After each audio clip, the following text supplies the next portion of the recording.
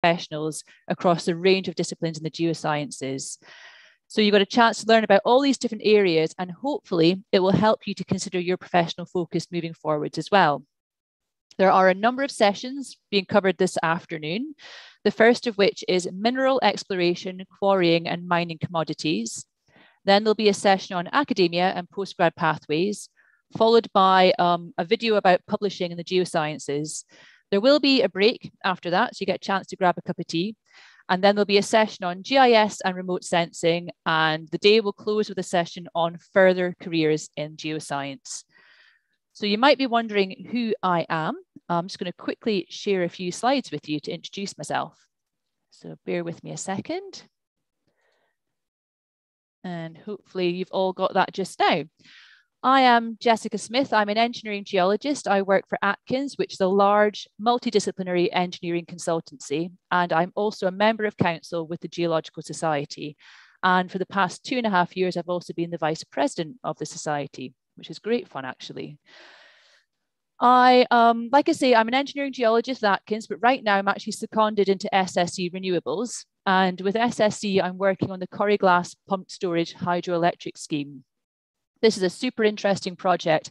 It's the largest scheme of its kind to be developed in the UK for 30 years. So it's some quite groundbreaking things. And I get the opportunity to visit beautiful places in the Highlands, such as this spot here on a very sunny but kind of chilly day up. Um, we're actually looking at some Munro peaks in the background there, so quite high elevation. Now, this area, Coire Glas, is particularly exciting for me as a geologist because it's located in the Great Glen of Scotland. Jessica, so, sorry yes. to interrupt. Um, we can't it. see screen. Oh, you can't see my screen? No. oh, I don't know why. Let me try sharing again. It's saying it's sharing, I think. Let me try again. Oh, we can see it now. Is that working now? Yeah. Oh, cool. Right, let me go back to dazzle you all with that photo there. So this is Coire Glas. This will be the area where the reservoir will be in the future. Um, and like I say, I feel quite fortunate to be able to, to visit locations like that through work. And it's particularly interesting for me because it's located in the Great Glen in Scotland. So one of the major structural boundaries that we have, which is of course famous for the Great Glen Fault, which gives rise to the topography through this area, which is dominated by a series of lochs and um, glens and all the mountains on either side. So quite a cool place to be working generally. But how did I come to be here where I am right now, seconded into SSE and working for Atkins? It hasn't always been a straight path and there's been some ups and downs along the way, which I don't mind admitting. Um, I started by studying earth science at the University of Glasgow. So that was between 2000 and 2004. And I actually hadn't applied to do earth science. I applied to do archaeology, um, but I didn't really enjoy that very much. So earth science was my second subject, and I took that forward for my degree, which I did. Um, but I graduated and I kind of had a panic. I didn't actually know what I wanted to do. So I took a job. I worked for a year um, in Glasgow still um, in the geo-environmental and geotechnical sector. But it was for a company that I, I, you know, to be honest, I didn't really enjoy working where I was. I, that was kind of one of my low points on the graph here in that particular first year of work, which was a bit rough coming fresh out of uni. But in order to kind of give myself a little bit of time to work out what I wanted to do and where I wanted to be, I saved up and I took a year out. I went to Canada. I was in Vancouver for a year, which was absolutely great fun. And another one of my high points. came back to the UK, um, and I have to confess, I still still hadn't fully worked out what to do. So I took a job with an engineering consultancy called Fairhurst. And as it happens, I really enjoyed that. Um, I was in Aberdeen for a while, then I worked in the Edinburgh office and I was working on a range of projects. But again, it was like geoenvironmental and geotechnical work. And over the course of a couple of years, I realized that I was actually more into the engineering geology side of things rather than the environmental stuff. I didn't, I hadn't studied chemistry at school. My chemistry was really limited to the geochemistry I did in my degree. So I didn't feel that I was best placed to be involved with you know, land remediation projects and what have you. So I took myself off to London and I did my MSc in engineering geology at Imperial College. And I'm not going to lie, it was quite a tough year. I'd been out of formal education for a few years, as you can see. So it was a bit of a shock to the system to go back and do that. However, it was um, one of the best things ultimately that I could have done. It gave me a really solid understanding of the technical aspects of my now career. I met some great people, um, got to go on some really interesting field trips as well. But the MSc, I feel, really set me up for my career moving forwards. And I think it's pretty common for people in the geosciences to, to go on and do a, perhaps a more vocational or more tailored, focused um, master's subject after the quite broad degree, um, bachelor's degree that we tend to do. So after that year down in London, I joined TRL. I came back up to Scotland for that. And that was kind of a different type of, of job for me. It was very much um, research focused. So the engineering geology aspect there was landslide hazards. So in the UK and also across Europe. And I really enjoyed it. I got to go to meetings in um, all sorts of interesting places, Naples, Barcelona. Uh, I worked with a great range of people from all these establishments across Europe. But the research side of things just wasn't quite for me. I quite like a bit more of a practical day-to-day role, I guess. And so after a couple of years, I left TRL and I joined Golder Associates. With Golder, um, I really enjoyed the job. I was actually based in Gibraltar for most of the time. So I lived across the border in Spain and I was doing lots of rockfall protection work in Gibraltar. Gibraltar is a big lump of rock, basically. So you can imagine there's a lot of pressure on uh, land availability and protecting whether it's roads, housing, or other infrastructure. I had an absolute blast. I loved living there. I loved the people I worked with. But the work was starting to get a little bit samey. So that's why I decided to move on and I joined Atkins. I moved back up to Scotland. I'm in Glasgow. And I actually haven't looked back. Atkins has been really good for me. I wasn't too sure about joining such a big organization, but ultimately that was quite a good move for me as a woman in, in engineering because big multidisciplinary engineering consultancies are very hot on all matters of EDI, um, equality, diversity, and inclusion. So I've been fortunate enough to be involved in lots of different initiatives, which have helped me as a woman in engineering to develop and progress my career. So like I say, I'm still still with Atkins today, and I'm, I'm very happy that I made that move. But I guess the thing that I would like you to take away from this is it hasn't been plain sailing along the way there have been some ups and downs and times when I've really had to think long and hard about what I wanted to do next and whether or not I was actually happy in what I was doing. But the key thing is you can always try something else. It's, it's good to try things. And I've learned something at every stage of the process. And that's helped me to develop in my career and be a, the best geoscientist that I can really in engineering geology. So Please don't ever feel like you need to know exactly where you're headed at the moment. And please do take the opportunity that you have today to learn a little bit more about options that are available to you. Now, before we get going with the sessions, a little bit of housekeeping. You will have noticed that your audio and visual have been disabled please do pop any questions that you have into the Q&A box. Um, I know that some of the previous sessions, there have been a huge number of questions, which is fantastic. The, the panelists love getting your questions.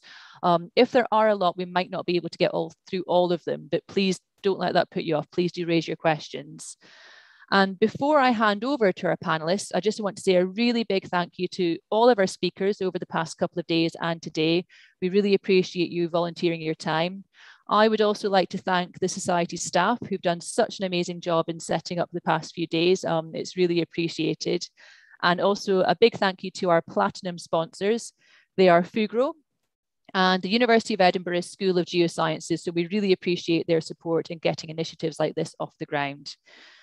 Without any further ado, I'm going to hand over to the panelists for your first session, which is in mineral exploration, quarrying and mining commodities. So I'll be passing over to Rose, Hugh, Jake and Alex. Thank you very much and enjoy your afternoon, everybody.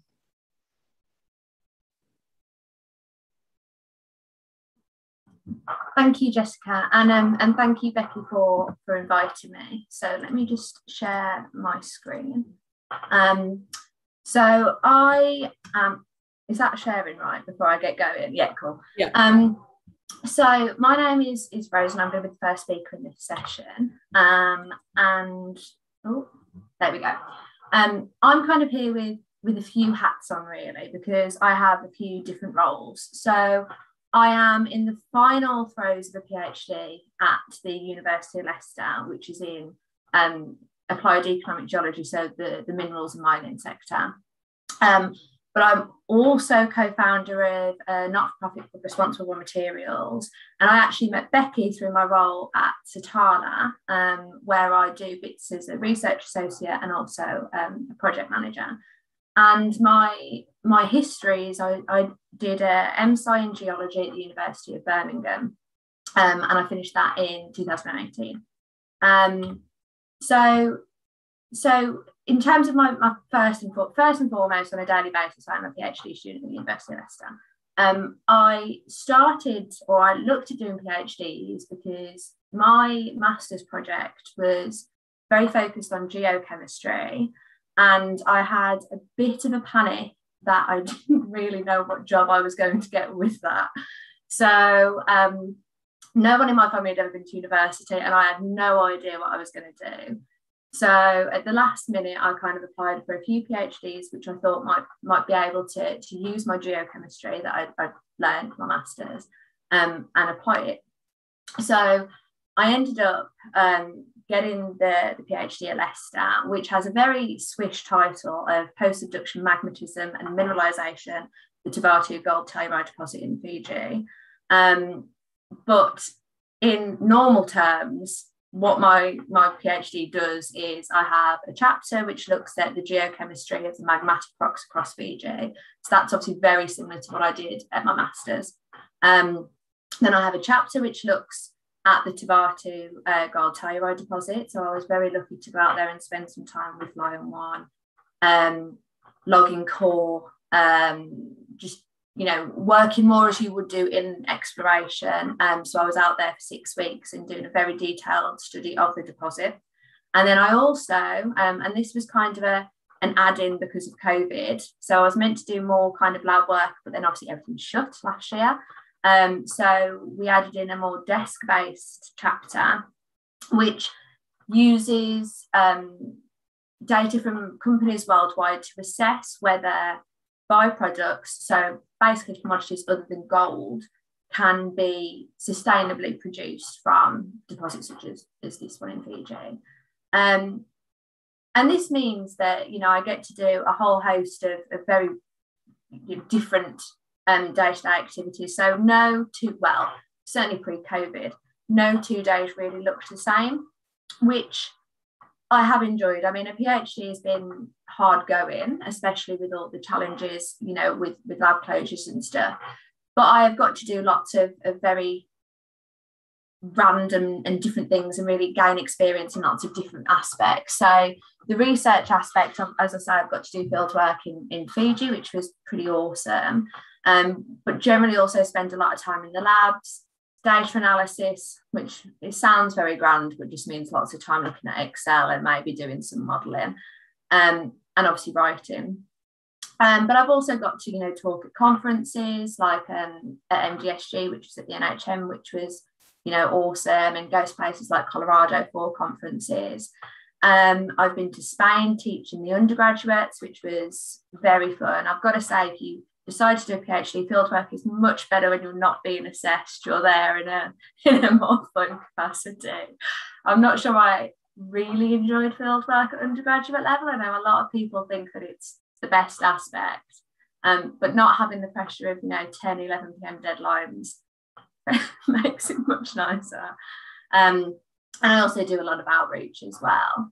Um, the other roles and the other bits I kind of dabble in, um, as I said, I'm project manager at Satarla um, and co-founder of Responsible Materials, and they they mesh quite nicely because I, Responsible Materials came out of an internship with Satarla actually. So as part of my PhD funding, I have to do um, an internship with with a company, and it can't be related to my PhD. So Satarla is actually um, primarily it's a risk consultancy company, but about 50% of their work is within mining. Um, and I do a lot of um, sustainability consulting work with mining companies and, and training and teaching as well. Um, so I'd, I'd organised this internship with Satarla and then COVID happened. So everything, the internship returned online and we decided to hold um, an online conference actually. And that snowballed into what is now a not for profit called Responsible Materials we hold an annual conference. So we've had people from all over the world come and talk about sustainability within the mining sector, first and foremost. Um, and we also held a, a roundtables at the start of the year, which brought together professionals from the different mining codes and standards. So JORC, Per, um, we had someone from China speak, someone from Mongolia speak. So get to do all of the, the liaising with those people. Um, and we also do some training as well. So through Satarla Responsible Materials, we did some um, introduction to mining training for MP researchers, which was pretty cool. Um, so on a daily basis, I have a very, very mixed bag. Um, and I'm kind of happy to answer questions about all of it. I'm not sure that my experience has been normal, but it's definitely been varied.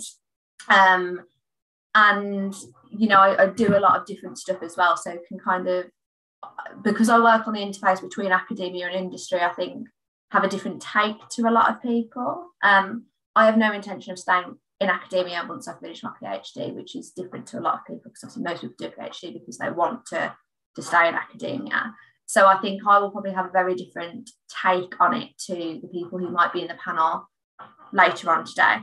Um, I am very lucky because of this mix of things I get to do, and I get to meet so many different people and you know, make my own timetable and work on my own terms, which a lot of people don't have. Um, and I also get the freedom to do lots of other stuff as well. So through the university, I did the, the mineral exploration session for girls into geoscience. So I got to play with rocks with a lot of girls aged kind of eight to 10. Um, and that was great fun. Um, I also, I don't know if anybody's heard about this, but do letters to a pre-scientist. So anybody who works within STEM can sign up to this and you become a pen pal for a, um, a school child in um, America, and that's that's really interesting as well. Um, and as a PhD student, I do the Brilliant Club, so I go into schools and teach um, either GCSE or A level students about the mining industry. So very mixed bag there too. Um, I think throughout all of these roles, some some key pointers come out as things that are helpful. Um, obviously subject knowledge within geology is helpful and technical skills. But I think throughout all of these different roles, I've appreciated much more how important, you know, people call them soft skills, but I think they're more, you know, skills that can be applied in, in a range of, of areas. So project management and communication and teamwork, I think are often undervalued. Um, and actually, these are the skills that have meant that I've been able to do my work through Satarla and Responsible Materials with experience outside of industry, um, but also creativity and problem solving because in all of these roles, there's, I mean, especially with COVID, so many challenges that, that present themselves that it's just been, you know, the problem solving skills that come with the masters and doing geology, especially. I think geologists often don't realize because of the nature of the data we deal with, we're very good at problem solving and kind of extrapolating data. Um, and I think that makes us very good in a range of roles we don't necessarily automatically think of. Um, but then also having initiative and self accountability, certainly with the PhD and the extra bits and pieces I do, having the push to do it, you know, when there's no one breathing down your neck telling you you have to meet deadlines, sometimes it can be a little bit easy to, you know, wander off, especially when you're working from home. Um, so yeah, those are the things that came to mind when I was thinking about what's helpful in these roles. And then just a recap of kind of how I got here. It looks very neat and tidy, I have to say. Um, but it has not felt like that. So my PhD had nothing to do with what I did at my undergraduate. I ended up having to do a kind of like crash course in mineral exploration studies. So I'd never done a module on it when I started this PhD. So it was a it was a bold move, I think, kind of taking it on. Um, and it's been a learning curve. Um, but I think you know, I wouldn't change anything. And I think the skills I've learned and the people that I've been able to meet has been, you know, I've been incredibly, incredibly lucky. Um, and yeah, I'm happy to to to kind of talk about any of it because there's a lot going on on that timeline. I understand. I'm a very busy bee at times. Um, so yeah, I think that's me. And if anybody wants to add me on LinkedIn or Twitter, I'm more than happy to answer questions on any and all of that and connect with people. Um, so yeah, that's me. Thank you. Okay, I think uh, it's me up next. So I'll just share my screen as well. Screen number two. Uh, share. Let me know if that appears for yourselves. Yep, smashing. Okay. Right. Uh, well, firstly, I'd, I'd, echo the sentiments of the previous speakers. So thank you very much to Joel GeolSoc for the opportunity to speak today. Uh, and this is just to give an introduction to myself and uh, help uh, maybe guide some questions that we can get later on. So to briefly introduce myself, my name is Hugh. I am a chartered exploration geologist with about seven years of experience, having had the, the opportunity to work in lots of different countries, primarily across uh, Africa, but also the likes of uh, Australia and Fiji as well. Um, I am currently working as an exploration and mining geologist for a company called Nordgold on their Bissa-Bouly gold mine out in uh, central northern Burkina Faso.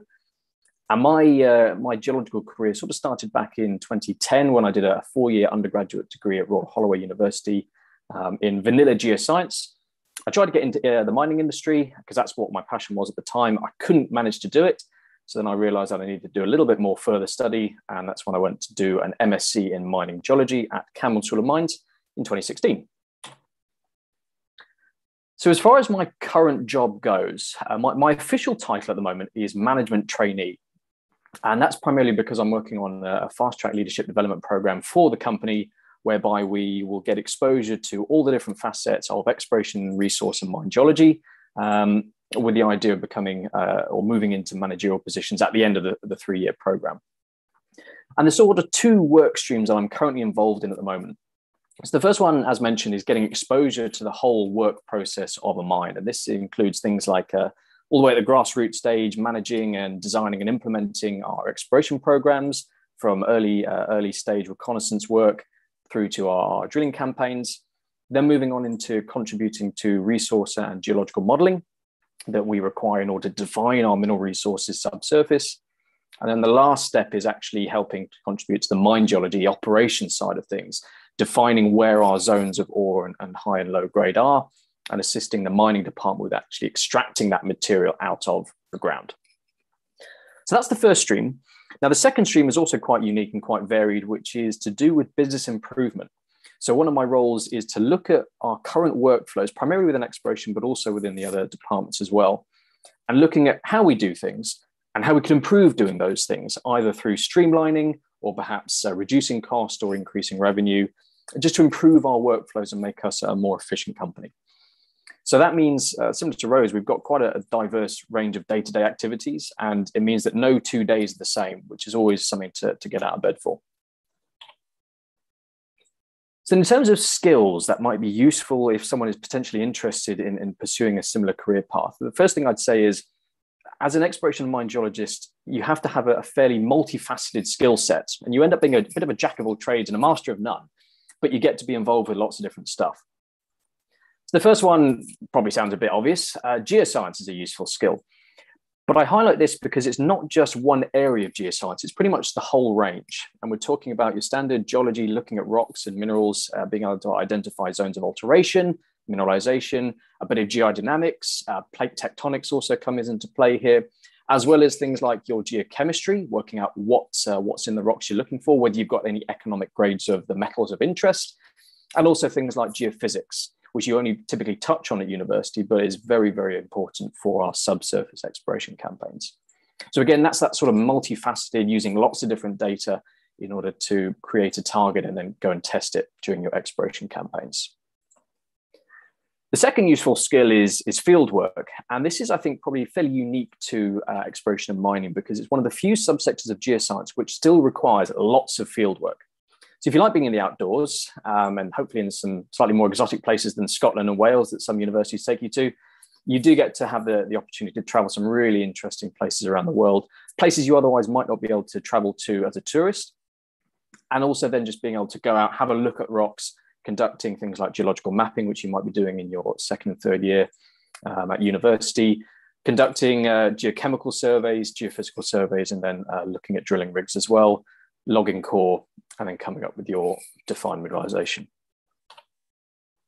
So a third useful set of skills would be software. Now, this is coming more to the forefront, uh, say, over the last 10 years or so. Um, but in exploration and mining, we've been a bit of a, a slow start, but we're starting to adopt new uh, software um, packages more and more so. So the two big groups, one is uh, 2D um, mapping software. So you've got GIS, which is Geographical Information Systems, and this is mapping software where you can uh, create and add on different layers, uh, like an overhead projector, if you like, and then you can use that to compile and synthesize all of your data. And then ones on the right hand side are our 3D modeling software such as Leapfrog, Datamine, and Micromine. And this is where we can take our 2D data, turn it into a 3D model, add in our drill holes, and we can make a subsurface geological model. So you have, if you have any opportunity to develop these sorts of skills at university, particularly as a lot of universities have uh, licenses for free for students to use, try and get some data uh, from perhaps your professor or your lecturer and have a bit of a play around because these are really useful and I think between about 75 and 80% of all jobs for geologists require or desire some sort of 2D or 3D geological mapping software. Okay. And then the final skill set I'd recommend would be useful for this type of role is something, something quite logistical, like handyman skills. So, can you wire a plug? Can you set up a campsite? Can you organize how many vehicles you've got? Uh, can you sort out samples going to and from your campsite to the lab? Can you organize your own travel to and from site? There's lots of different things that day to day are not technical skills that you need, but will be very helpful for you uh, when you are trying to go about your exploration campaigns. There's nothing worse than uh, getting into the field, having a blown tire, and then not having any idea on how to fix it. So, any sort of additional skills, um, things like Duke of Edinburgh would be very useful um, for this sort of thing. Okay. And then finally, just to uh, explain my, my timeline so as I mentioned, I, I did a four-year undergraduate geoscience degree in uh, just vanilla geoscience at Royal Holloway University of London. And I actually started on a three-year degree. I was just doing the BSc. And uh, the, the, only reason I changed to a four-year because I wanted to spend another year at uni, to be honest. That was literally the only reason. But during that period of time, I managed to grab a couple of internships uh, out in Australia to give me a bit of a, uh, exposure to the mining industry and exploration side as well. And when I was going through university, the, the mining industry was booming. And I was being told that, oh, yeah, you'll find a job, you'll be able to bag loads, it'll be absolutely fine. And then as soon as I left, everything crashed and there were virtually no jobs available whatsoever. So when I left, I to, actually had to jump ship. And I went into the oil and gas business working for a company called Deloitte up in London. And we were basically doing data analysis. And I spent about a year doing that. But after about six to six to eight months, I felt, you know what, this really isn't for me. I want to get back into the field. I want to do geology. I want to get my hands dirty. Um, and because the mining industry was still slightly depressed at the time, the commodities were very low in prices. I realized that my MSci was not good enough for me to land a job. So I decided to go down to Camborne School of Mines in order to do an MSc in mining geology, upskill myself, get some more vocational focused training in mining because it, in my undergrad, I'd only had like a single module in third year. And that was enough for me to then bag a full time job with a company called Altus Strategies uh, at the end of my MSc. Now, I'd actually worked with them uh, for a little bit of time beforehand, only because the, uh, the CEO, the director, and about three of the four geologists had all gone to Camborne School of Mines to do an MSc in mining geology. So sometimes it's not just what you learn, it's who you actually find uh, you can connect with. And that can also help you land a job, particularly in our sector.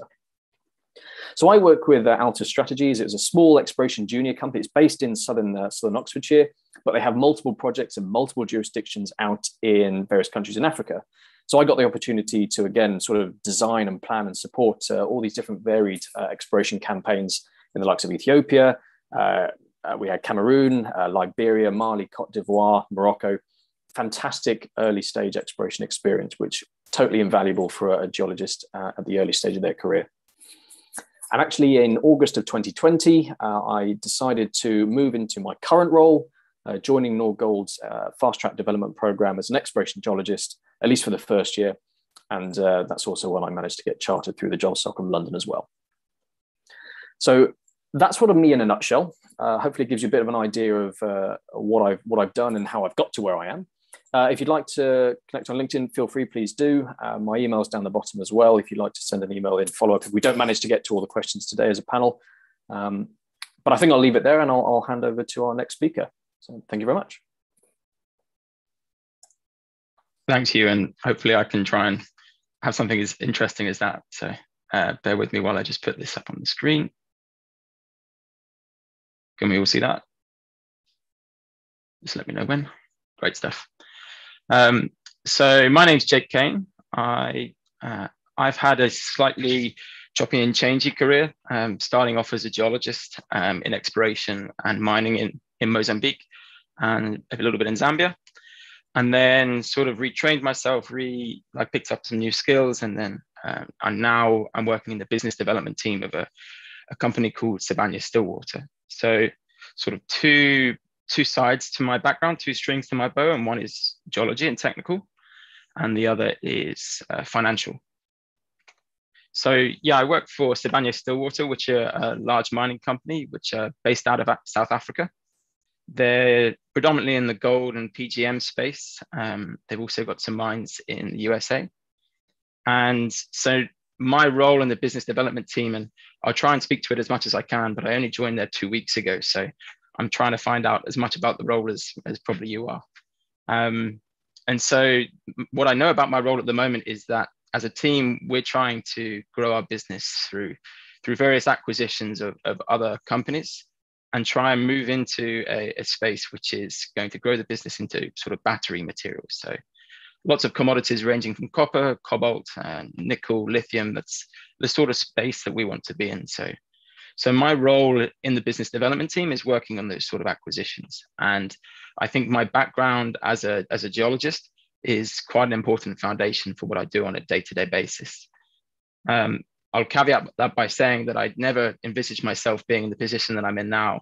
Um, and that probably will be the takeaway from, from this is that if you're starting off in exploration, you in five, ten years time, you'll probably be in a completely different, um, in, in a completely different role to what you expected. So so the sort of work I do on a day-to-day basis, um, it, it, ranges from identifying companies and being in meetings with other companies and trying to understand their business. So that's really where my technical background um, really helps me. So looking at the geology of the mines, their resource models, the sort of work that Hugh would do, we'd be reviewing from a sort of uh, company strategy point of view. And then looking at engineering, mineral processing, um, and some financial stuff. And actually, our department is completely diverse in terms of skill sets. So um, we're quite a small team, but we're full of lawyers um, and ex-financial advisors. Um, we, are mining engineers in the team, and I'm, I'm the only geologist by background. Um, so completely diverse, but um, quite an interesting group of people. And so the sort of technical skills that I've sort of picked up over the last uh, the last few years, I think they're, they've been quite important for me. And I never envisaged picking up those sort of skills. I always started with geology, but I think over time, while I was working um, with a company called Gemfields, I'll come to that just after. Um, I ended up over time picking up some experience in, um, and working with a lot of people who were mining engineers and mineral processing engineers, um, working with the finance department and corporate sustainability teams. So really picking up a lot of skills on a day-to-day basis, which um, you know I never never thought I would be in that sort of position. Um, but then also after I left Gemfields, I retrained in, in finance. Um, I did a master's in uh, metals and energy finance at Imperial College in London. And I think there I sort of fused the technical skills with a side to the industry which I'd never been exposed to, which was uh, valuations and finance and um, you know a huge part of the industry which as a geologist I never really understood. So pulling the two of those together really has helped me in the the role that I've got now at Sibanye so far. Um, but I also I try to get involved with as many um, different organizations as possible. So obviously the GeolSoc and IM3, um, they're the sort of technical professional associations that that I like to work with, and then also trying to give myself continuous learning. So um, I'm quite a believer in never stop learning and always try and pick up new skills as you go along. So trying to um, prepare myself for, for, an exam, some examinations in the corporate, um, uh, in, in the financial analyst, analyst um, examinations. And so, yeah, they're the sort of the background skills, but I think also what's quite important is um, doing some networking and getting out and meeting people. And I think that's ultimately how my career has developed is by meeting new people and hearing about through exactly platforms like this, different careers that are out there uh, for you. And so my my uh, career path, as I said, is chopped and changed a little bit, but I did my an undergraduate in geology at the University of St Andrews. Um, and throughout that, tried to pick up as much experience as I could in various different internships. So one with a geophysics internship, working on some oil and gas um, data. One as a field geophysicist just after I left, left university and the other for a company called Aggregate Industries. Um, and so those last two internships, actually, I, would already been offered a role at Gemfields as an exploration geologist. Due to various complications in getting out there, I had about six months until I got my visa to, to leave.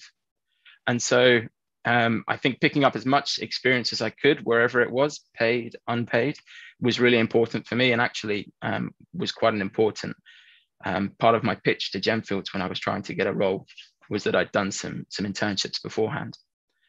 And so my role at Gemfields was quite interesting. I worked on the, the only and the largest um, ruby mine in the world. And so twofold worked on both the mining geology side and on the exploration geology side, um, which was an incredible experience. And I, I learned so much by just being on the ground every single day, standing by drilling rigs or standing in the mine, um, working with mining engineering teams and mineral processing teams and so that was a really fascinating experience. Um, but then I, I think I realized that actually I wanted to diversify my skill sets a bit more. Um, I'd been living in Mozambique for three years, and I thought time for a little bit of a change. So I came back and retrained in finance.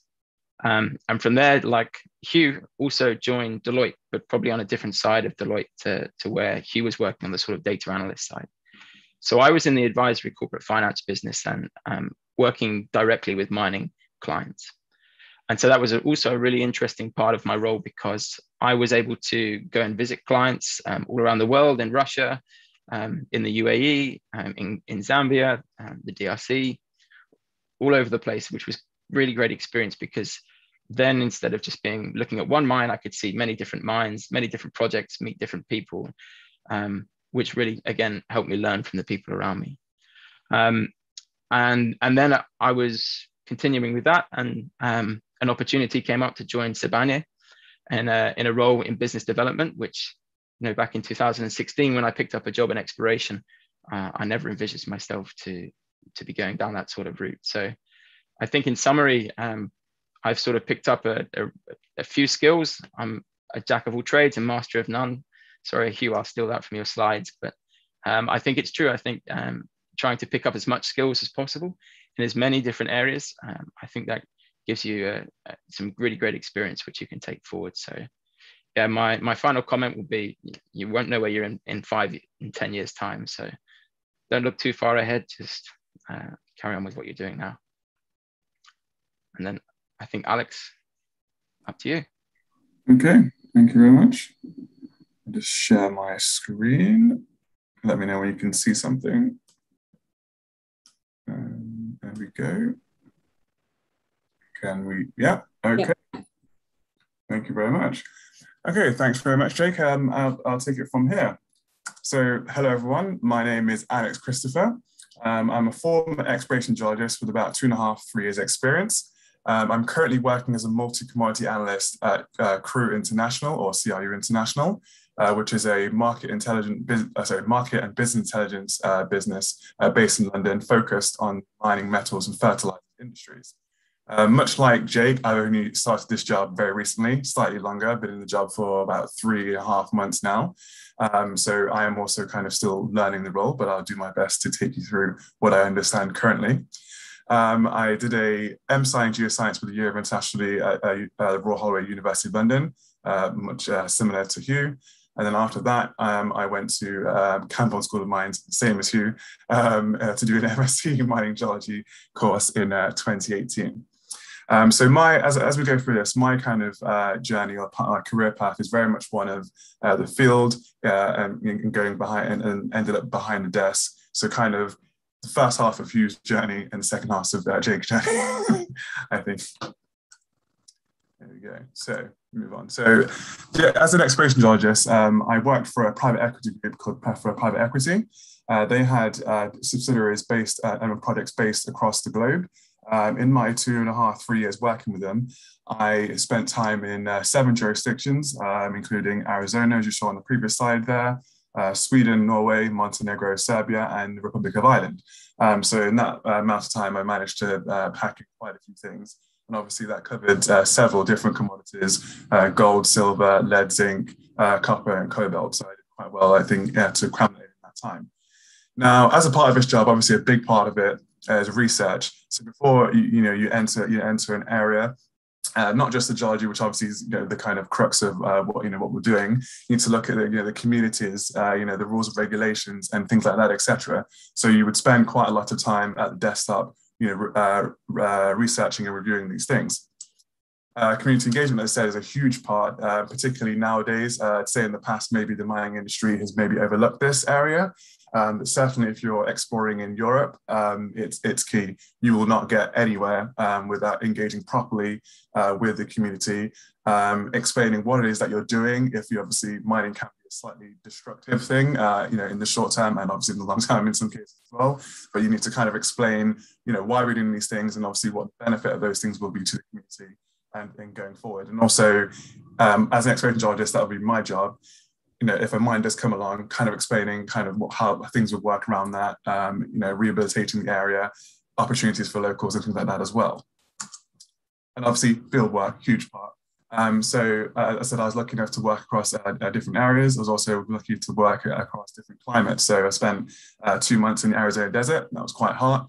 I spent two months um, up in uh, the Arctic Circle in Norway. That was quite cold. Um, so it's very versatile and very dynamic in that sense as well and it was uh, you know, one of the best, one of, the greatest experiences of my life so far. And as you know, as a young person going into this, it's great to obviously see these things while you're young and free. Um, but I think one of the things that, um, which I get onto why I moved job, is obviously it can be quite a, um, you know, all-consuming job, uh, and we'll get onto that in a moment. So in my current job as a multi-commodity analyst um, at CRU, so um, my my main my main role is uh, is kind of running the day-to-day of CRU's uh, partnership, exclusive partnership with Fitch Ratings. Fitch Ratings is a credit rating agency. Um, so if many, many of you may, may be too young, I don't know, but the financial crisis of 2008, you would have seen on the news about credit rating agencies downgrading countries' debt. Fitch was one of those companies, but also in the mining industry, obviously to kind of pay for things, you have to, you know, you have to take on debt. So uh, there's a huge role for Fitch and other credit rating agencies in rating such companies, which obviously if they give them a good rating, it's going to give them more access to debt, more access to, uh, to money to do what they uh, want to do. So one of the key things I do is cost curve analysis. I won't go too deep into that now, but if there's questions about that, I'll talk about that after. Uh, market outlook. So I provide uh, market outlooks um, dashboards to Fitch across uh, 23 commodities. Um, you know, your main ones, uh, gold, silver, things down to lithium, fertilizers, things like that. And obviously data analysis is a huge, huge thing uh, that I do. Um, obviously as a market business intelligence company, this is, you know, this is, you know, this is what we focus on across the analysis division and even consulting as well. Um, so for example, here's just a few uh, graphs I put in here. So here at the top there is the CRU metal uh, metal basket that tracks some key metals, obviously, uh, you know, across time. So as you can see, obviously, um, over the last uh, 12 months or so, it's been a bit of a crazy time for commodities. Um, we have this uh, heat chart here. This is something we give to clients. So, you know, what's going to be hot in the next uh, year, two years, etc., and things like that. Now, onto kind of useful skills. So uh, Hugh and Jake and, and Rose, uh, Rose have uh, talked about this. So I'm going to talk about skills that I've picked up and also ones that uh, would be useful to, for you to look at in the meantime while you're going through university and things like that. So as Hugh talked about ArcGIS, uh, QGIS, these kind of geo software, um, geo software, uh, uh, geo software. Now, um, obviously in my old job, I use this quite a lot, um, mapping, remote sensing, things like that in my new job, not so much of an application, but it, I think the skills and kind of um, assessing things that comes from that have um, helped me in uh, some things in my new job as well. Excel, uh, Rose uh, said, uh, talked about this, I believe. Yeah, I spend 90% of my time um, in this job at Excel. Excel is your friend. It can do amazing things. Um, you, know, you may think you're an expert, but I'm sure there's some sort of formula or you know some sort of macro, whatever that you don't know. So you know, if you've got time to kind of you know take an extra course or focus some time on Excel, I would say even for a field job or working behind a desk like I do, it's a, it's a crucial thing. Uh, um, uh, Garmin Basecamp, that's just a kind of GPS uh, kind of service thing. So that was useful when I was in the field. ThinkCell, that's a very data linked thing. Um, so for example, when I'm making these cost curves, um, ThinkCell basically acts as a bridge between Excel and the nice pretty PowerPoint uh, that you see there. And uh, um, uh, Jake's uh, nodding his head there. Uh, it saves a lot of time, I, I believe. Um, and for me, uh, Salesforce and Jira, so obviously there is a, a client-facing element of, of my job. So Jira is a good way to kind of manage workflows Salesforce, you can kind of track uh, uh, workflows, but also with that as well, you can obviously track sales, uh, customer interaction, things like that. And I've added in there uh, Python. Now, this is something that I don't currently use in my job, but I think uh, coding and learning some sort of code and kind of programming is a crucial thing uh, in the geosciences nowadays, and also going forward into, into geoscience careers. be it for the field or be it for a job like mine at the moment. And I've added in uh, CFA Institute. I saw uh, Jake had that on his um, uh, slides as well. I'm currently uh, about to start, the, there's like a foundation program. Um, obviously, if that goes well, I'll uh, go on to do the full thing. But if you are in the kind of analyst or financial analyst world, you know, that's the kind of thing that's an equivalent to you being a chartered geologist um, uh, in, in, um, in, the, in the field. And then just to kind of finish off, my career path. So it started in 2013. So I said I went to Royal Holloway um, uh, just like you did, but I spent a year abroad at the University of Toronto. And I initially entered Royal Holloway um, with the thought that I was going to end up in oil. And that was all the rage at the time. Um, and then I spent a year at the University of Toronto. Obviously, Canada is a huge mining center, and um, that pretty much changed my, my outlook uh, instantly. Um, so once I came back from the University of Toronto, I was like, right, I'm going to be uh, a miner of some sort. I still wasn't sure would I be an exploration geologist, would I be a, you know an engineer, etc. That soon, uh, I soon sorted that out. Um, and I, like Hugh again, I went to the uh, Camborne School of Mines, did an MSc in mining geology. Um, while there, obviously got many opportunities to um, uh, see uh, different parts of the world. I think I went to Namibia, for example, and things like that. Um, invaluable experience as well. Again, engaging with the community there and also kind of engaging in what is a very different uh, mining uh, space than, for example, in Europe. And then did an internship um, with Blytheweigh, which was actually facilitated by Camborne School of Mines. I spent some time at the investment uh, um, bank, uh, well, investment uh, company, uh, WH Ireland, and also the uh, nominated advisor, which is a um, a body that you need to list yourself on the um, London um, AIM market, uh, Strand Hanson. And then I entered the work with Plethora Equity and, and the subsidiaries you can see there uh, for the two and a half, three years and then ended up uh, where I am now at CRU.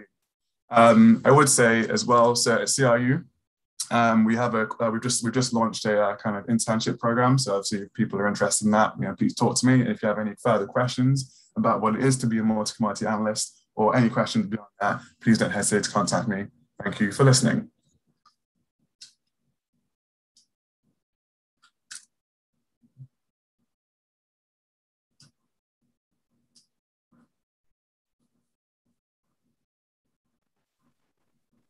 Thanks, everyone. Um, so we'll start with um, some questions. So I can see there's a question in the Q&A box already.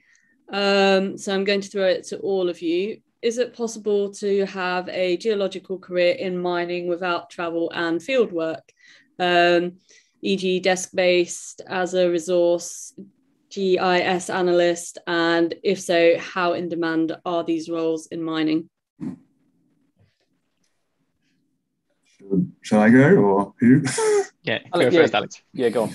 Yeah, um, yes, um, I, I, would say. Uh, so if you are interested in what you said there, so uh, GIS or resource geologist. So when I was an exploration geologist, we actually had an in-house person who exclusively stayed uh, um, behind the desk, uh, didn't enter the field.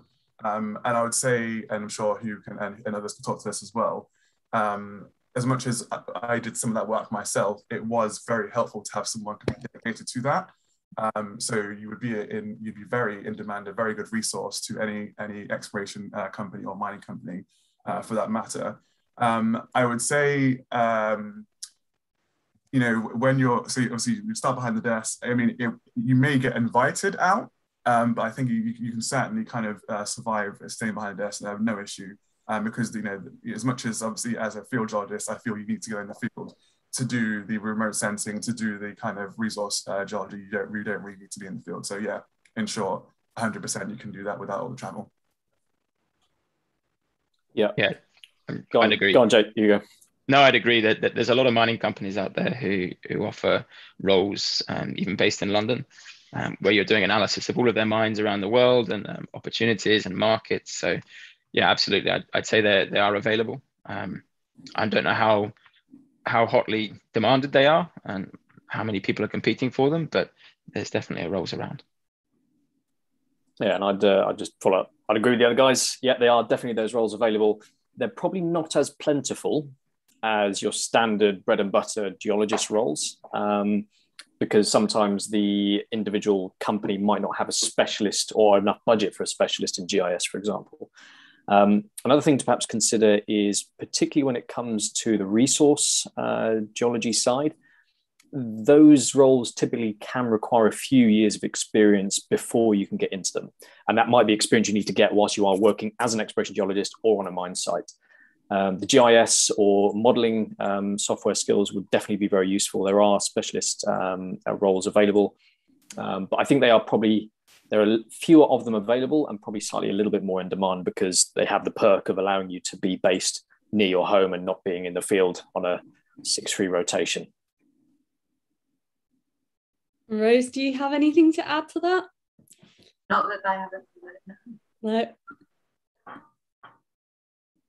Great. Um, well, there's uh, more questions coming in, which is great. So um, please um, submit further questions to the Q&A box. Um, so someone's asking um, if any of you can recommend um, good companies to approach for internships. where would you start with that? can you recommend anyone? Yeah. Um, so, well, my first question to that question would be: uh, Is are, you looking for a field role, or are you looking for a finance, uh, um, you know, market intelligence thing? So, but from my point of view, so yeah, CRU, for example, um, not, uh, you know, we, we said we have an internship program that is active, um, and we'll, um, it's a new thing this year, but it's it's gone well, so we're doing it in the future. Um, they will be uh, summer internships. Uh, they can last from a month to, to three to six months. Um, so obviously that will be a kind of uh, data, data analyst or research analyst uh, role. Um, in terms of uh, field, I think uh, obviously Hugh may be better placed for this, but I know um, when I was when I was looking for internships, things like that, you can some of some of the bigger companies, so you know your bigger you know Rio Tinto that type of thing. Um, you know you can send things in, but I think you're probably better to aim for a kind of like a mid-tier kind of junior company um, and offer time. You know, um, hi, you know, can I, you know, can I spend a, a, if, you know a few weeks in, you know, wherever it may be, and approach that way. Um, because I think in, in terms of actually active uh, advertising of uh, internships, it's not a huge, huge thing. It's a, you, you probably need to approach them. Whereas in the space that I'm in, we will advertise them and it will be there. Yeah, there's companies like uh, Golden Star Resources, which is one that c- comes to mind, and they work quite closely with Women in Mining each year to um, bring in three or four interns um, from Women in Mining in London uh, to their operations over the summer. But what I would say is those opportunities are advertised very far in advance um, because the logistics to get your visas and stuff takes takes quite a long time. So be on the lookout a long a long way before the summer break because it's about now that they're advertising them. Yeah, and, and Alex was spot on about um, the bigger companies typically, at least in exploration, not there aren't many advertised internships. It is the smaller companies you have to actively go and approach. Um, I'm going to throw the name of Altus Strategies out there. Perhaps the director and CEO aren't going to like me for that if they get spammed, but um, they have taken uh, interns in the past, not only through the Women in Mining scheme that Jake just mentioned, but also uh, just broadly more across the board. Um, so they might be worth looking into. And if you're looking for companies you don't know where to start, um, bit of advice I've given in the past is if you go to the London Stock Exchange website, uh, if you look around on there, you can find an Excel spreadsheet which will basically give you all of the companies listed on there. And you can then filter and sort by basic commodities and mining metals. And you basically get an A to Z list of all the mining companies listed in them. Um, so that's a good way to actually find out who's out there. It's just a case of going down the list and one by one hitting up all the different companies out there. And just to add to that from experience, I think the bigger companies, because they advertise specific internships, it can be very difficult for them to be more flexible. So, like for my PhD, I had to do an internship, but they only offered internships for master students, and they some of the bigger mining companies just could not work out how to fit a PhD student into that that model. Um, and they also some internships because they pay you, they have to be a little bit stricter with what they offer. So if you want an internship with something that's perhaps outside of your comfort zone, they won't necessarily pay you for you to get that education. Whereas if there's something that you want to do um, that is outside of your comfort zone, reaching out and asking for an internship is a great way to do it. So I, you know, reached out to Satarla and I've really landed very luckily with it because it's a small company. They could let me kind of have a play and have a feel for the different parts of the industry that I enjoy. Um, so yeah, definitely smaller companies. It's a bit more time consuming because you have to research more and really perhaps think about what you want to do more. But I would think it's worth it in the long term. Great. Um, so we've got more questions coming in. Um, one question is probably quite a fast one to answer. How big is the finance and investment sector in exploration geology, and are there lots of roles in this? Um, so I'll just throw that one out there. Uh, you can all chip in. I, I can jump in with that one first. Um, so investing in very early stage exploration geology stuff is is quite a niche market. Um, usually that that sector is a lot bigger for careers when opportunities and projects are a bit more later in their life cycle. Um, those that have got you know good funding um, and construction. So most of the investment in exploration goes through venture capital groups and private equity groups. Um, so I would say if you're if you're looking for a sort of investment role, then then yeah, some of the bigger companies that have got the ability to support much wider um, teams, um, because often the early stage guys they don't they don't have much cash to employ people, and it may even be even one or two people just in the company entirely. So. Uh, yeah, just to add to that, um, so obviously your question was was about finance itself. I would also kind of widen that question a bit to the kind of market intelligence business side of things as well. So again, with, uh, with CRU and there's some other similar companies as well. Um, there's a lot. I mean, there are a lot. There are a lot of jobs um, right right now. Um, obviously, as I said before in my in, in my presentation, the commodities market for the last 12 months and probably for the next six, six or seven has been um, exciting. But to put it uh, to put it in, into one word, um, so much as obviously you've got the investment side is a huge thing, it's also uh, market intelligence, business intelligence feeding into that is also a huge thing. Um, and I said, you know, companies large and small. So I mean, you know, you had Deloitte, uh, Deloitte you were talking about before, do parts of that. You got companies like CRU, you've got Macquarie Group, different sizes, all coming in from a kind of slightly different angle.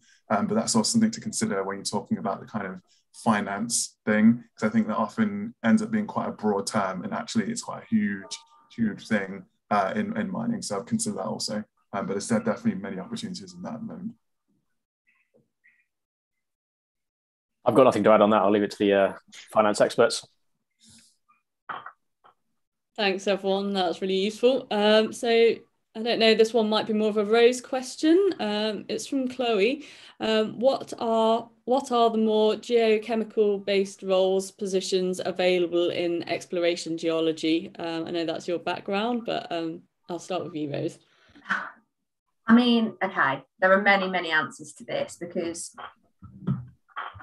a lot of exploration is pinned on geochemistry. So very broad scale exploration might use soil, stream, sediment sampling, which is geochemistry. There is also when you're at the mine site level. So a company, once they start drilling, will send off the core samples or rock samples um, to, to geochem labs. Um, adjacent to that, there's the microscopy work which goes alongside it, and it helps to have a geochemical background and knowledge to be able to do good petrography. Um, modeling will rely on the geochemistry that comes out of it. So there's there's a lot of geochemistry within um, within exploration and in mining. There is then also the kind of moving on from that when mining is taking place. Um, metallurgists and people like that who design how to process the rock will need to have a good understanding of the chemistry. People who look at the waste that comes from mining need to have a good understanding of the chemistry. So, what, you know, if you've got nasty metals, how they react in the environment, are you going to end up with acid mine drainage? Are you going to end up with all sorts of toxic metals in your in your tailings dam? So, geochemistry is incredibly important the whole way through, even you know how you how you process, how you go from a rock to a metal in, is like a huge chemistry set. You know, you might roast it, you might use fancy electro winning techniques, you can use leaching increasingly as as people are more environmental focused. So at Leicester, there's there's a big contingent that are looking at using um, environmentally friendly liquids to to leach the rock. So kind of like using cyanide in gold, but um, not environmentally damaging. So the answer, I mean, I could talk about this forever. There is having a good geochemical knowledge if you if you are interested in geochemistry. Um, going into mining is is a nice easy jump across. Um, I don't think I realised just how broad it was when I did it. I just panicked and only really knew about the exploration side. Um, so it depends kind of what you're interested in. If you enjoy the fieldwork aspect of geology and geochemistry, the you know the um, the exploration side and understanding sampling would be helpful. Whereas if you care about sustainability and that kind of stuff, looking at the waste streams might be more for you. Um, I mean, yeah, if you enjoy lab work, then maybe the metallurgy side. Um, so I think getting experience and knowing how broad geochemistry is is certainly where I not failed, but I just think I didn't quite understand the scope of it. And then that leads into the kind of like the ioGAS and the software um, side as well. So I haven't really used ioGAS, but I know it's used more and more. Um, so maybe that's where you can, kind of comment. Yeah, sure. Um, I fully agree with all of what Rosa said. Um, exploration in particular, as smaller companies like your junior explorers, they typically don't have specialist geochemists because they don't have the budget for it. So, as a geologist, you would do the little bits of geochemistry that are required. Um, if you don't have the specialist in-house knowledge, you might export that or, or contract that out to a company that does. Um, but a lot of what the work you might do might involve does might involve does your rock have metals in it? Yes, no and then any further work might be uh, contracted out. The bigger companies are the ones which might have a specialist geochemistry division. So Rio Tinto has principal geoscientists, for example, uh, and they will be across you know an entire region helping out the different projects. Um, so yeah, th- there are lots of opportunities out there in the mining space and exploration space, um, but it just depends on which company you're looking at.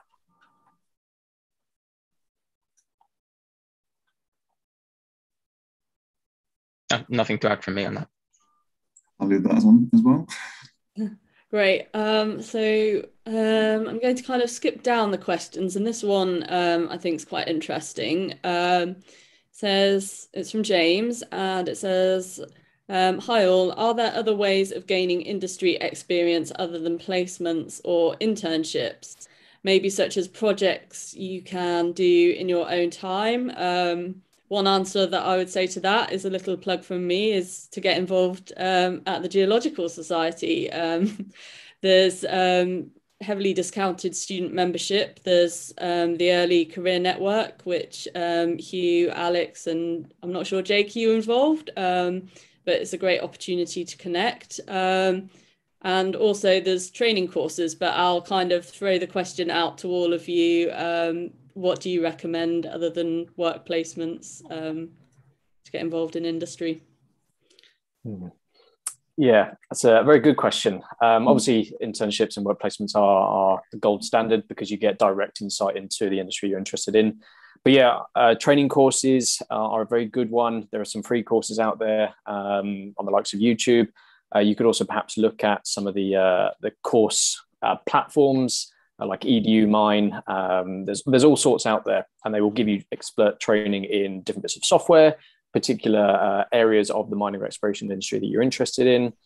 As Becky mentioned, involvement through the various uh, societies, professional bodies out there is a fantastic way not only to upskill yourself, get broader exposure to the industry as a whole, but also then to network. And it's the network that can often land you the job, not necessarily what you know, but it's who you know. And that can't be understated in this industry. Um, 70 odd percent of jobs in our industry are through networking, particularly for the smaller companies. As I mentioned at the start, um, during my presentation, the only reason I probably got a job at Altus, the first company I worked for, is because I went to the same university. Um, and they probably like the graduates from Camborne School of Mines. So those I'd echo those sentiments. And in terms of your own projects, if you can perhaps demonstrate um, a side hustle that you're working on, um, if you do some uh, mapping on like a contract rate on a, a, website, that's all good stuff that a company might turn around and look at and go, you know what, this guy's got initiative, this girl's doing a really good job over here, and that could give you that cutting edge against uh, your potential competitors. Um, yeah, I think yeah, I think yeah, Hugh's, Hughes summarized it quite well there. But um, I would say, yeah, more important, the most important thing for me would be the kind of yeah, the training courses. So again, there aren't many free ones out there. So um, for what I do, so the multi-commodity data analysis kind of space, um, I was talking about kind of honing in those um, Excel skills. So for example, uh, I think Udemy, for example, has a um, financial analyst um, course you can do, very extensive. Um, so I'm sure you know you can, you can uh, spend some time on that. Obviously, at the end of it, you get kind of get a certificate. Okay, that may that may not be kind of like a you know a, you know a internationally like certified type thing, but the skills you will gain from that will be useful, and if you can demonstrate that, that's that's great. Um, again, to uh, repeat what Hugh and uh, Becky have said, the Geological Society. So um, said uh, Hugh and I are obviously involved in that in the Early Career Network um, but your, your, your, local regional groups as well, for example. Um, so I'm aware of um, my uh, my family's from the, uh, from the Midlands. I know the um, Midlands group they do field trips uh, to uh, you know local, local geological hotspots, things like that. I'm sure the other regional groups uh, groups do that as well. Um, you've also obviously got kind of um, talks and workshops that the Geological Society do. So I think um, it's just been posted in the in, in the uh, group there. Have a look at that that's definitely I think that definitely a kind of first port of call. And then kind of uh, areas outside of that. So we're talking about software. Um, it can be difficult, and please correct me if I'm wrong on this here, but it can be difficult to get um, detailed, uh, in-depth kind of workshops for free um, on those things. But um, you know, the, the Early Network, you know, we have put on uh, like an ioGAS uh, thing, for example. So keep your eyes open, um, sign up to those kind of mailing lists, and I'm sure something will come through. Um, but apart from that, I think you know, all you can do is kind of, yeah, take, use your initiative. If, you know, you're reading the right things, um, you know, if you see something in an article, you know, maybe kind of, oh, you know, what's going on with that? Can I contact someone, ask about that? And then also that will kind of add to the kind of networking, you know, people that, oh, I remember that person who asked me about this, that type of thing. Um, so yeah, that's what I would say, uh, just to kind of add to what you said there. I think as well, and if, you're still at university, reaching out to kind of master students or PhD students who are doing lab work and ask if you can see what they're doing. Um, so if you're if you're based at Camborne or Leicester or where there's like big mining groups within the department, you can probably get a feel for, you know, you could sit behind somebody on the SEM while they were looking for gold in a thin section or see what it's like for a day in the lab. So get those kind of broader skills as well, um, just from a more um, like physical perspective rather than just doing it online in a training course. Um, or see if you can get involved in like a research group. Um, universities have them, and universities do a lot of free talks as well, like SEG groups, um, things like that. Or you or um, museums. So also from the Midlands, Dudley had a great museum with loads of geology samples that I kind of like. Um, kind of did a bit of curation on and do some like um, cross sections and stuff for them for various bits and pieces. So it's not always big companies that you have to go to. There are some more weird and wonderful ways to, to get experience. I would say if you can get a little bit more creative. Yeah, I'd echo a couple of points in there. One is is networking and meeting people and joining different uh, professional organizations and um, trying to meet people face to face is really important, particularly in the beginning of your career. Like you said, it's it's who you know sometimes, um, but also sort of echoing Rose's point there.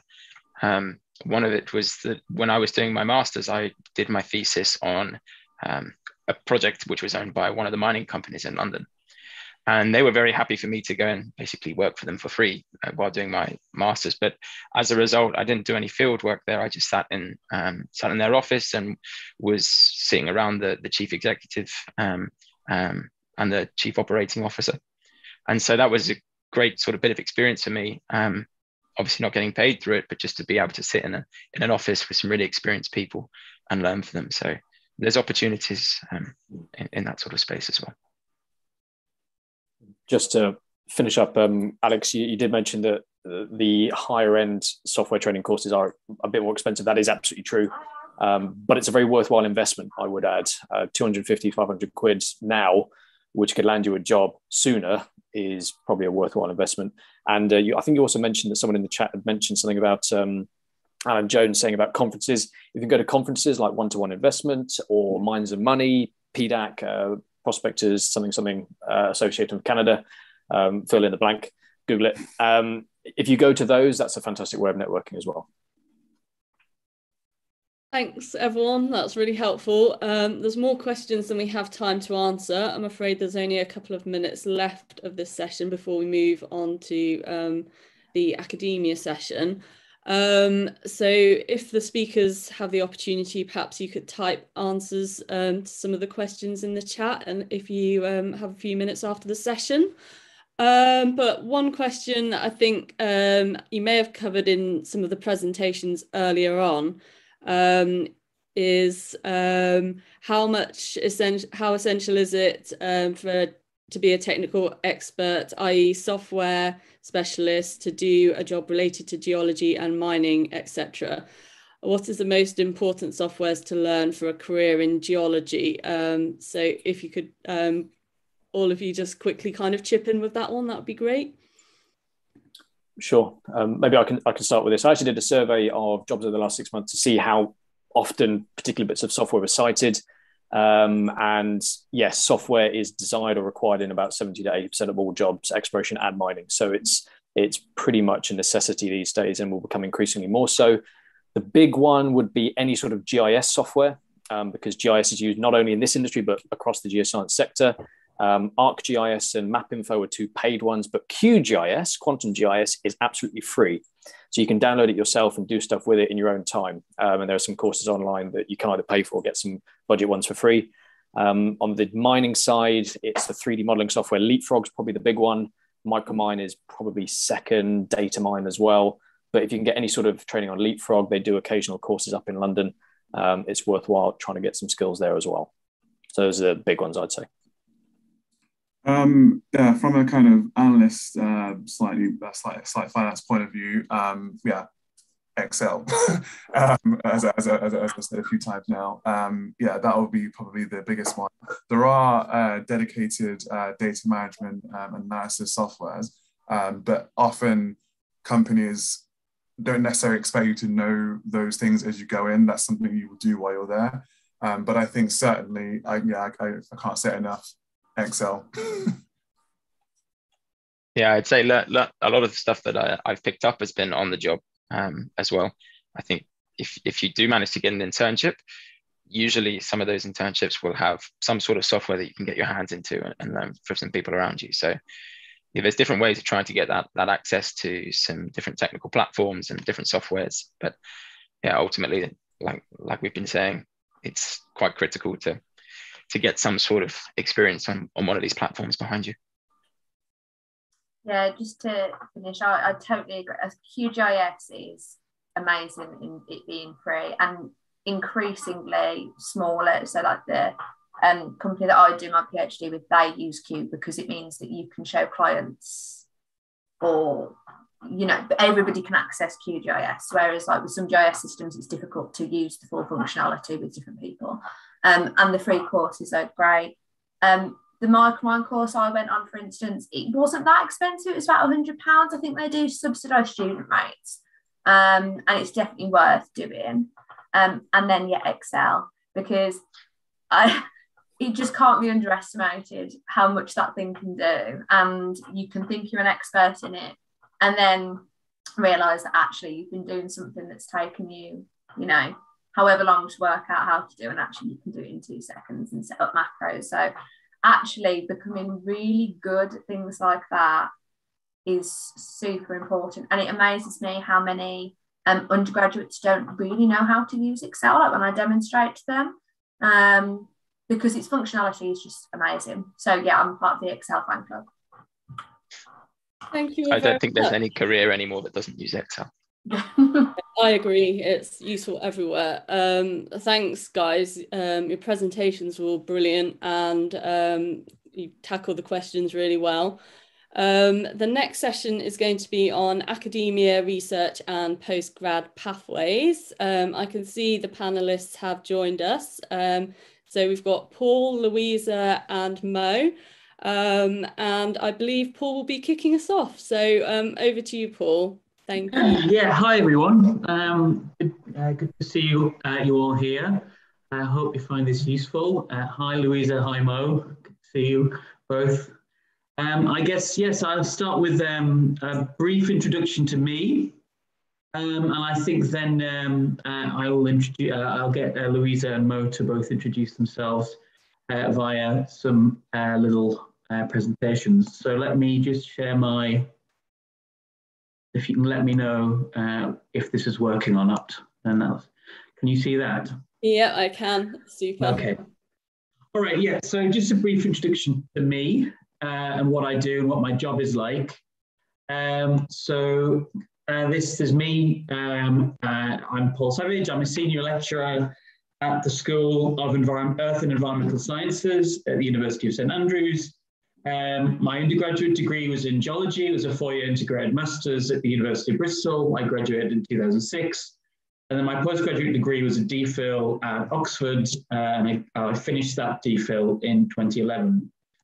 Um, what do I do? So I'm a senior lecturer. Um, so I was just promoted last year, I think, or this year, maybe no, this year.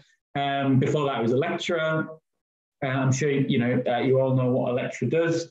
Just to recap, um, my um, my role is generally split up into um, into three areas, uh, and it's nominally 40% research, 40% teaching, and then 20% service. Service is admin, um, helping to run the school, helping to in, being involved in um, in various uh, roles, responsibility roles within the university and in the, in the school as well.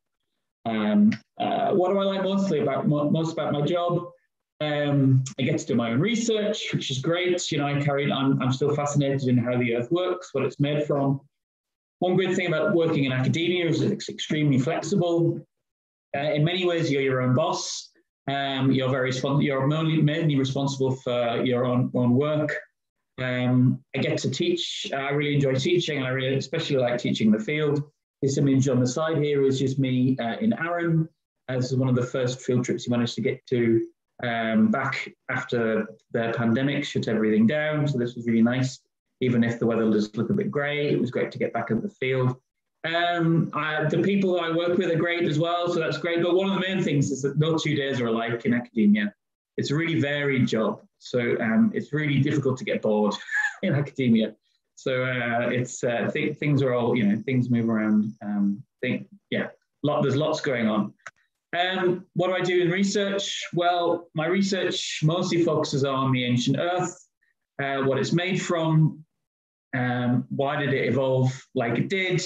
How did we go from uh, a cloud of dust and gas to the differentiated and habitable planet, habitable planet upon which we live today? And to do this, I, I'm mainly a geochemist. So I look at the composition of ancient rocks. So this is just me on the island of South Uist with some uh, Lewisian gneisses. These are some of the oldest rocks in Europe. Uh, and I also use um, the analyses of meteorites. So this is the Pallasite meteorite here. In fact, I don't, I don't actually analyze Pallasite. I'll just put this up here because it's beautiful. Um, I mostly analyze primitive meteorites, which don't look as quite as beautiful. Uh, with teaching, I, in fact, I, a lot of what I my research that informs um, what I teach. So I teach a lot of geochemistry and isotope geochemistry um, uh, throughout all um, years. So I teach from first year up to master's level. Um, uh, I really, really enjoy teaching. Uh, I, th- I, think it's a really rewarding part of my job. And part of it as well is I get the opportunity to teach field classes as well. So St Andrews, the university I work at, they um, pride themselves on having quite a number of days in the field. Uh, and one of the, I'm lucky enough to be part of the Alps field trip where we spent two weeks transecting the Alps and, and showing um, undergraduate students how beautiful rocks are in the field as they are, yeah, and, and what they can tell us about how mountains form. Um, and finally, I guess I just thought I'd sort of sum up in terms of how did I get to where I was today uh, as a lecturer. So I started life, I grew up in the northeast of England in a small town called Hartlepool. Um, not many people, uh, well, when I was, you know, quite a few, it's, uh, it's, it's not that common for people to go to, well, it wasn't that common for people to go to university back then. Uh, it's more common now, but um, uh, uh, I went to University of Bristol to study geology. Um, and then I didn't really know what I wanted to do. So I took a job working, first of all, for Thatcher Cider in a cider factory. And then uh, that was a summer job. And I ended up working in a chemistry lab of a place that made fake nails.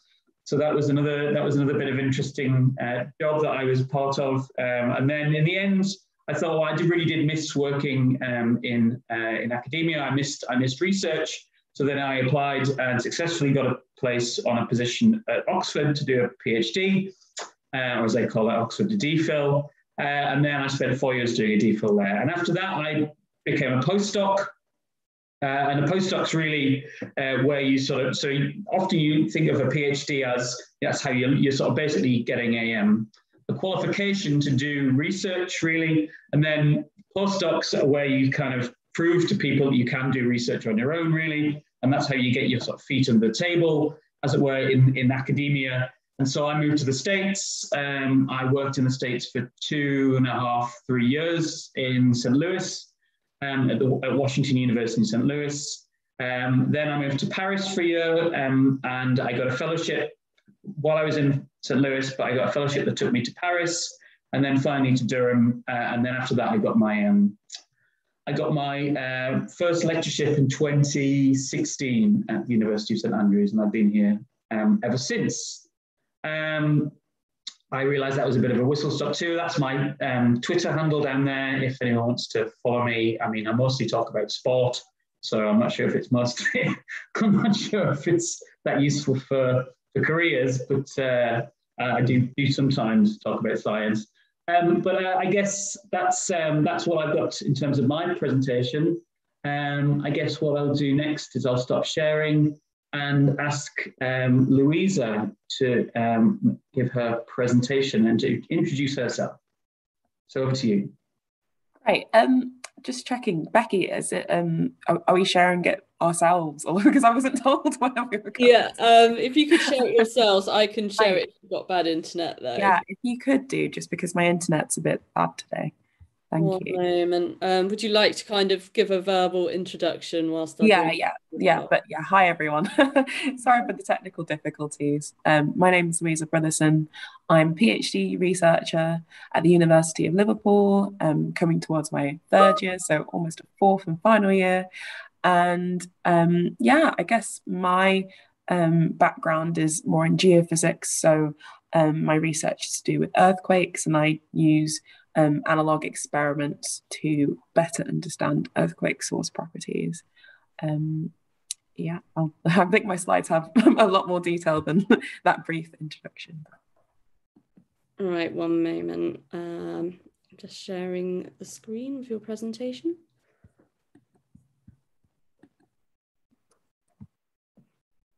All right, um, one second.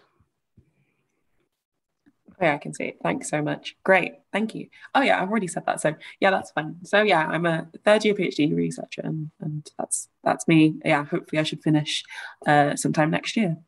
Thanks.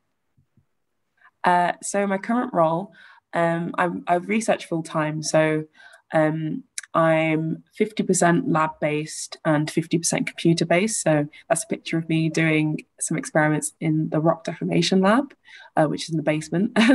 but it's a really cool lab. We do all kinds of experiments. So lots of squashing rocks, lots of um, deformation, high temperature, um, high pressure um, experiments. Uh, my experiments uh, involve creating lab generated earthquakes. So things uh, such as things like stick slips and acoustic emissions, which are really tiny, um, kind of um, equivalent to earthquakes. So you can't like feel them, you can only hear them. They make like a little popping noise, the stick slips, and you can't even hear the acoustic emissions. Um, but what I'm trying to do is to reduce the, the uncertainty in earthquake source properties. So things uh, like, um, so the earthquake source is basically the area of a fault which slips during an earthquake. And because we don't have a massive drill or we can't really dig to the center of an earthquake when it sort of starts, so we don't know uh, the exact properties of, of, what's actually happening right at the fault. So I aim to recreate that by making really small ones. Um, I really enjoy um, being flexible and in- independent in my own research. Um, I think uh, like Paul was saying, being a PhD is really getting your training in and just getting used to being a researcher and trying new things and getting things wrong lots of the time. And you have the freedom and flexibility just to do that and choose what you um, like, depending on what you enjoy. Um, next slide, please. Thanks.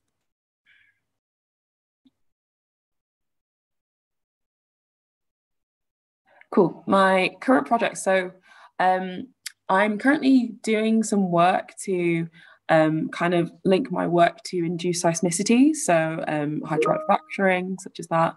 Um, so I've just completed a training course on that topic of induced seismicity. I've also done all kinds of other training with my PhD, so things like um, outdoor first aid, Python, academic writing, um, like thesis writing and things. I've also been a postgraduate outreach representative. So um, I used to run geoscience outreach events at the Victoria Gallery and Museum for kids. So we did a spooky science um, event a couple of years ago where we got all kinds of um, uh, different fossils and things like shark's teeth and all kinds of things were getting kids involved in geology. And presently, I'm part of the African Caribbean Research Collective, which um, stemmed from the lack of diversity in STEM. So it's a support group for um, Black Caribbean PhD students after finding out in a report that there were only 30 of us that were UKRI funded in the UK. We were like, what? So we all got together and formed a collective now, which is really cool. Um, next slide, please. And yeah, this is just my journey, I guess, to my PhD. I guess just before that, um, first start, um, I grew up in Birmingham. Um, I was always interested in um, kind of geography and understanding planet Earth and also problem solving and maths. Um, so I ended up doing my MGeoPhys, so integrated masters in geophysics at the University of Leeds, which I finished in 2018. Um, my third year, I did a year abroad at Western University in Canada. So that's two hours southwest of Toronto. And there I did all kinds of cool courses that I wouldn't have done in the UK. So things like quaternary geology to do with glacier, glaciology and stuff to do with um, earthquake seismology that I hadn't done in the UK. So that's really cool. Um, I also did a short internship doing research in Germany, paid for by the DAAD, um, and that was great to get some research experience. And then I applied for my PhD in my fourth year, and I got that at the University of Liverpool, where I am now. So thanks, and thanks, Becky, for sharing your screen. Great, thanks, Louisa. Uh, that's fantastic. I think, well, and finally, let's move on to uh, Mohammed, or Mo. Um, and uh, yeah, uh, after you take it away, do you, do you, have you got your slides. Great. All right. Just trying to share my screen here. Yeah. Hi, Paul. Hi, Louisa. Hey. Hi, Becky. Uh, yeah, first of all, I would like to thank the GSL actually for inviting me for this uh, panel. Uh, and thank you, uh, Becky, for, for all the hard work actually back in the in, in the background. Uh, yeah, so I'm Mohamed Gouiza. I'm a research fellow at the University of Leeds. I did my PhD at the University of uh, the Vrije Universiteit of Amsterdam in Netherlands, and I uh, graduated in 2011. Uh, this is me here actually in the field trying to, uh, to, uh, to show people actually what I see. Sometimes it works, sometimes actually I fail to do that. So, uh, but yeah, a lot of my work actually involve field work, but not only field work, I do also other Uh, techniques actually that I use in my research. But let's first actually like look at what a research fellow. So it's not a student and it's not a lecturer. So it's somewhere actually between those two. And like Paul mentioned, actually, it's similar to a postdoc position. where actually you try to prove actually that you can lead your own research actually and be innovative in, in your work. And that process actually involve a lot of grant writing, trying to secure funds actually to do your own research. Uh, then actually once you get those grants, you need to do the research as well and publish and disseminate your work actually in conferences and in papers as well. So uh, yeah, just a few sketches here to illustrate what I'm talking about. So some of the research that I do actually involve uh, computational methods. So uh, first of all, my, my research focus on the geodynamic of Earth. So I'm a structural geologist and I do a lot of tectonics and geodynamics, basically trying to understand the evolution of, of rifted margins. And those are basically uh, divergent uh, plates uh, where you have the oceans, where your oceans actually form. So like I mentioned, so some of my work actually relies on numerical modeling to try to understand the processes that drive that extension and that stretching of the lithosphere. So basically your crust and your mantle as well.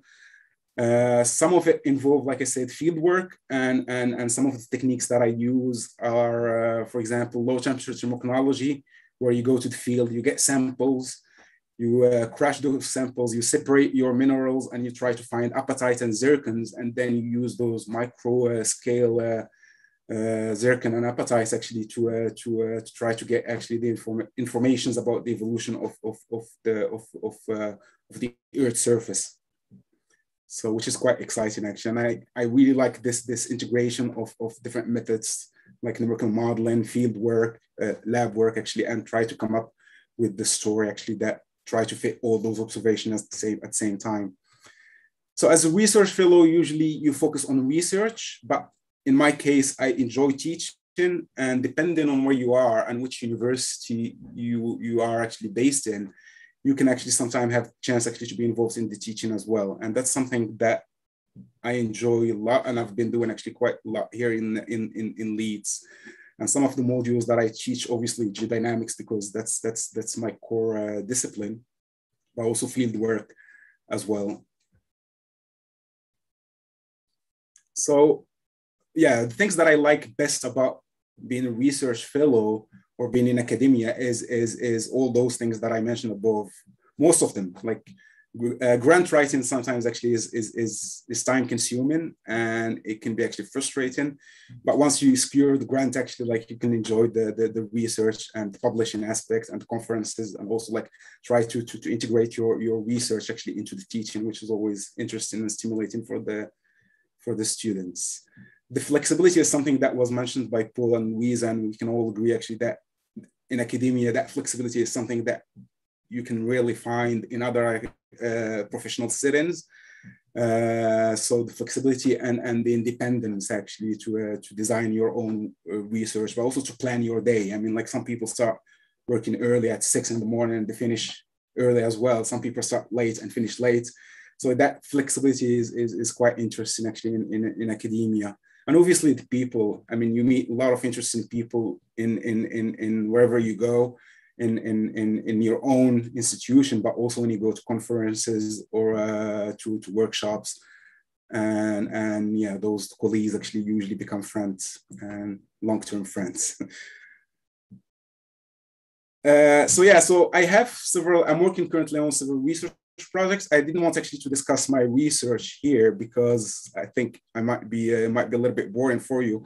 So the thing that I will, wanted to highlight is is like the non-research aspect of, of, of, of, of the work that you can get involved into when actually you are a research fellow or working in academia. And this is an example here, which actually we're trying to actually to, to, to be to be active in our community and the structural geologists and, and tectonics community by actually uh, proposing alternatives to publishing models. The, there is some, some issue with the publishing model that we have currently because it's most of the, the publishing journals actually are for profit and that creates some, some, some issues because you need to pay actually to publish and you need to pay to read and access those, those publications. And here actually we're, we're since, since a year actually we've been working on, on an alternative, which is basically a, a diamond uh, open access journal. And by Diamond, we mean it's a journal that's free to publish and free to access. And we're hoping actually that this journal will launch sometime in, in, in 22, early uh, 2022. Uh, So you can actually like do research, but you also can be actually an active member of your community and try to tackle some of those issues that the community actually uh, face. How did I get here? So uh, yeah, it was a long journey actually. So I was born and raised in Morocco, and that's where I did my undergrads. Then I went to France, to Strasbourg to do my master's. Then after that, I went to the Netherlands where I did my PhD at the Vrije Universiteit of Amsterdam. After that, I went to Canada where I spent four years between St. John's, which is on, on in Newfoundland on the East Coast, and then I, I, I, went and spent two years in, in, in Saskatchewan, in Saskatchewan, which is in, in, in central Canada. And that was really interesting uh, move because I, I, I, worked mostly on, on uranium deposits. So it was something actually that was completely new for me because I've been always working actually on the geodynamics of, of, of, of rifted margins. But I wanted actually to see what happened actually in other fields. And I had the chance actually to integrate quite interesting projects on uranium which was actually like uh, which was really nice experience and allowed me actually to broaden my my expertise as well. But after canada I, that's when i came to the uk that was in 2015 by the end of 2015 and when i started this fellowship here. And i went back actually from mining back to my initial field which is geodynamics. And yeah you can see below actually my email address my twitter. Uh, yeah i do tweet mostly on, on about geology and research so it's a very professional tweet account that I have. And you have also my LinkedIn if you want actually to, uh, to keep updated on, on my professional uh, stuff. Yeah, thank you.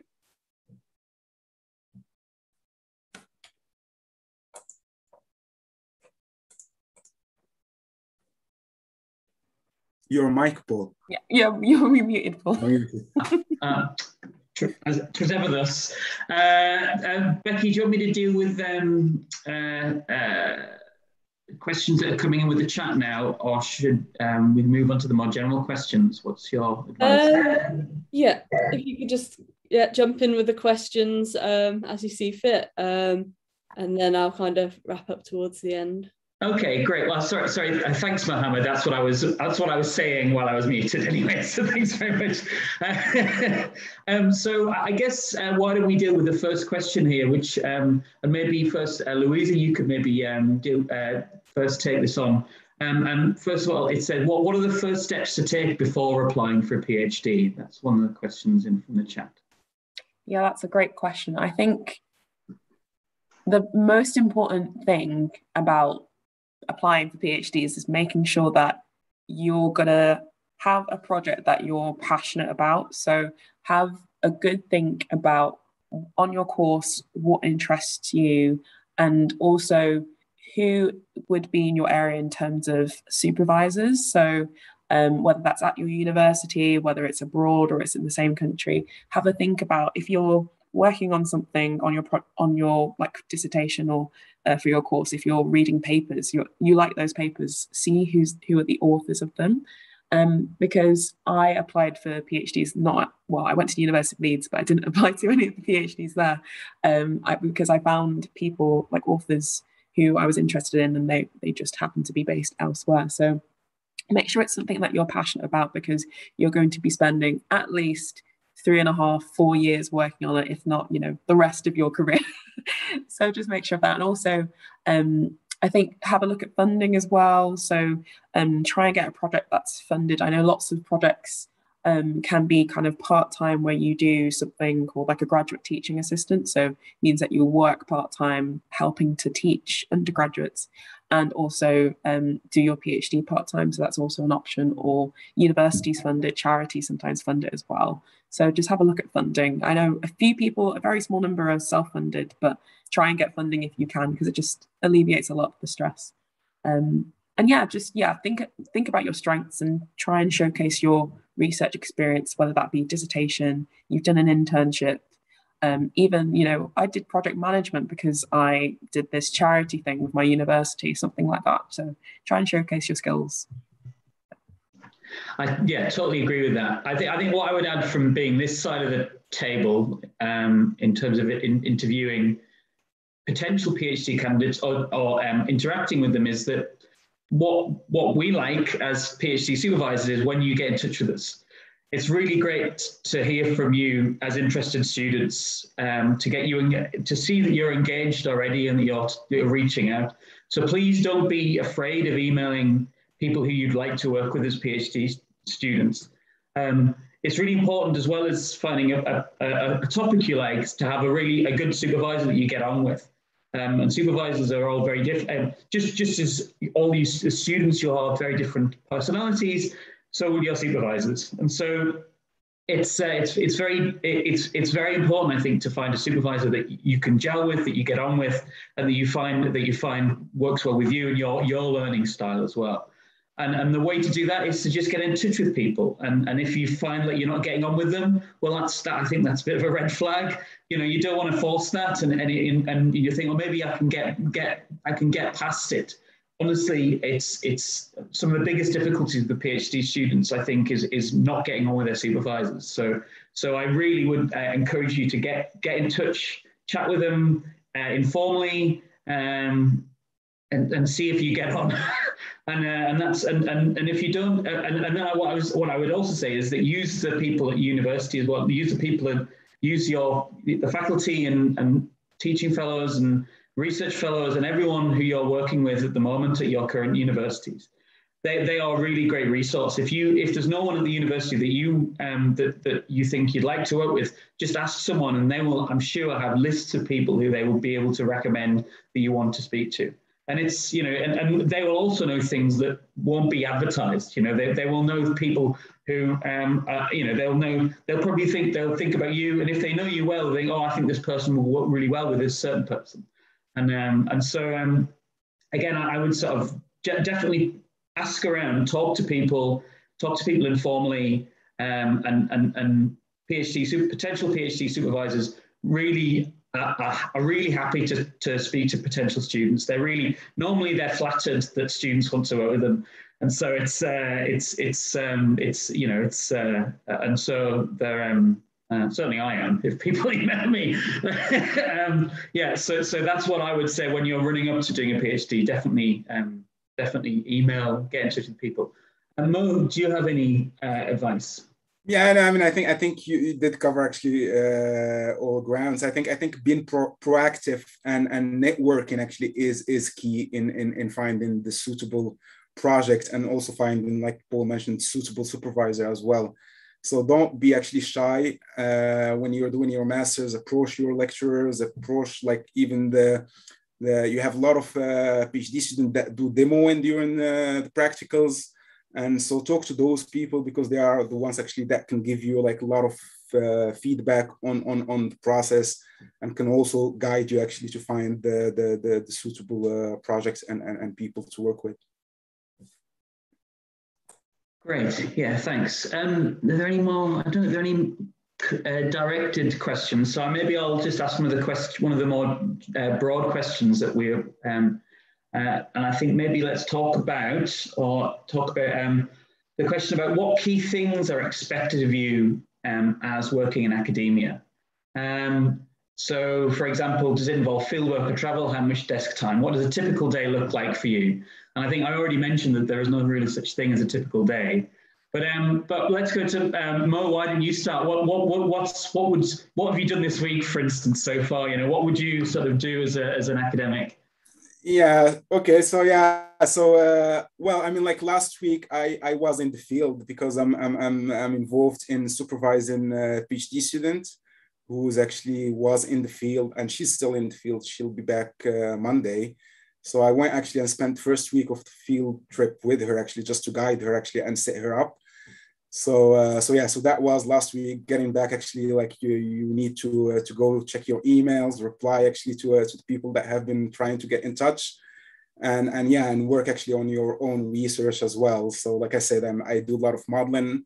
And some of the things that I had to do after actually getting back from the field is actually go and check on my models because they run over like certain period of time. Usually they take two, three days.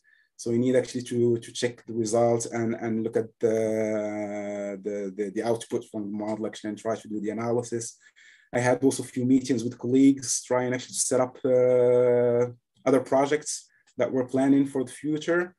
Uh, I had actually like this morning. I had uh, I was on on uh, an MEC uh, uh, Viva, so for two students that were actually the, presenting their their MEC project this morning. So I was there actually like yeah, seeing the the the, the presentation, asking questions, and also like evaluating the, the, the presentations. so how about you, Louisa? Thank you, man.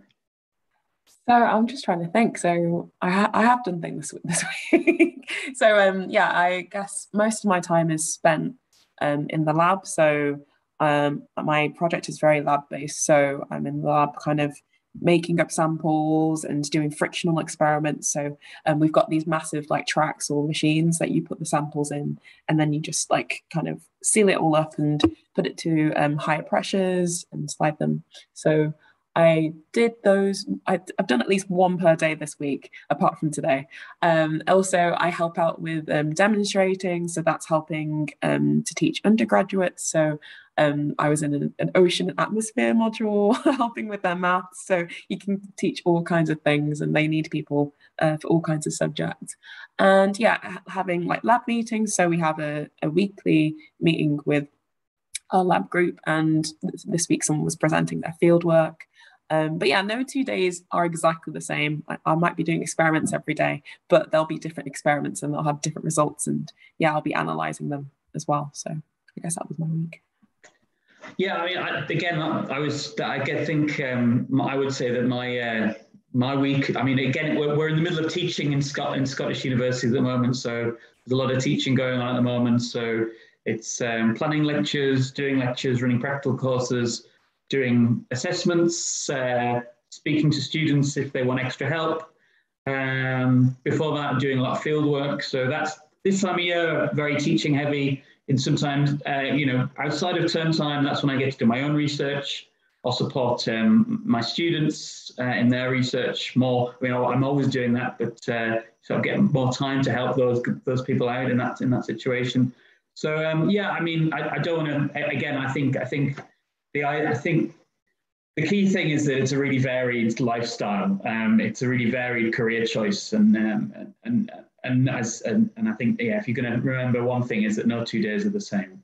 Um, I think there's some Q and A questions coming through now, so I think maybe I'll um, just try and deal with those. Um, okay. Uh, from Isaac Watkins, hi all. Until listening to the academia research course, I've only considered a role within the Minex industry or the applied GIS industry.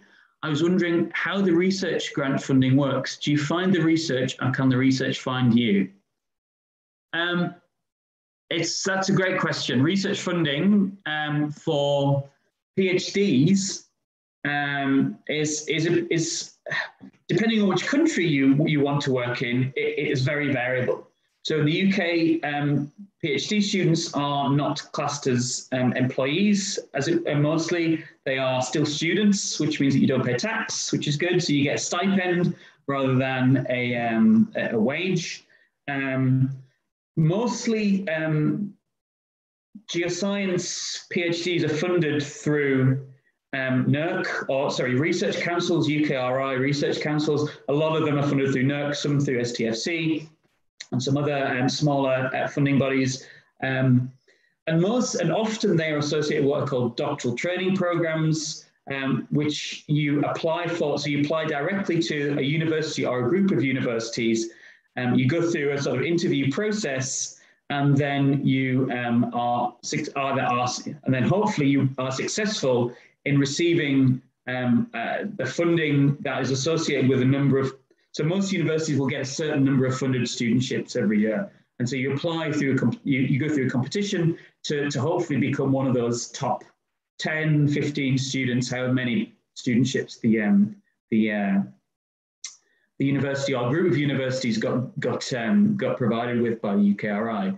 Um, so that's the traditional route is applying and applications uh, it'll probably start around this time of year, actually. So, so um, most most application um, cycles for PhD for DTP projects will start now. The interviews will be um, January, February time, going through into March, and then by March time, I think most people you'll you'll start to hear whether or not you've um, received an offer.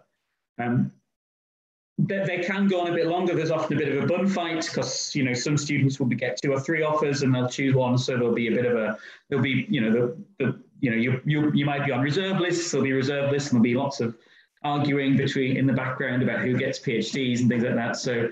Um, uh, but um, but yes, uh, that, that's kind of the traditional way in the UK. Um, although there, but there are, I would say, also non-traditional routes to getting PhDs in the UK, um, which again some funding, uh, some projects that uh, very uh, specific academics have funded will have um, PhD funded PhDs as part of the um, as part of the research project. So there, there will be some some um, research grants that a PI has gained that, that has a PhD project associated with it, and those will not be advertised often on the same time scale as um, uh, the, the kind of standard DTP um, uh, studentships that are advertised. So again, this is why it's really important to email um, the supervisors that you, you're interested in working with, because each supervisor, each university might have a, a, a, separate set of schemes as well. So universities often have internally funded PhDs as well. So and and and so that there's a myriad ways of getting funded to do a PhD study, um, and uh, it, it's it's impossible to list them all in a 45 minutes. Uh, so, so that, that's why it's it's also really really important to get in touch directly with the people you want to work with because they'll be the best people to know who, who um, where the money comes from basically. Um, does anyone else have anything to add on that? Yeah, maybe just like quickly, I would like to because yeah, the, what you mentioned is essentially actually like the best way actually like to find the uh, PhD project is is through those. Uh, pre-funded uh, grants or uh, that actually like PIs put together. But sometimes just like based on my own, like just uh, maybe telling my own experience with, with PhD actually is a little bit because like the question was, do you find the PhD or does the PhD find you? And in my case, maybe actually like the PhD, it's the PhD that found me because when I was doing my master's, uh, I, I, talked with my uh, master thesis supervisor and told him that I want to do a PhD on this uh, theme. And he didn't have at the time, he didn't have anything actually available, but like he sent emails around. And, and, and like a couple of months later, I got an email from the uh, professor at the University of Amsterdam actually basically telling me that he got my my CV through my uh, supervisor actually, and he has a project that fits with the, the the the theme that I wanted to work on, and if I was interested, actually, I should contact him and and and, and discuss the project with him. So that that that that the, being proactive actually and approaching people and networking actually does pay off actually in in in in, in a lot of cases. So uh, so that's another way actually of, of of, of finding actually PhD projects if you want to go that route. Yeah, I, I, completely agree. Yeah, it, it, sometimes the research does find you. Um, it's uh, Louisa. Do you have anything to add about? Uh... Um, I guess findaphd.com is my short answer.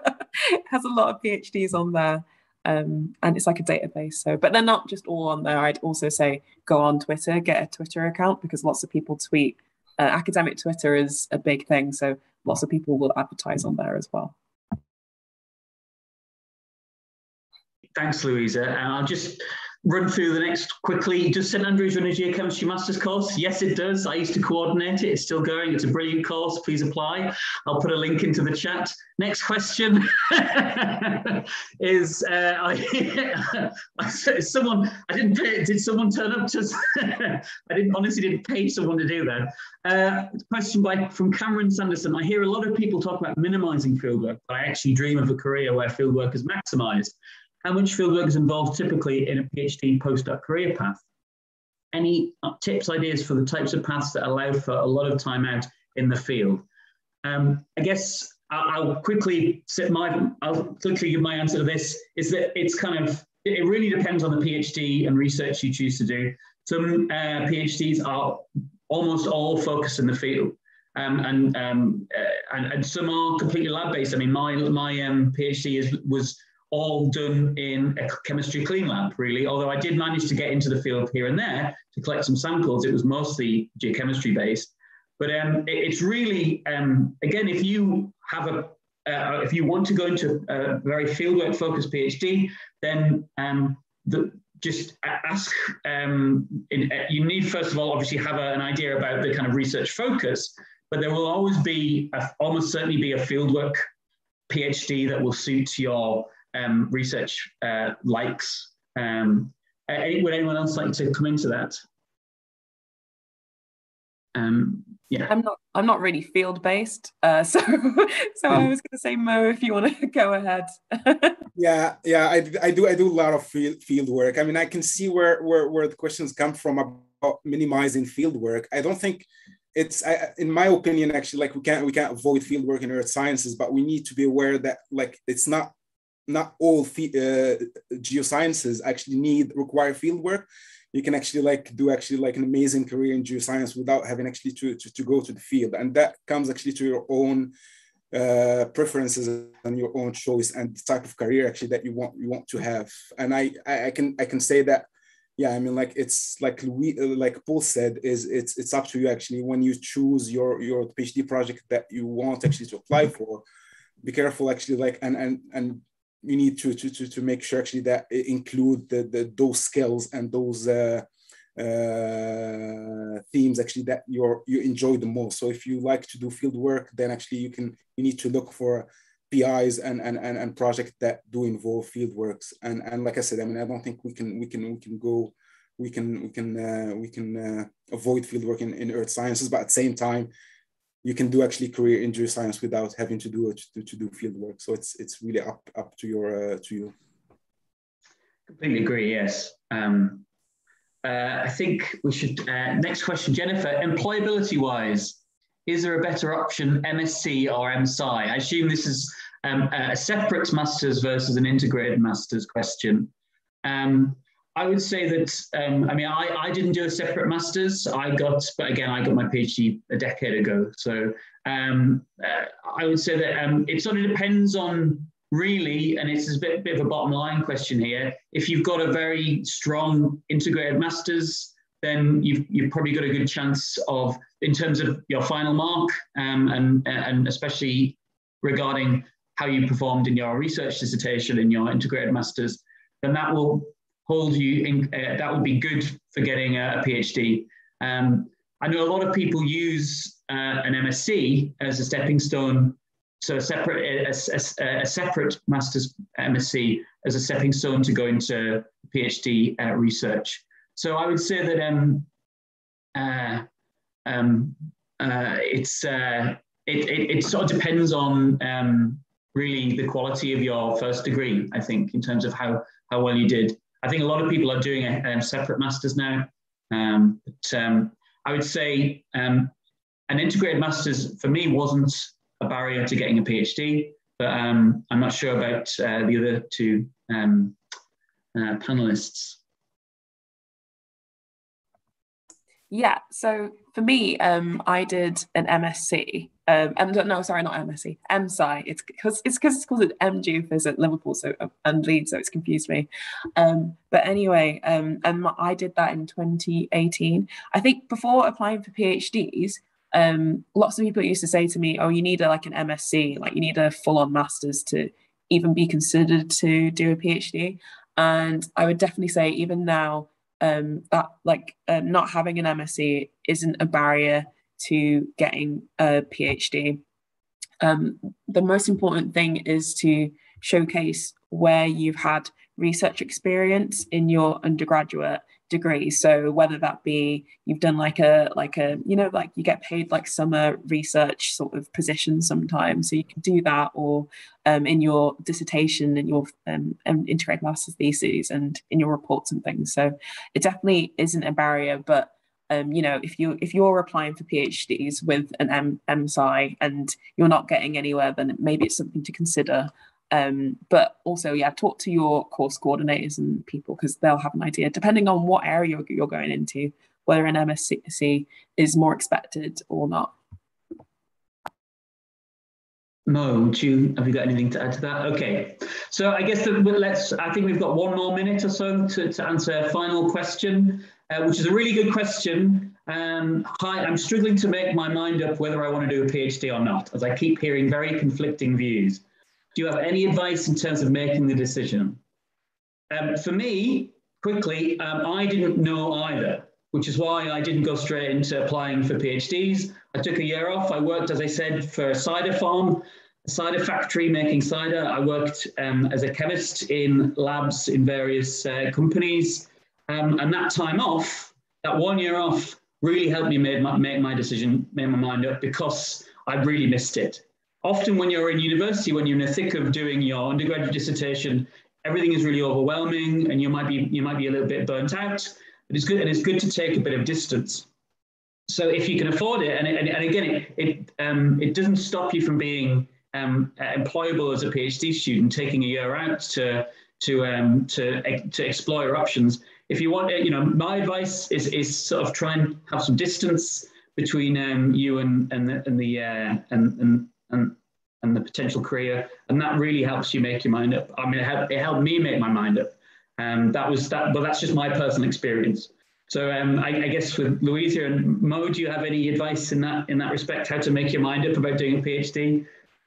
yeah I mean, maybe in my case it was a little bit different because i knew actually from the beginning actually when i went to university that i want actually to do a, a phd so so that was something that yeah i mean but yeah it's it's it's i think it, it's it's quite a difficult decision to be honest because it's it's yeah it's it's it's like you you commit to a three four years actually uh, doing research so you need to be sure that it's something that you want to do and essentially you need to make sure actually to find the right project for for for, for you because sometimes actually like you can i mean like i think a lot of people i mean most people have the abilities actually to do phd project the question is that is is the project suitable for for for you or not? And that's that's something that you need actually to uh, to, to to be careful and spend take the time actually to think about it and and and and and then decide. And i always say actually that you need if you want to cross river you need to get your feet wet. So uh, so yeah it's one of those things you need actually to go into it to to to to to, to find out actually if you really like it or not. Yeah. And finally louisa anything to add yeah i i think just like yeah just give it a go. Like have a like whether you can have like a little taste of research experience beforehand but lots of it is like i think it's it's lots of like finding yourself and finding out what you don't like is quite important. So it's i think finding the phd for you can be quite difficult but understanding things that you don't like can help eliminate sort of phds that you definitely won't like. So just try and do that because everyone can like kind of tolerate some things that they don't like but anything that's just like a red red flag and just because yeah there's not much you can do like there'll be elements of work every job that you don't like so just trying things try things that you uh, try things, and if you don't like it, then. That's fantastic. Yeah, I, I, would say I would say that's a great great thing thing to end on is definitely mm. just give it a go. Um, yeah. uh, there's there's plenty. If you work at university, there's there's almost certainly um, labs that will have you as summer students or as uh, temporary research um, uh, technicians and things like that, and and staff are really happy to give uh, students research experience. So if that's if that's one way of, uh, of trying it out, definitely go for that. I would totally agree. Give it a go, and then then you get a taste for it, or maybe you don't, but then you'll know. Um, I think that's all time we've got. Becky, is that right?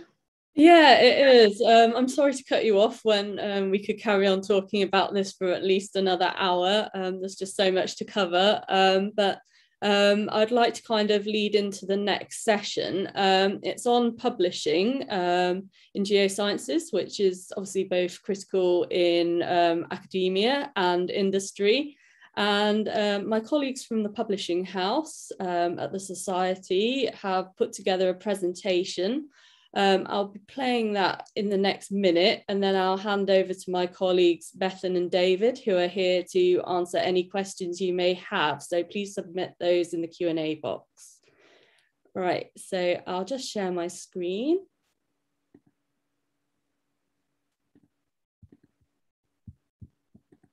One moment. Um, can you give me the thumbs up, Bethan or David, if you can hear this?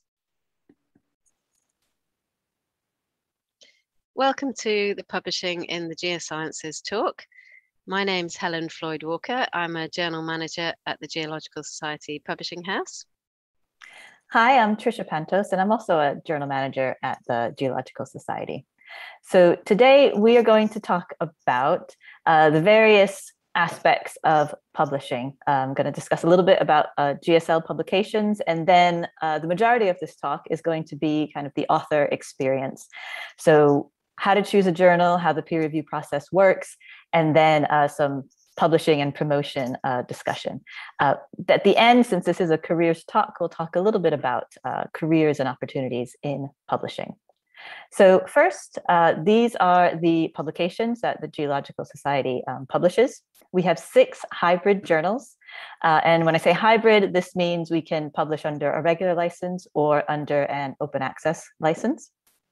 And recently, for 2021, we've launched a new fully open access journal, Earth Science System and Society. And we've recently published uh, the first few papers for this journal. In addition to that, we have a number of book series, and there are a number of other publications that we partner with.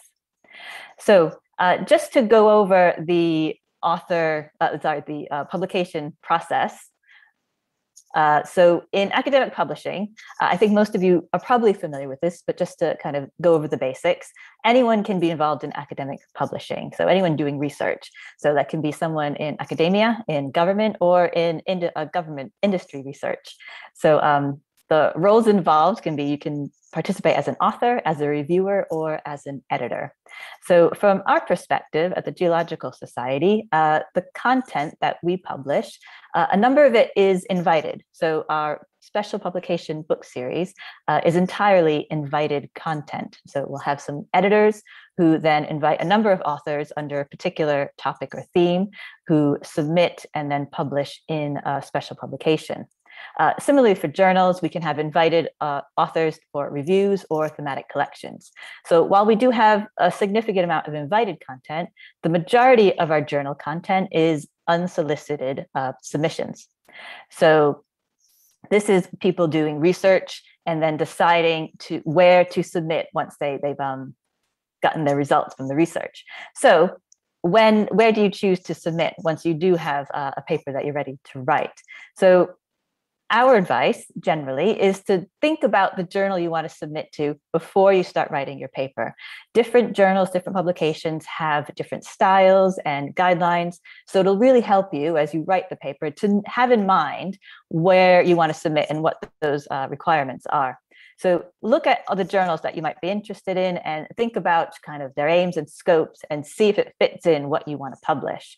So there are some specific things to consider. Uh, think about the peer review uh, how rigorous is the peer review process for that publication? And look at the aims and scope. Uh, does your research fit in with the scope of the journal? And similarly the, the relevance. Do, does your research fit in with other papers that are published in the journal? And that's going to tell you if the readership is going to match and if you're going to reach the right people uh, if you publish your work in in that journal and of course, the reputation of the journal is important. Um, think, look at the journal metrics information to see um, how well known is the journal and um, how respected is it in the field. Other aspects to consider are the timelines to publication. If you have a short communication that you need published right away, uh, does the journal support that? Do they have some really quick peer review times for communications? If you have a really long, comprehensive paper that you want to publish, again, does the journal support that to publish uh, really long, um, large data sets? Uh, open access, we'll talk about this a bit more later, but um, are you required to publish in a fully open access journal or can you publish in a hybrid journal or does it not need to be open access uh, you also want to consider the language um, the english language if um, you're not a native english speaker and the audience of the journal who is going to be reading your work and also consider the, the indexing. Where is it uh, indexed and how easily will uh, your work be found if someone searches for it in something like Web of Science or Scopus? So this is just a, um, a general kind of about the journal page. This is for one of ours, Quarterly Journal of Engineering Geology and Hydrogeology. I'm not going to go into detail about all of the little um, images you have here, but uh, generally, when you're researching your a journal to publish in, uh, go to this page to learn more about the journal. Uh, in the top right corner, you have the Lyell Collection logo. And if you want to read the content of the journal, that's where you would go to um, read some of the papers that are published. In the bottom right corner, further information, we have guidelines for authors and a bit more about the editorial board. And again, that'll give you an idea of the kind of content that is published in the journal. So uh, we have a few guidelines of, of our own. So if you want to publish in a GSL pay, uh, publication, uh, we have some author instructions, uh, top tips from the production team in the author resources section, and also some information about the publishing ethics. So we also have some editor top tips that we've uh, received from some of our editors. And um, generally, it's really important to have a clear title. Uh, think carefully about your title because that's the first thing that people see. Uh, make sure uh, the key message is really delivered and clear. Think also about your abstract because a lot of search engines use the abstract. So that's going to be the thing that brings readers to your paper. So make sure your abstract is clear and really tells the readers what the paper is about. And there are other things to consider as well about the make sure your language is polished and um, the style of the paper is um, easy to read and accessible. And there are lots of other things to consider. So um, I just want to talk a little bit about open access publishing. I think most of you are very uh, already familiar with it. There are kind of two sides to open access publishing. The one that most of you are uh, familiar with is probably that it is making content freely available. So anyone can access and read your article if it's published under an open access license. The other side of it is that that content is freely reusable. So anyone can take an image or a bit of text from your work and reuse it somewhere else. They will cite your work, that is required, but um, they don't need to ask permission to do that. So that's kind of the two aspects of open access publishing. Uh, there are a number of different types, but um, the two most popular are we have gold open access publishing, and this is where the final version of record, the final version, is published uh, online and it's freely available. Another type, and the author, sorry, for gold open access, the author needs to pay an article processing fee, usually to make this possible. The other type that's quite common is green open access. And this is where an earlier version, so the newly accepted version before uh, typesetting and copy editing, that earlier version is made freely available. And sometimes, depending on the publisher, there might be an embargo before this green version is available. So the Geological Society has a number of transformative agreements um, that they've uh, agreed with different uh, institutions. And um, these are also known as read and publish agreements, where authors from these institutions are able to read all of the GSL content and also publish open access in GSL hybrid publications. Uh, so we have a couple right now that uh, we've uh, have contracts with, and that's with JISC and the Council of Australian University Librarians. And since this is um, uh, Careers Talk uh, based in the UK, I've listed below the universities in JISC that are signed up uh, to this transformative agreement. So if you're part of one of these institutions, uh, you can publish in any GSL hybrid publication um, and the open access fee is waived. If you would like to be part of this and your institution isn't on this list, please let us know. So now I'm going to pass over to Helen, where she can discuss the peer review process a bit. Thanks, Tricia. Yeah, so peer review is obviously an extremely important part of the process, and single blind is currently used by most of the GSL journals, with ESCube the exception, as this runs an open review model. The other types of peer review that are commonly used are double blind and post publication review. The peer review process works in the following way the journal manager or the in house editorial staff oversee the whole process and are available throughout to answer any queries.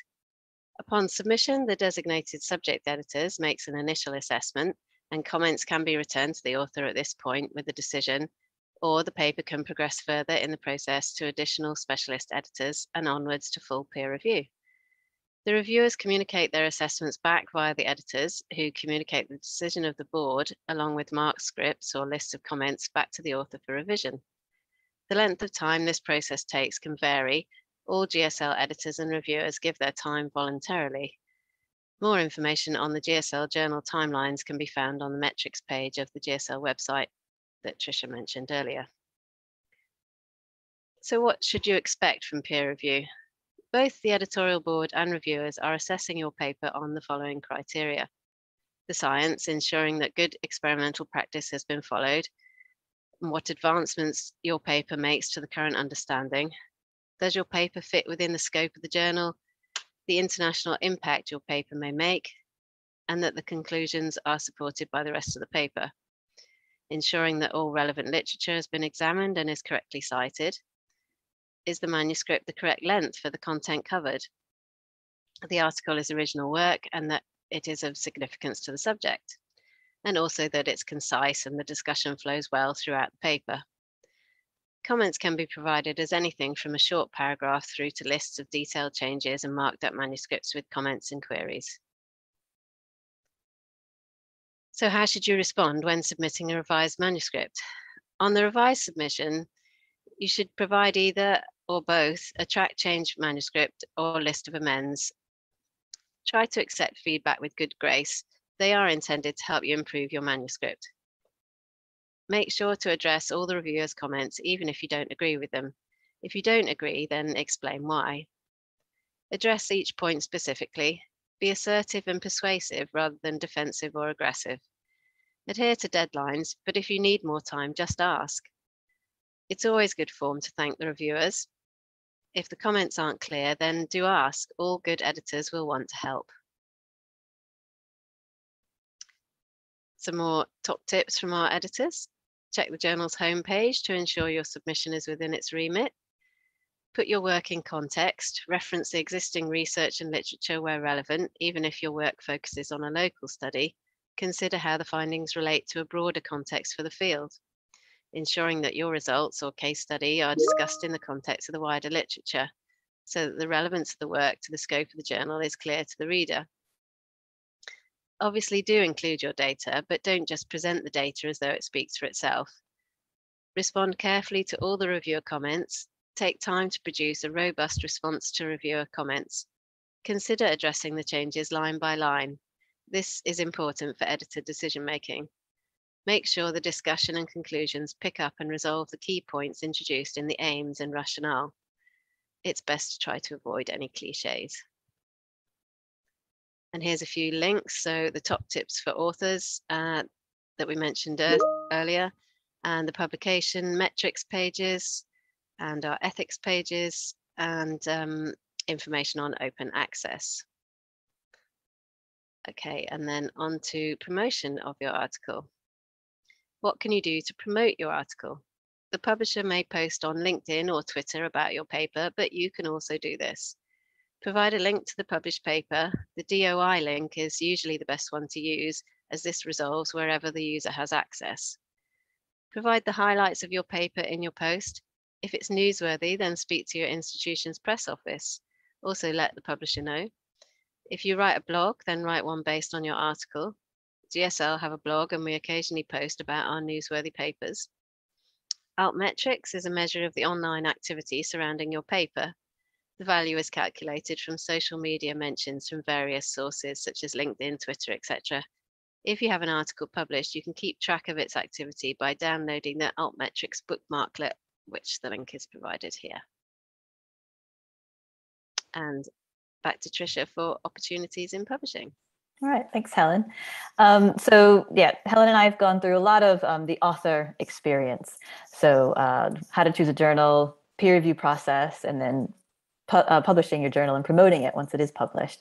Um, but there are other roles, and um, Helen touched a lot on the reviewer roles. Uh, these are predominantly volunteer roles, and there are a lot of volunteer roles in academic publishing. And like authors, it can be anyone academics, industry researchers, people in the government at any stage of their career can be involved in academic publishing.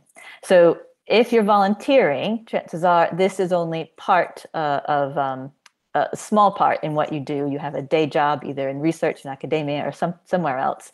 Um, so this is, you know, enhancing and extra work upon um, additional work in your career.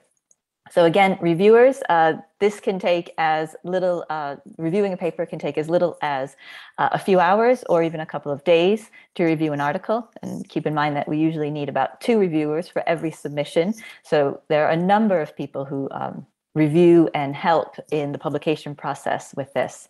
Um, if you are interested in making a bit more of a commitment, uh, editors tend to partner with a journal or a publication for at least a couple of years. And their roles are really varied as well. They can manage the peer review process and make decisions on whether to accept or reject submissions. Uh, they commission content or thematic collections, so inviting authors to submit to a journal or publication. And they also promote the publication. This can just be by word of mouth. Uh, a lot of publications are beginning to take on social media editors who really focus in on that part. Um, and also because again, they're making a, a, longer commitment of a few years at least to a particular publication, they really have an influence on the direction of that publication. So there are a number of reasons why people would be interested in doing this. I mean, primarily it's career development um, to really help out with this publication or journal. Um, chief editors or someone who's really involved in this kind of work might receive an honorarium um, or a travel stipend to travel to a conference when they can. Uh, or there are lots of other uh, benefits that a publication might offer uh, an editor or a reviewer. So in addition to the volunteer roles, there are careers in academic publishing. Both Helen and I uh, do this kind of as our main career. Uh, and there are some that are very similar actually to what a volunteer editor might do. And I've called that here an in-house editor. But again, the roles are actually quite similar. So you can be involved in scientific assessment and managing the peer review or making decisions, uh, commissioning content for um, thematic collections or reviews, and also promoting the co uh, content, so the publication. So attending conferences, promoting it on uh, social media, and again, inputting on the direction of the publication. So anyone in this role, where it's kind of more of a career, they would still need a really strong background in the subject area. So if it's a geology journal, you would be expected to probably have at least a first degree in geology, if not a PhD. Uh, there are other roles as well in academic publishing. You have administrative roles or production that can be involved in copy editing or typesetting or the publication itself. Uh, marketing and sales as well, uh, usually um, are kind of in-staff roles. And moving slightly away from academic publishing, uh, you can be a content editor. So I have uh, an example here of Geoscientist, which is a magazine that we offer um, to our members of the Geological Society. Uh, so you have the content editor who kind of decides what goes in, and then science writers to contribute to things like this or blogs. And these positions can be either freelance or volunteer. So that is a really quick overview of um, different careers in publishing, volunteering in publishing, and generally how the publication process works. So thank you very much for listening. Thanks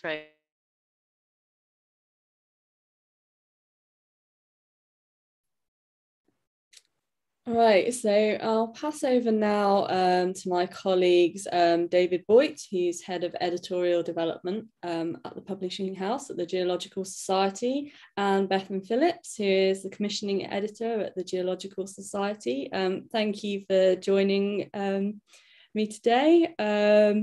Um, so I'm just having a look in the Q&A to see if there's specific questions yet. so if um, you have any questions for Bethan and David, please put them in the Q&A box. Um, David, um, would you like to kick us off? Yeah, sure. Thanks, Becky. Um, yeah, we'll keep an eye out for any questions coming in from uh, people on the call. Uh, I know there's an awful lot of information there given about publishing. Um, we can, I think, share the slides with everybody after the fact, and certainly we're both available, Bethan and I, for any email questions coming through. Um, very pleased to be here uh, and and to be talking about careers in geoscience. Uh, I do feel slightly like an imposter because I am actually not a geoscientist by training, um, unless geography counts, which I've been told it does not. Um, but uh, my colleague Bethan on the call is uh, a geoscientist by training um, and has a PhD.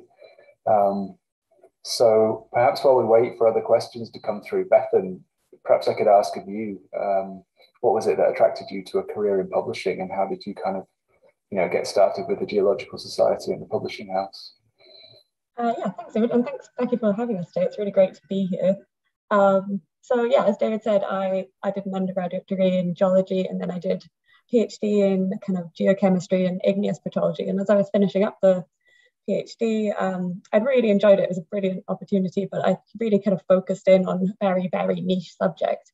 And so the thing I think that attracted me most to publishing was being able to kind of get back into that really broad array of geology. You know, the great thing about geology and geosciences is that it covers so much um, and so getting the opportunity to work with all of these different kind of branches of research really, really attracted me. I was really lucky um, that as I finished up my PhD, um, a job opened up at the publishing house. So it's just, it was perfect timing. Um, so luck had a lot to do with it.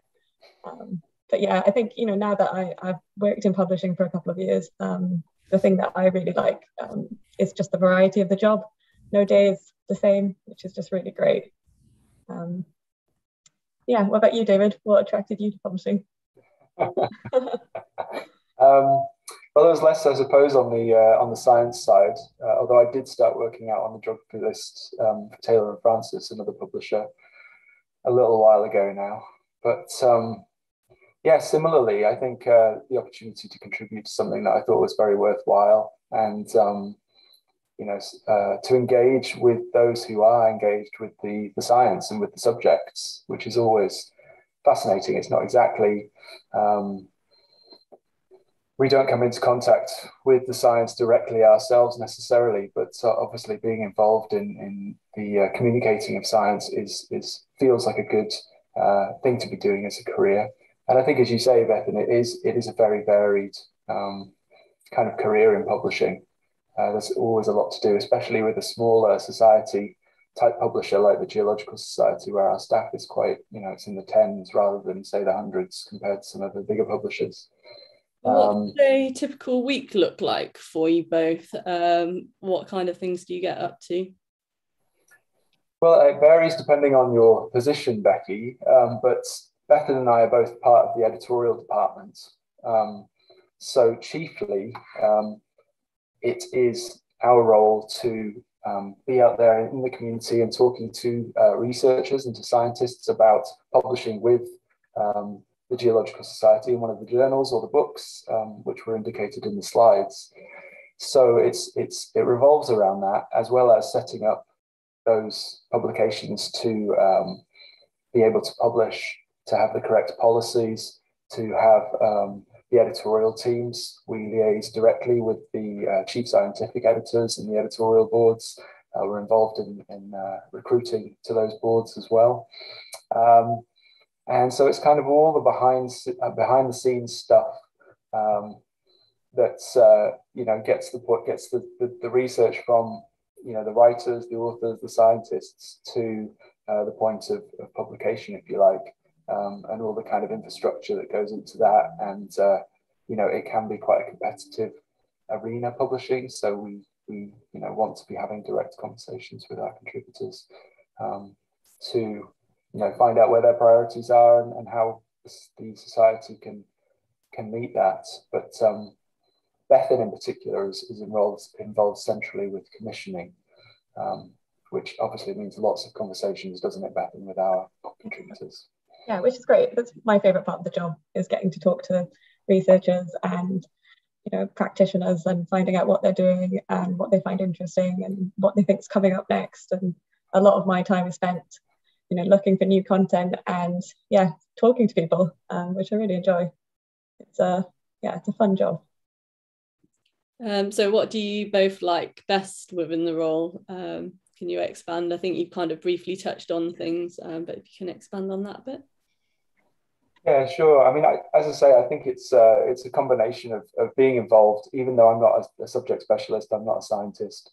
Um, it's being involved in, in the sharing of science, which of course is so crucial to so many things within academia, within research, and within the community itself, but also beyond. You know, the society has some big themes that it's just recently been launching around the energy transition um, and around geohazards and geo geoengineering. Um, and obviously, these things are important within the community and the research community and industry, but they, as I say, they have implications for wider society um, and for the way that we all kind of interact with each other.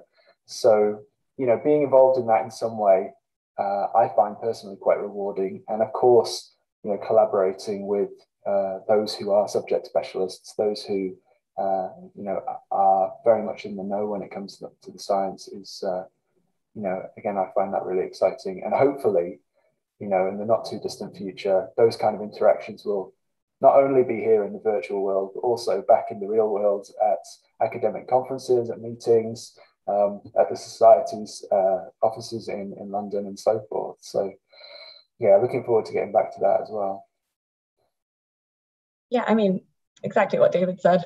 I think you kind of hit the nail on the head there. But um, yeah, just getting to communicate science and to hopefully kind of provide a, a platform and an avenue for for people to to publish and to communicate their science, especially you know people who maybe aren't traditionally kind of getting that platform. That's I think really important to us. Super. Um, so we're about to take a um, 15 minute break and then we're heading into the next session. Um, but Beth and David, do you have any parting words of wisdom to students to pass on uh, regarding to either getting work published or um, if you're kind of interested in pursuing publishing as a full-time career, any kind of last um, tidbits of advice? Uh, well, if I take the publishing one, perhaps Bethan as our geoscientist can take the careers one. But um, yeah, I would say I'm not sure, you know, in terms of the audience, who's in a position to be publishing, but or contributing perhaps to, uh, you know, a co-authored paper with uh, some of their colleagues. But do consider the Geological Society's publications. Um, we do have a specific interest as a society to be supporting um, early career researchers.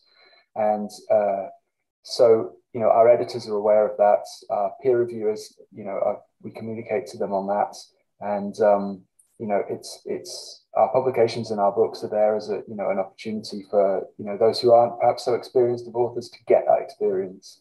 Um, so do keep an eye out for those publications, and if there are any questions about you know uh, specific things to do with papers or, or uh, uh, publications to submit to, then as I say uh, people can follow up with us via email. Certainly happy to talk to people about that. Great. Would you be able to put your um, contact in the chat box? Sure, yes. Yeah. Thanks. And Bethan, sorry, I was about to kind of. Okay. Um, yeah, I think same as David, you know, if you have any questions about starting a career in publishing, we'd be very happy to answer any questions or kind of provide any advice. Um, I think the, what I would recommend doing is maybe just reading around a little bit about kind of publishing in the industry and, and what's going on. And so just have that bit of background, but um, part of it is down to luck and timing as well. Just don't give up. Um, there's lots of jobs out there. So it's a, it's a great career to be involved in.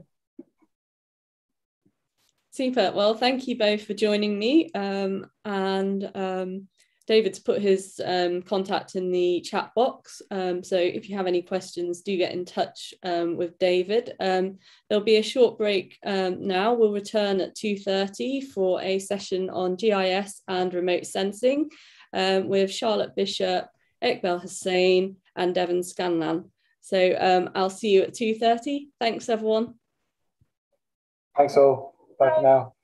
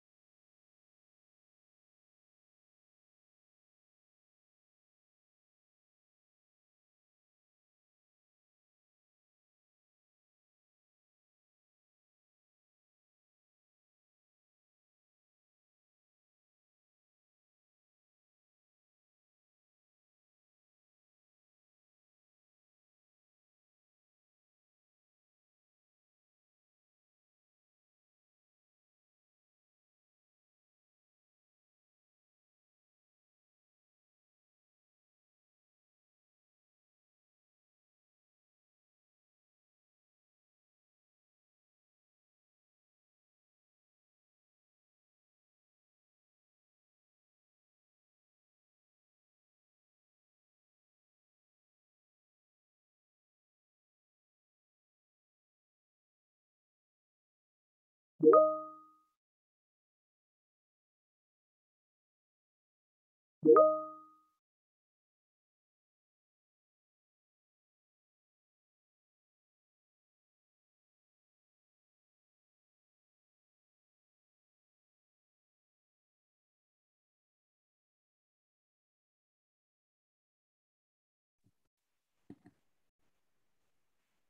everyone and welcome back. Um, I hope you've all had a nice break and had the opportunity to grab a cup of tea. Um, so the next session is on GIS and remote sensing. Um, with me today, um, I've got Charlotte Bishop, I've got Ekbal Hussain and Devon Scanlan. Um, so um, Charlotte, could you kick us off please with your presentation and an introduction?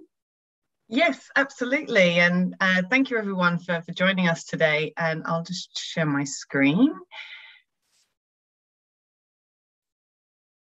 So, okay, let me just hang on, put it into presentation mode. Okay, Becky, you can see that okay? Thumbs up. I can see black at the minute, but it could be oh, no. being a bit slow. What can everyone else see? Ekbal, Devon, can you see? Still black. black, yeah. Cool, that's not a good start, right? Let's try that again. Hang on a second. It says you're sharing the screen, but nothing's being shared. Okay, let's try this.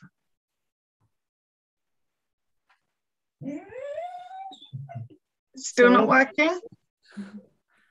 Possibly. No. Hmm. Oh, uh, I've got the PowerPoint up. Yeah, I. Uh... okay, let's try. Let's try again. Let's. Uh, I'm going to close.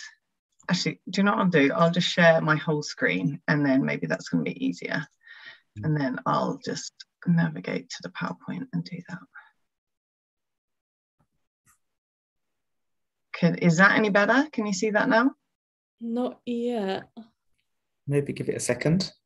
Yeah.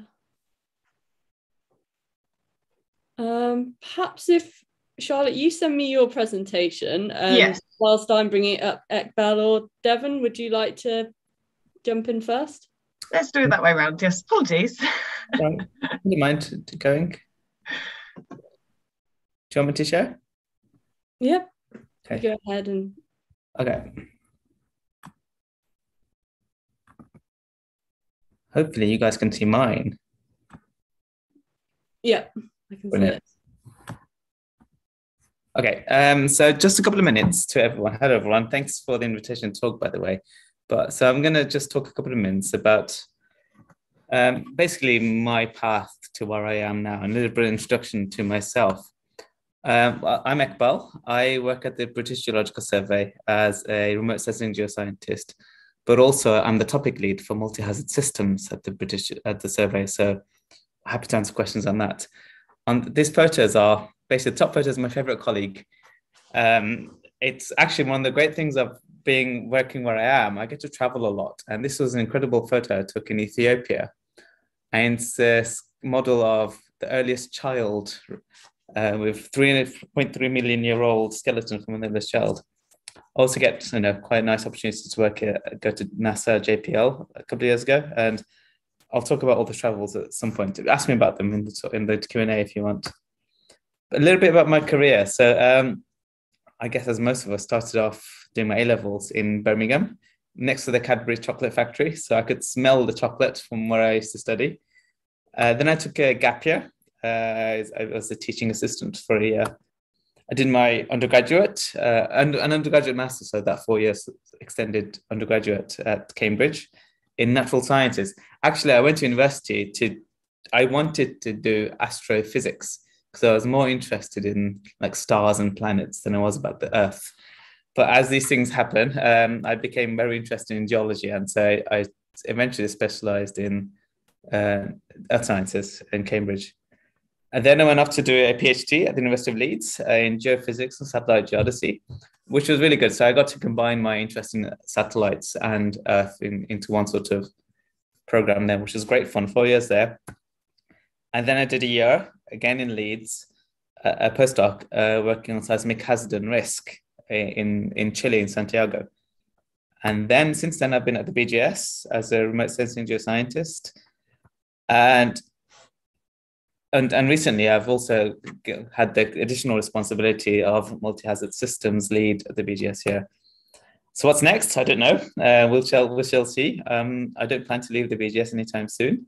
Um, I have lots of interesting things to do here. So yeah, not moving anytime soon.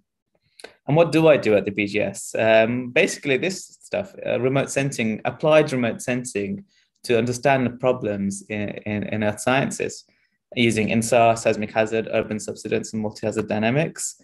The BGS site in Keyworth, where I where I work, is absolutely beautiful. Uh, if you have the chance to visit, please do visit us. Um, I, when all the COVID rules are, are relaxed and everything, and we open the site back up to visitors. Please do visit. We're a public organisation, so it's open to all of you to visit. Um, we have a wonderful geological walkway and an, an entire cathedral of rock cores uh, you can have a look at. And this is the bread and butter of what I do, remote sensing work. This is an INSAR map of, of Indonesia. A lot of the work I do is actually abroad in low income countries, looking at hazard and risk um, issues there. And also multi-hazard dynamics. This is something else I'm very interested in. Um, we're working with that on that in Istanbul, Kathmandu, Quito, and Nairobi. Um, something else I do, I give lots of training courses around the world on using remote sensing technologies to help address whatever problem those communities are, are, are interested in. And I do lots of outreach and science communication. This is something that I'm, I'm particularly passionate about. Uh, I give lots of talks. I don't, I, I very rarely turn down the invitation to talk at an event unless time issues stick in. So why do remote sensing? I thought I'd just give a really quick slide on that. But before you know, I talk about this, I need to include this really important contribution to my slides. And that's from my cat, who was helping me make these slides the other day. Uh, and so why do we do remote sensing? I love this, this image from the Geological Society. It's a couple of years old now, but I think it's amazing because it really encompasses everything about geology and the geology of, of the future. Um, so I traditionally have worked in these sort of fields, volcanology, geohazards, and seismology, using remote sensing as a tool to underpin our understanding of these. But in the last few years, I've been involved in all of these stuffs as well, geomorphology, geophysics, carbon capture, engineering, geology, hydrogeology, environmental protection, research, policy, contaminated land. So remote sensing really feeds into or underpins almost all these things that with remote sensing. And I really want to stress that the grand challenges of the future that we all have to worry about, it, particularly you guys will have to worry about, whether that's climate change, energy, mineral resources, you know, the, the green transition.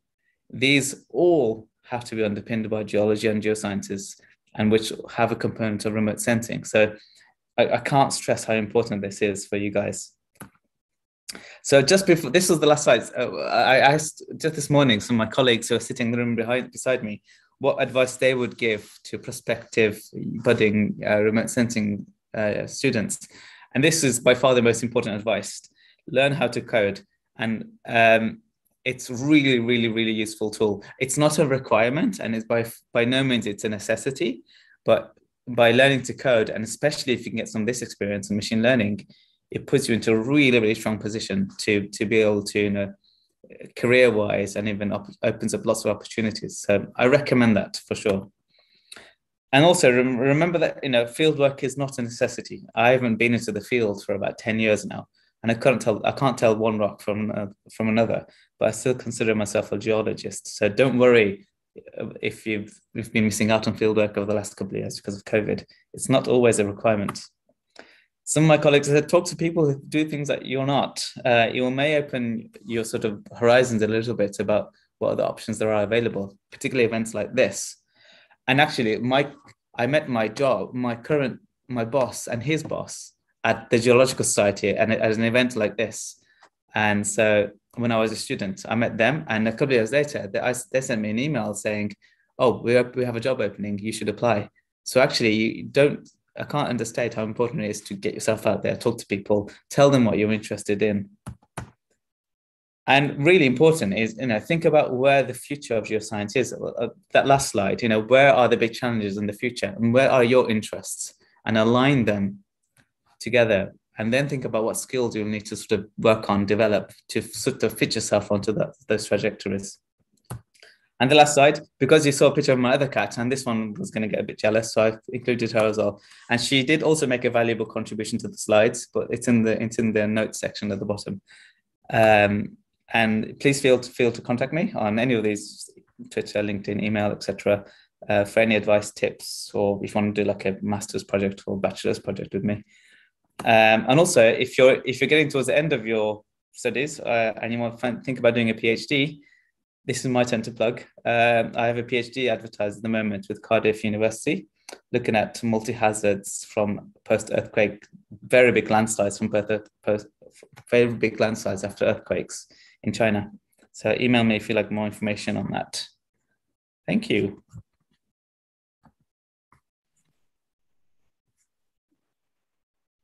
Super, thanks, Ekbal. Um, so um, I now have Charlotte's slides, um, but um, Devon, would you like to um, go next and then I'll finish the presentations with Charlotte? Yeah, as long as Charlotte's okay with that. Fine by me. um, okay, let me share my screen.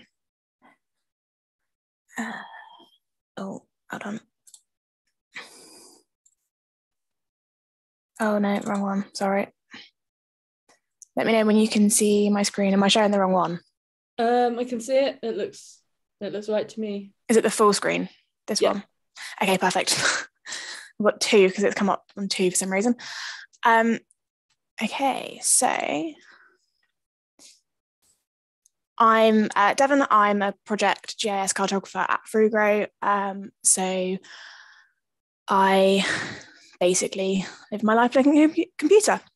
Um, so my journey, as probably the most cliche thing to say, is hasn't exactly been straightforward. Um, I started at the University of Plymouth in geology um, and ended up going to do a master's in geological hazards because I have an obsession with volcanoes and earthquakes. Um, so that just seemed like the logical thing for me to do. Um, unfortunately, when I came out of university, it wasn't the best time for jobs. So it was very much kind of see what I can get into that's the best for me. Um, I worked at Tesco's throughout university and it paid for my master's pretty much. Um, I tried being a geography teacher, wasn't my best moment. Um, very political. Don't get me wrong, I would never say for someone not to do it, but it just wasn't for me at the time. Uh, I then tried temping because it just seemed like a good idea to get um, office training because I hadn't worked in an office the entire time. Although I'd been customer facing, it didn't didn't always work as well. Um, and then from that, I actually got my first GIS job with Scient, who work for the Rural Payments Agency. So they they make sure that farmers get paid the right amount so making sure that the boundaries are correct and making sure that every farmer is paid fairly, basically. Um, from that, I then moved to Savills, which definitely isn't geology, ba- uh, geology based. It's uh, commercial and uh, residential homes instead, and working with telecoms. Um, I stayed there for about two years, and then I moved to Fugro in 2018. Um, it definitely appealed to me because it was much more in the geoscience kind of realm of what I enjoyed. Um, so I get to use data that actually I do understand more than I thought I would. Um, didn't understand it as much when I first started because I hadn't looked at anything geology wise for a very, very long time. Um, but now I really enjoy it. And I actually got promoted to project GIS cartographer earlier this year. Um, it was meant to be last year, but due to COVID, everything just got put on hold. Um, so, yeah, it wasn't the most straightforward um, way, but I got there in the end. So my day-to-day kind of thing is, um, as a project cartographer, um, it's leading on projects, so it's working with clients, making sure they get everything that they should um, and they want out of a uh, out of a project. So um, whether it's geodatabases that I'm creating or charts, making sure that what they get is what's expected um, and making sure it's the highest standard. Um, I also work on survey planning. So when the boats go out and do the survey, so I predominantly work on renewable energy, um, so wind farms. So when we're going out on the boats to do that, I'll work with the geophysics team to make sure that we've got the right spacing for what they need and the right lines so they don't go off course. So if they're slightly off, it can cause a lot of problems. Um, so yeah, and that's it's quite interesting. I think working with the clients is some of the best part because you get to change what you're doing and you get to have a chat with them and, and network as well with them to make it more interesting. And also you get to look at pretty pictures. So like all the bathy and stuff like that and just see exactly what because I work in marine predominantly, um, I get to see what the sea the sea floor looks like, which most people don't get to. Um, okay, so standing out for me, obviously mine was a bit hit and miss, but my advice would be take all opportunities, is making sure that everything that is offered to you or something that you can go for, go for it. Make sure you make the most of it, especially at university. Um, they're always exactly exactly like this is there's always networking opportunities uh, volunteering and getting involved with geological uh, charities i actually i think it was in my third year i did some posters for geology for global development um, and that was something that it was a fantastic day as well that i got to go to the geological society chat to people of like like-minded and also feel like i was doing something to help people. Um, geology can be that. It very much comes across as it's not it's just killing the earth sometimes i think is sometimes how it comes across to some people who have no idea. But actually there are so many people out there that just want to help and stop climate change and help the communities that live on these um, hazardous areas. Um, also as Ekbal said is networking making sure you make yourself known going to these events um, and also investing in yourself. I think for me like i've actually just started doing my prince 2 which is a project management um, system that you can like use and i'm going to use it in my everyday work but also it means in the future that i can really use that and promote myself that way. Um, so investing in yourself is unbelievably important um, and finally this probably looks a bit cheesy a little bit cliche but no one is the same and please please please do not ever feel disheartened by the fact that your the way you're doing things is different to the person next to you everyone has a different way of doing things. Not everyone's going to get the same opportunities. Um, so, yeah, so just do what you can and don't feel disheartened if it's different. Um, obviously, feel free to uh, link on LinkedIn if you want to. If you've got any recruitment queries, this is from my company because we're sponsoring it. Um, obviously, feel free to contact Liz. And yeah, thank you. Thanks, Devon. That's great. Um, I'll try sharing um, one moment. Hopefully you have better luck, Becky, than I did. So I apologise, everyone, about the uh, the the rearrangement of the session because of tech issues. But uh, okay, at least I can see the slides, so that's that's a good start. Happens. Um, right. Um, so, okay. Yeah, perfect. Thank you. Uh, yes, thank thank you so much to the Geological Society for inviting me here um, to talk about uh, what, what I do and to be part of a panel with uh, some really interesting speakers. So I'm kind of pleased in some ways. I kind of went last actually because I think it was really nice to hear what what they what they uh, do before I spoke. Um, but my name's Charlotte Bishop and I'm a senior project manager at a company called KSAT. Um, and KSAT is based in the north of Norway. So I, am British, but I live in Tromsø, which is in the very north of Norway. Uh, and the view you see on the screen with the antennas, that's on the site that I work on here. So a big part of what KSAT does is actually talk to the satellites that are passing and orbiting around our uh, globe. Um, and we do this over I think it's something crazy like 24 different sites across the world that we have antenna stations. And we also are the world's largest antenna station for communicating with satellites. Um, but also the part of the business that I work in is Earth observation site. So uh, unlike my colleagues on this call, I am not a geologist, um, but I'm a geographer and a remote sensor, and I have been working with geological applications for a long time. But I guess my the reason I'm saying this is because as I think we've probably heard, and you may have heard in other careers talks as well, there are so many different routes to get into geoscience applications, get into geological related positions that you don't have to come necessarily from a geological background. Um, we have lots of people in, in our organization who come from maths and physics background, not geological um, by, by training, who, who still work and can you know, contribute hugely into to the work that we do. Um, and the other uh, role that I have is also as the Geological Remote Sensing Group Chairman. Uh, that is a special interest group of the Geological Society and also the, rem the Remote Sensing and Photogrammetry Society. I've been the chairman now for five years. Uh, I got re-elected two years ago, and then uh, because of COVID, we haven't actually been able to have uh, our normal conference in person. So we've had uh, this will be our second year of a of a virtual conference this year.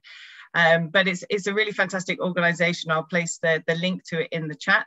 Um, we're a fully voluntary group from a range of different organizations that come together to plan uh, events where people from the geological and remote sensing community can, can share their ideas, what they're up to, um, in, a, in a very uh, informal but kind of peer-led way uh, through our international conference. Um, it's a professional conference, but it's a very relaxed atmosphere and, and those who, who attend it find it's a great way, particularly early in your career, uh, to, to meet to meet other people. And I know, uh, as Devon and Ekbal said, that talking to other people is a, is a really big part of, of the process in your career. Uh, so as you can see there, uh, from a, a, study point of view, and I, I, have a timeline later, but I don't mention this again. So I, I started with a, a bachelor's in physical geography from Reading, and then I did a master's in remote sensing at UCL, and uh, at the time it was combined with Imperial College um, before I moved into, into my career. So next slide, Becky.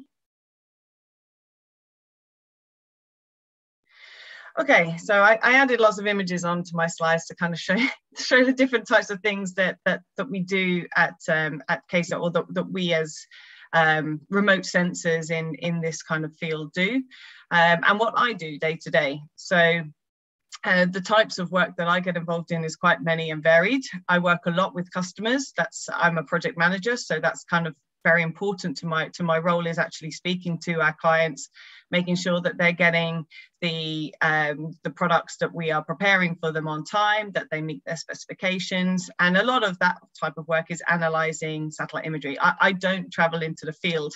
Uh, the only the times I leave the office, which I do quite a lot, is for training and conferences um, and and meeting clients.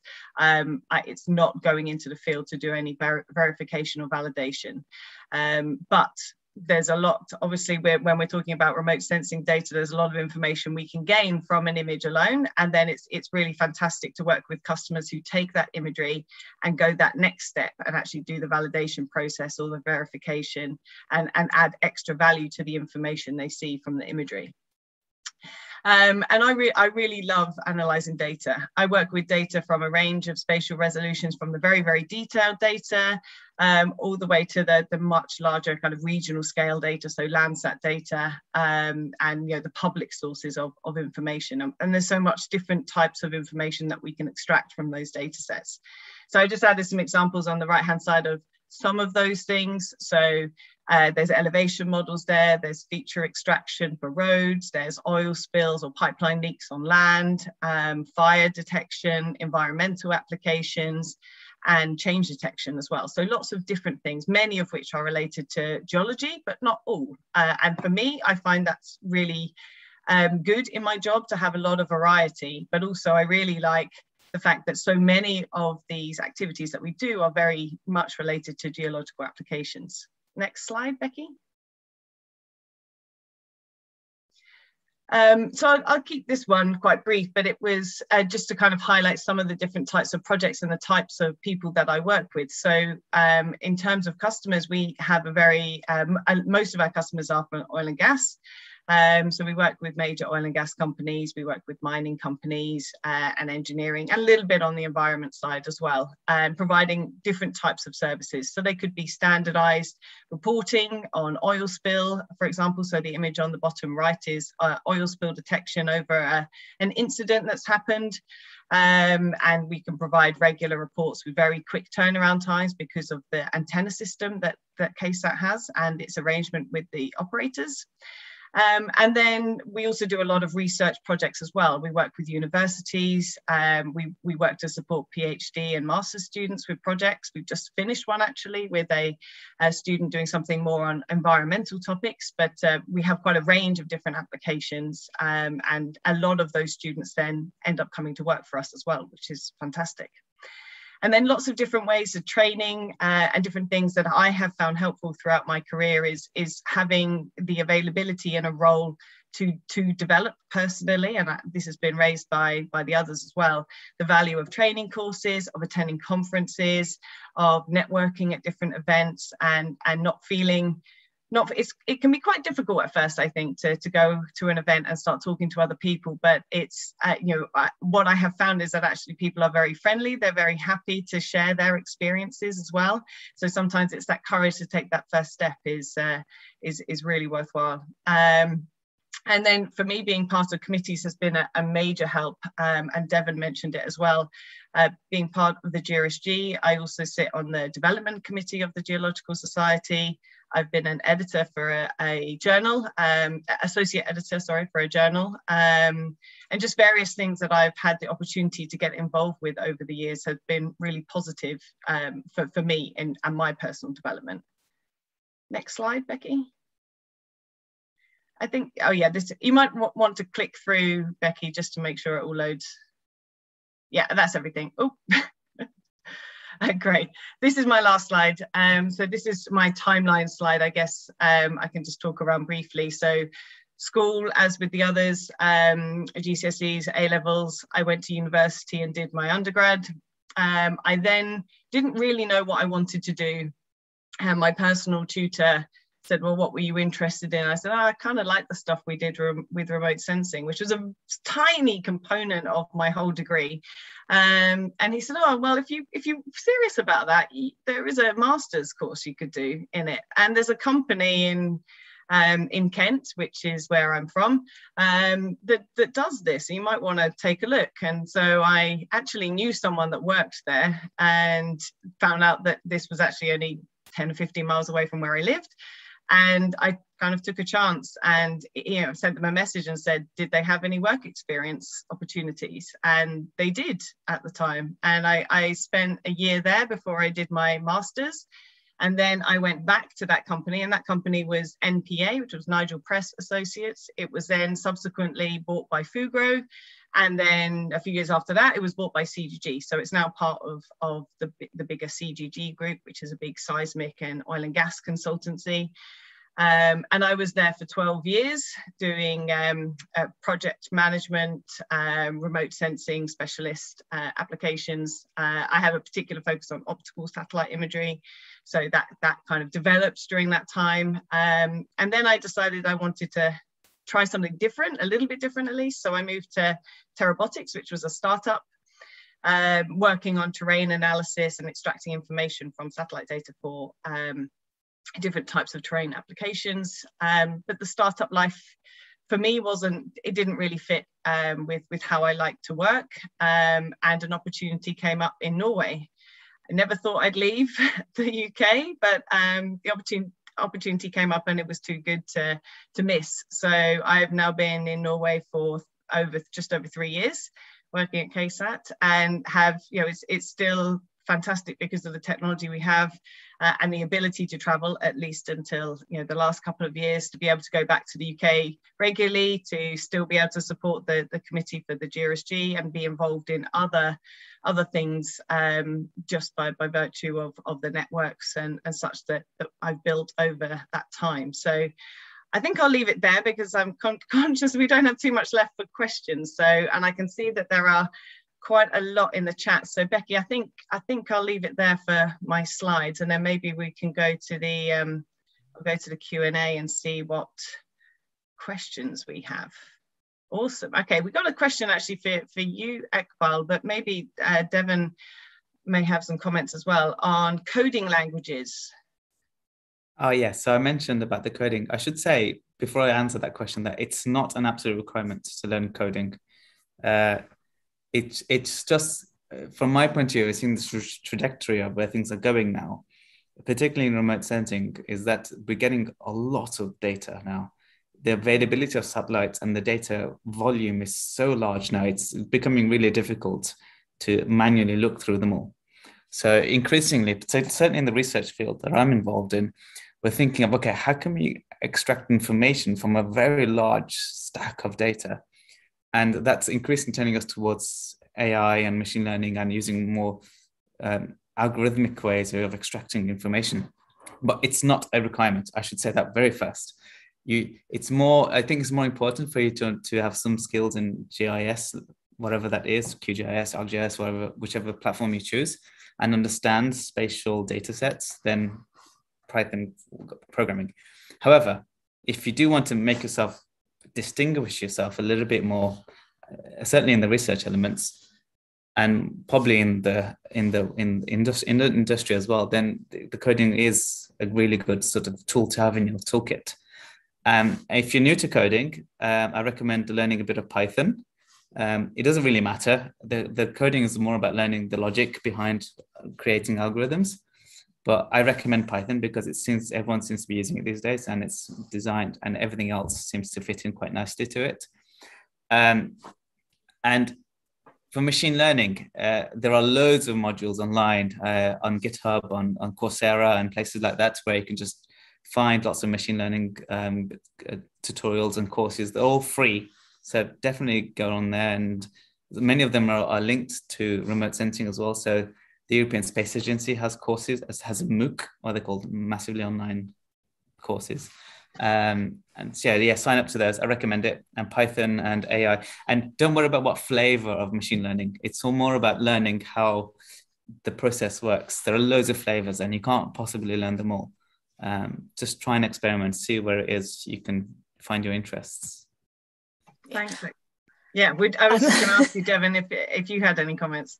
Yeah, I completely second everything Ekbal said. Um, it's not a massive requirement. I will be honest, uh, Python and coding is not my strongest point. Um, I'm still trying to learn it, um, and my um, the person, my colleague, he's a couple of years behind me, so still graduate level. He's picking up a lot quicker than I am.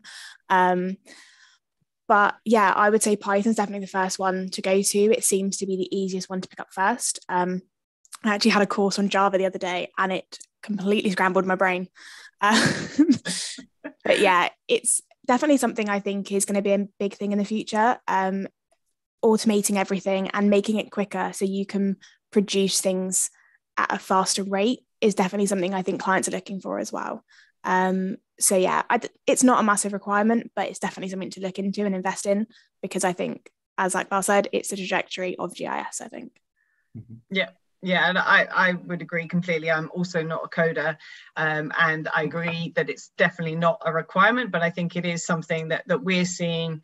Uh, as uh, Devon says, like customers want things quicker and quicker. Um, there is a kind of drive for you know, more productivity and all this, all this kind of thing as well. That um, increasing production rate relies on machine learning and coding and automation of of some of the processes that we have, and um, some of that is is more kind of like developing these chains or customizing, but also working with people that know how to do those things. You don't necessarily have to have those skills. They can also be outsourced. My company also outsources as well as having skills in house.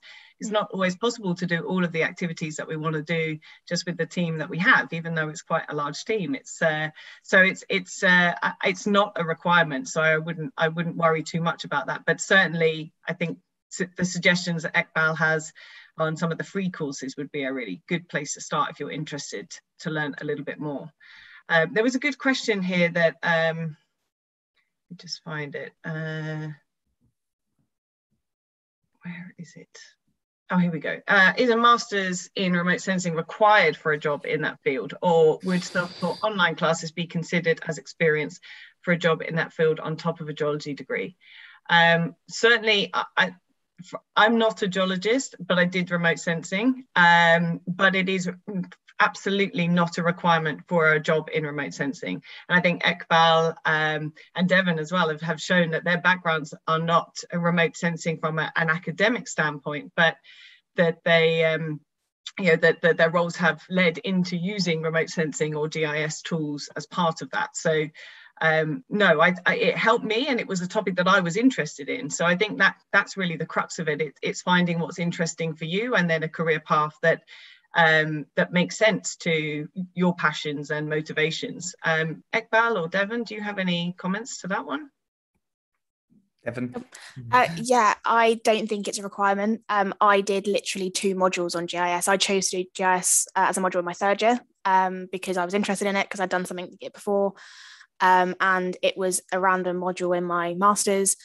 And it was because I was good at it and I enjoyed it was mm. why I ended up going into it when it was obviously a bit of a tough time for jobs anyway. And that was the one that was flourishing. Um, and yeah, so I don't think it's a requirement. I think if you want to get into it, then absolutely fine. Find other courses that you want to do. There's plenty of universities that you can find. Um, but yeah, I think if you're enjoying it, then pursue it. You don't have to have just the qualifications. I don't think that's weirdly how life seems to be at the moment. It's yeah having a qualification is great, but it's also being interested in it and in, enthusiasm, I think, as well. I guess just to add on to that is that, that I think there's nothing wrong with being self-taught. Um, just as you know, just as long as you can demonstrate that you know for a job application that you've got the skills the job needs, um, whether show an example maybe of something you've done. Uh, it, it doesn't have to be in a degree course or anything like that, in my opinion. And for me personally, GIS is just a means to an end. I'm interested in problems, and whether that's in tectonics and natural hazards or subsidence or or disaster risk, I'm interested in those problems. Remote sensing is just a tool I use to help me understand or answer those problems. So it's just a means to an end to me. It's not. I, am not a remote sensor for the sake of being a remote sensor. Sorry. no, no, but that, that's part of the point right? I think it's it's the i know and i've i've worked um, with, with many people who have geological experience who then have by virtue of their career path gone into using it for remote sensing as well. So or sorry using remote sensing to answer their those challenges um, and because of their geological knowledge it gives them a different understanding of what they're seeing in the imagery um, I, I come at it from an image analysis point of view so i can i can analyze an image i can extract the features of interest but i work with a geologist to help put that into context and help explain what we're seeing. Um, so a lot of a lot of my work historically has been on on mapping for, for minerals. Um, I did a lot of that before I, I moved to to Norway. I do slightly less of that now, but it's the same kind of approach. It's it's spectral analysis, it's it's feature extraction, and then you know building that kind of context with with the other knowledge of, of other people in your team. And, and I think that's that's something I, I find really really beneficial with like remote sensing is so broad in how it's applied and GIS are so broad. Um, they kind of cover so many aspects and so many different jobs. It's it's uh, incredible now how how widespread it is. Um, we have a, there's a good question here about um, networking. Yeah, how do you recommend we network ourselves? I'm assuming that means how how to how to kind of get started and get out there and, and meet other people. And um, I guess I I would say if the, if you have a subject area that you're interested in, there may well be a special interest group that the Geological Society already has. That would be a great place to start um, because they have special interest groups on a lot of geological topics, remote sensing, engineering, geohazards, um, archaeology, um, uh, disasters. Uh, there's lots of lots of different specialist interest groups out there, many of which are free to join, and a great way to meet other people. Um, obviously, right now, not so easy to have in-person events, um, but uh, but they will for sure start again from from next year, and they're normally a, a really good way to meet other people. That's how I I started meeting other people, to be honest. And I actually then took that opportunity to join a committee. I've been part of the GRSG for over 10 years. Um, and I, I have found that invaluable to meet other people from across the world um, and, and hear more about different applications of remote sensing. Um, it's it's scary to start. I, I, admit I found that really challenging, but I, I really once I once I took that step, I really found it it beneficial to to do that. And and I think same goes for looking at training, kind of finding those interest areas that can help you reach out to um, a professional via LinkedIn or someone that you've seen at the, the these careers events and just ask them some questions as well. Uh, most people are really happy to share their experiences and tips um, and are, are quite uh, approachable. Um, Devon, Ekbal, comments from your side? Well, as Becky's just linked, student ah. to the GeolSoc is perfect. Yes. Um, I met my boss at a GeolSoc event and oh, I got did? Oh, yeah. brilliant. it wasn't a careers day event, it was another one of the events that the GeolSoc runs. It may have been a GFGD event actually. Um, so, and I met my boss there, and he said, "Oh, I've got a job opening in a few weeks' time," um, and here I am, uh, four years later. Um, so uh, he's it don't don't I know. But someone asked that you know how you know how do we network now when there's all Teams and Zooms? Yeah, That's more way more challenging. It's yeah. very difficult. What you're doing now is the right thing. Coming to events like this. Um, most of us are, I'll be will be available by email, Twitter, LinkedIn, all those uh, media channels. Yeah. Ask questions, ask advice. You know, if you're looking for bachelor's um, dissertation projects or master's projects, just contact people like us and ask, do you have a project available? Often I design a project for a student if they want to do a master's project with me, if I have the time. But you know, you never know. Ask I think exactly the same. It's reaching out to people. And I guess now you've got so many social media channels and so many channels you can talk to people. It is really hard still when you can't speak to someone face to face. It's really hard to go up to someone and like message them because you kind of feel like you're annoying them, but you're not. Yeah. Everyone that I've spoken to is more than willing to give advice. I there's plenty of people, like my colleagues that have um, spoken this week, and they were like, "Yeah, happy to have anyone contact, happy to have a chat," and it's, it's that first daunting moment of messaging someone, but more than oft, more often than not, they will always message you back and will be happy to talk and give yeah. advice. Couldn't agree more. Couldn't just, agree more. Just, apologies in advance if it's not immediate response. I, I put my hand. So good point. Also a good point.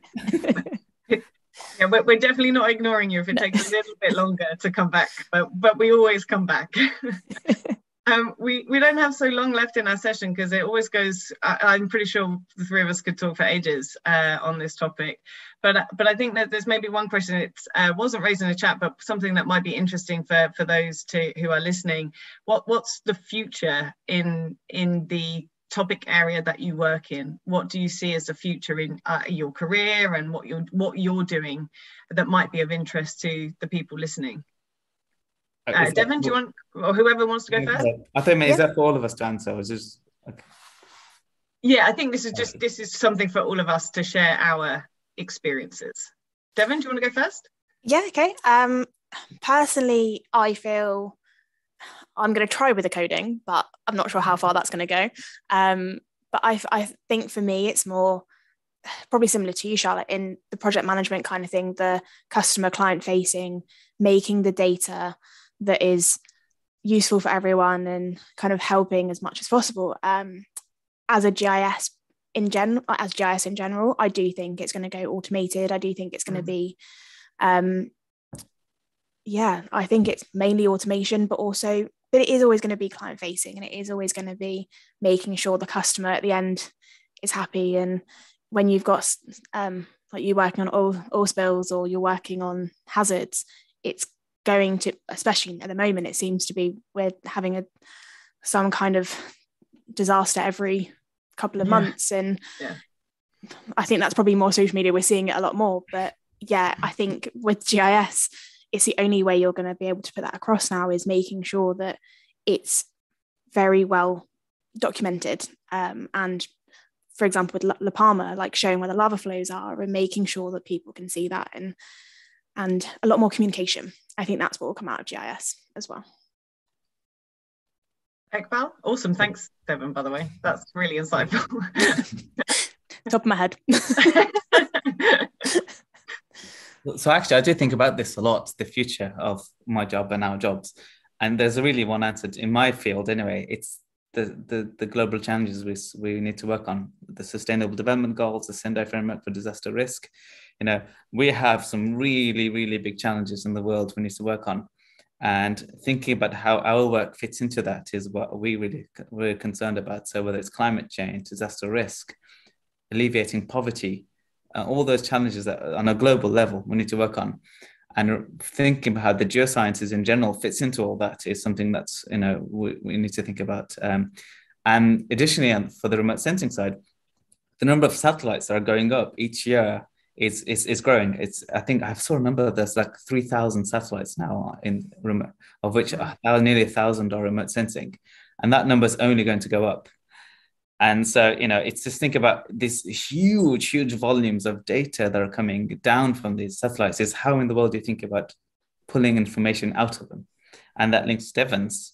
You know, we, it's going to be about algorithms and development of, of codes, machine learning, AI, all those things. That's the real future, I think. Maybe not in the maybe not in the next year or two, but certainly in the next decade, um, it's going to change. And thinking about how smart ways of interpreting information inform- interpreting data.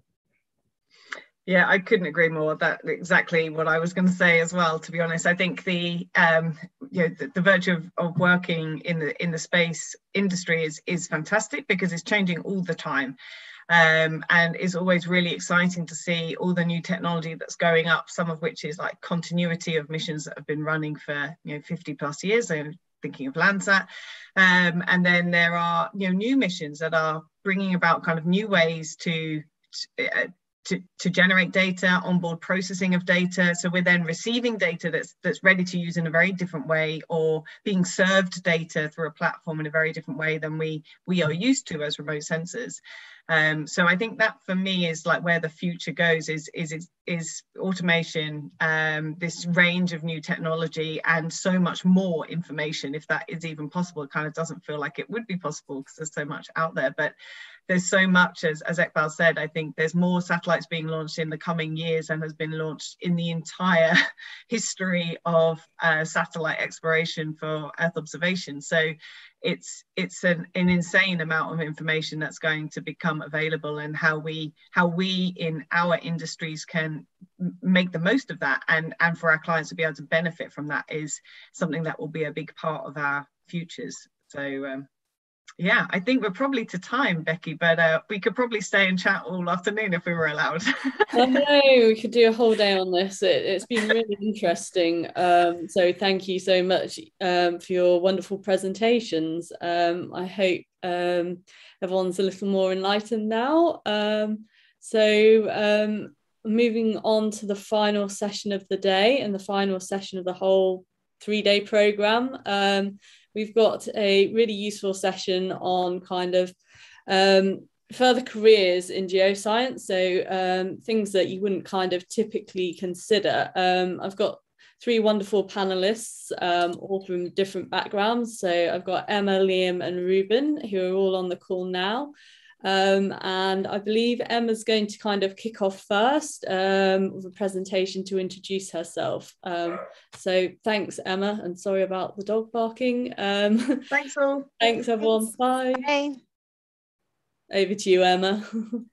so hi, everyone, and uh, welcome. And um, I guess, yeah, you saved uh, the best to last um, for uh, our session here. So um, just put together a, uh, um, a few slides, a little bit um, about myself. So um, my name's Emma Bernard and I'm the curator of fossil fish at the Natural History Museum in London. And I've been working for, um, there for just over 10 years now. Uh, so I'll tell you a little bit about my job in just a second, but I thought I would quickly tell you a little bit about actually how I got there. How did I actually um, get to that job? Uh, basically, from a very young age, I knew I always wanted to study and work in paleontology. Um, I guess I never really kind of grew out of that dinosaur phase that a lot of kids have when they're younger. And uh, so I was always fascinated by fossils and animals which lived hundreds of millions of years ago and that aren't around today. So I knew that um, when I went to university that I couldn't do an undergraduate degree in paleontology, um, although there are a few different options uh, um, available today.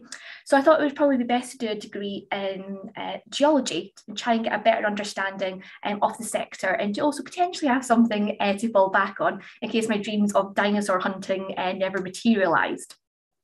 Um, it was whilst I was at the um, Glasgow University doing my undergraduate, um, I had the opportunity of doing a research project at the Hunterian Museum, which was part of uh, Glasgow University. And that was the first time that I'd ever been behind the scenes in a museum and um, saw so much uh, stuff basically. And I got to work with a lot of the curators there. And I was absolutely amazed at, um, you know, what they were doing, um, all these different specimens, you know, so all the things that you never get to see when you just go and visit a museum exhibition. So I thought that was um, pretty cool. Um, following on from my undergraduate, I knew that, as I said, I wanted to do something in paleontology. So I then went on to do a master's in paleobiology at the University of Bristol. And to um, sort of gain extra experience and just try and help um, build up my CV, um, I started volunteering um, at Bristol Museum, which was actually just next door to the uh, our sciences department at Bristol. Um, and again, I, I, was getting more involved with the collections, um, you know, working with different researchers.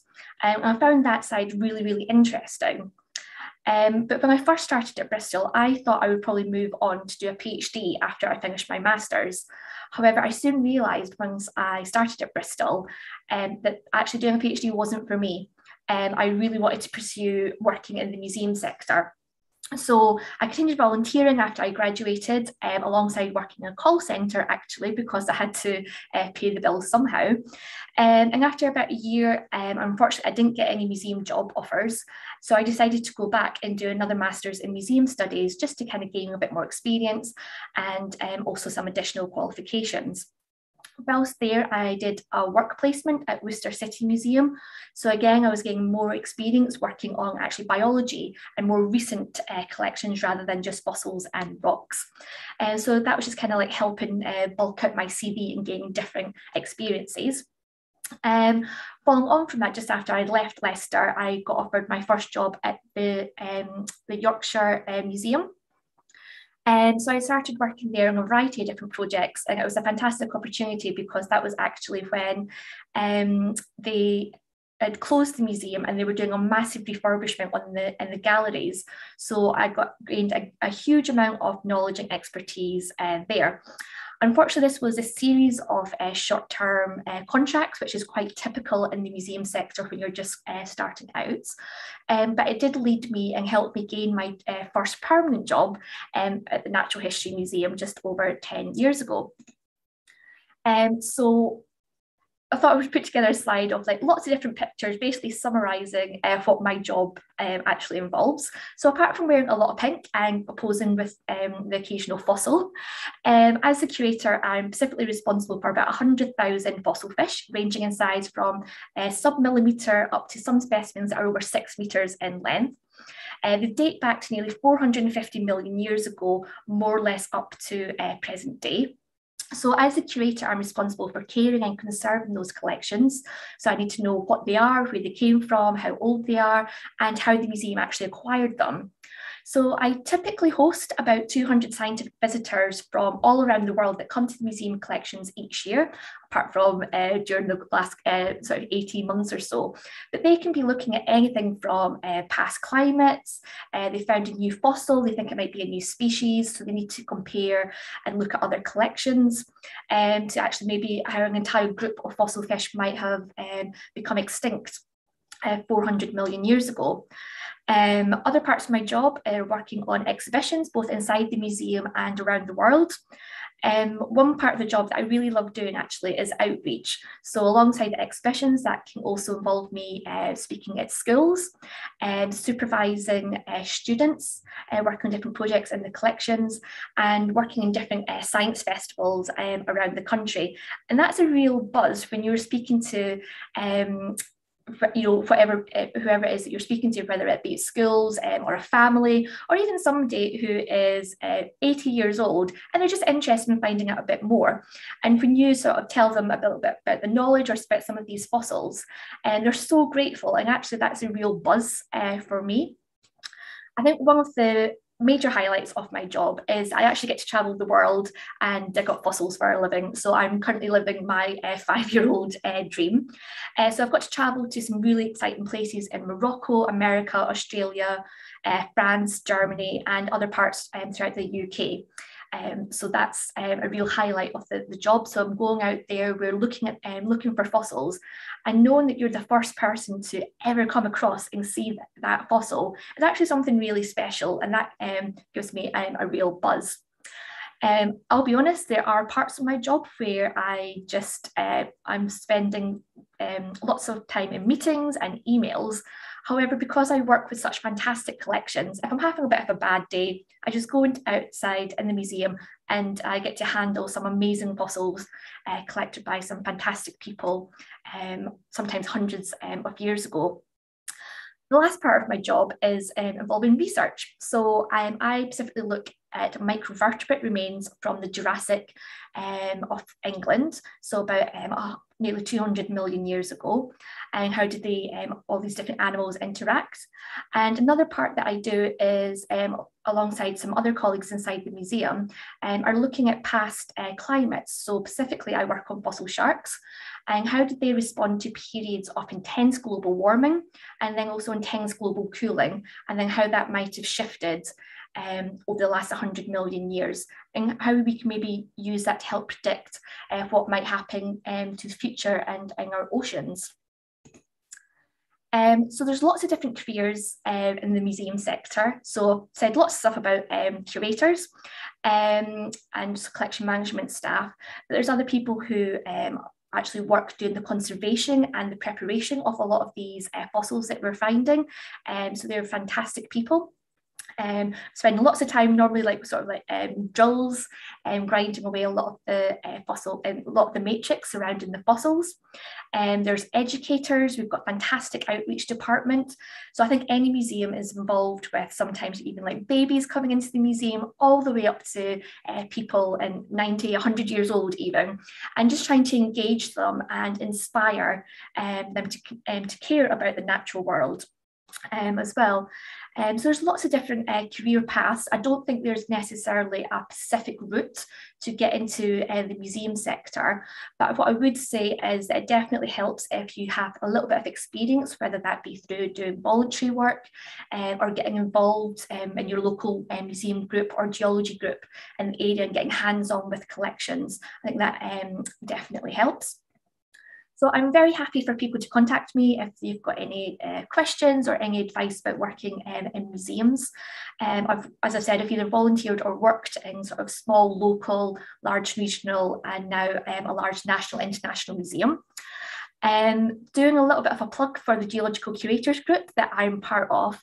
And we've put together um, a booklet about people amassing their own geological collections. And that includes people doing undergraduate projects, uh, master's and PhD projects, where they're actually going to be start collecting um, and amassing their own collections for their research. So um, if you'd like to check that out, uh, please, um, please go ahead. Um, I do have a LinkedIn page, but I'm not so good at keeping on board with that.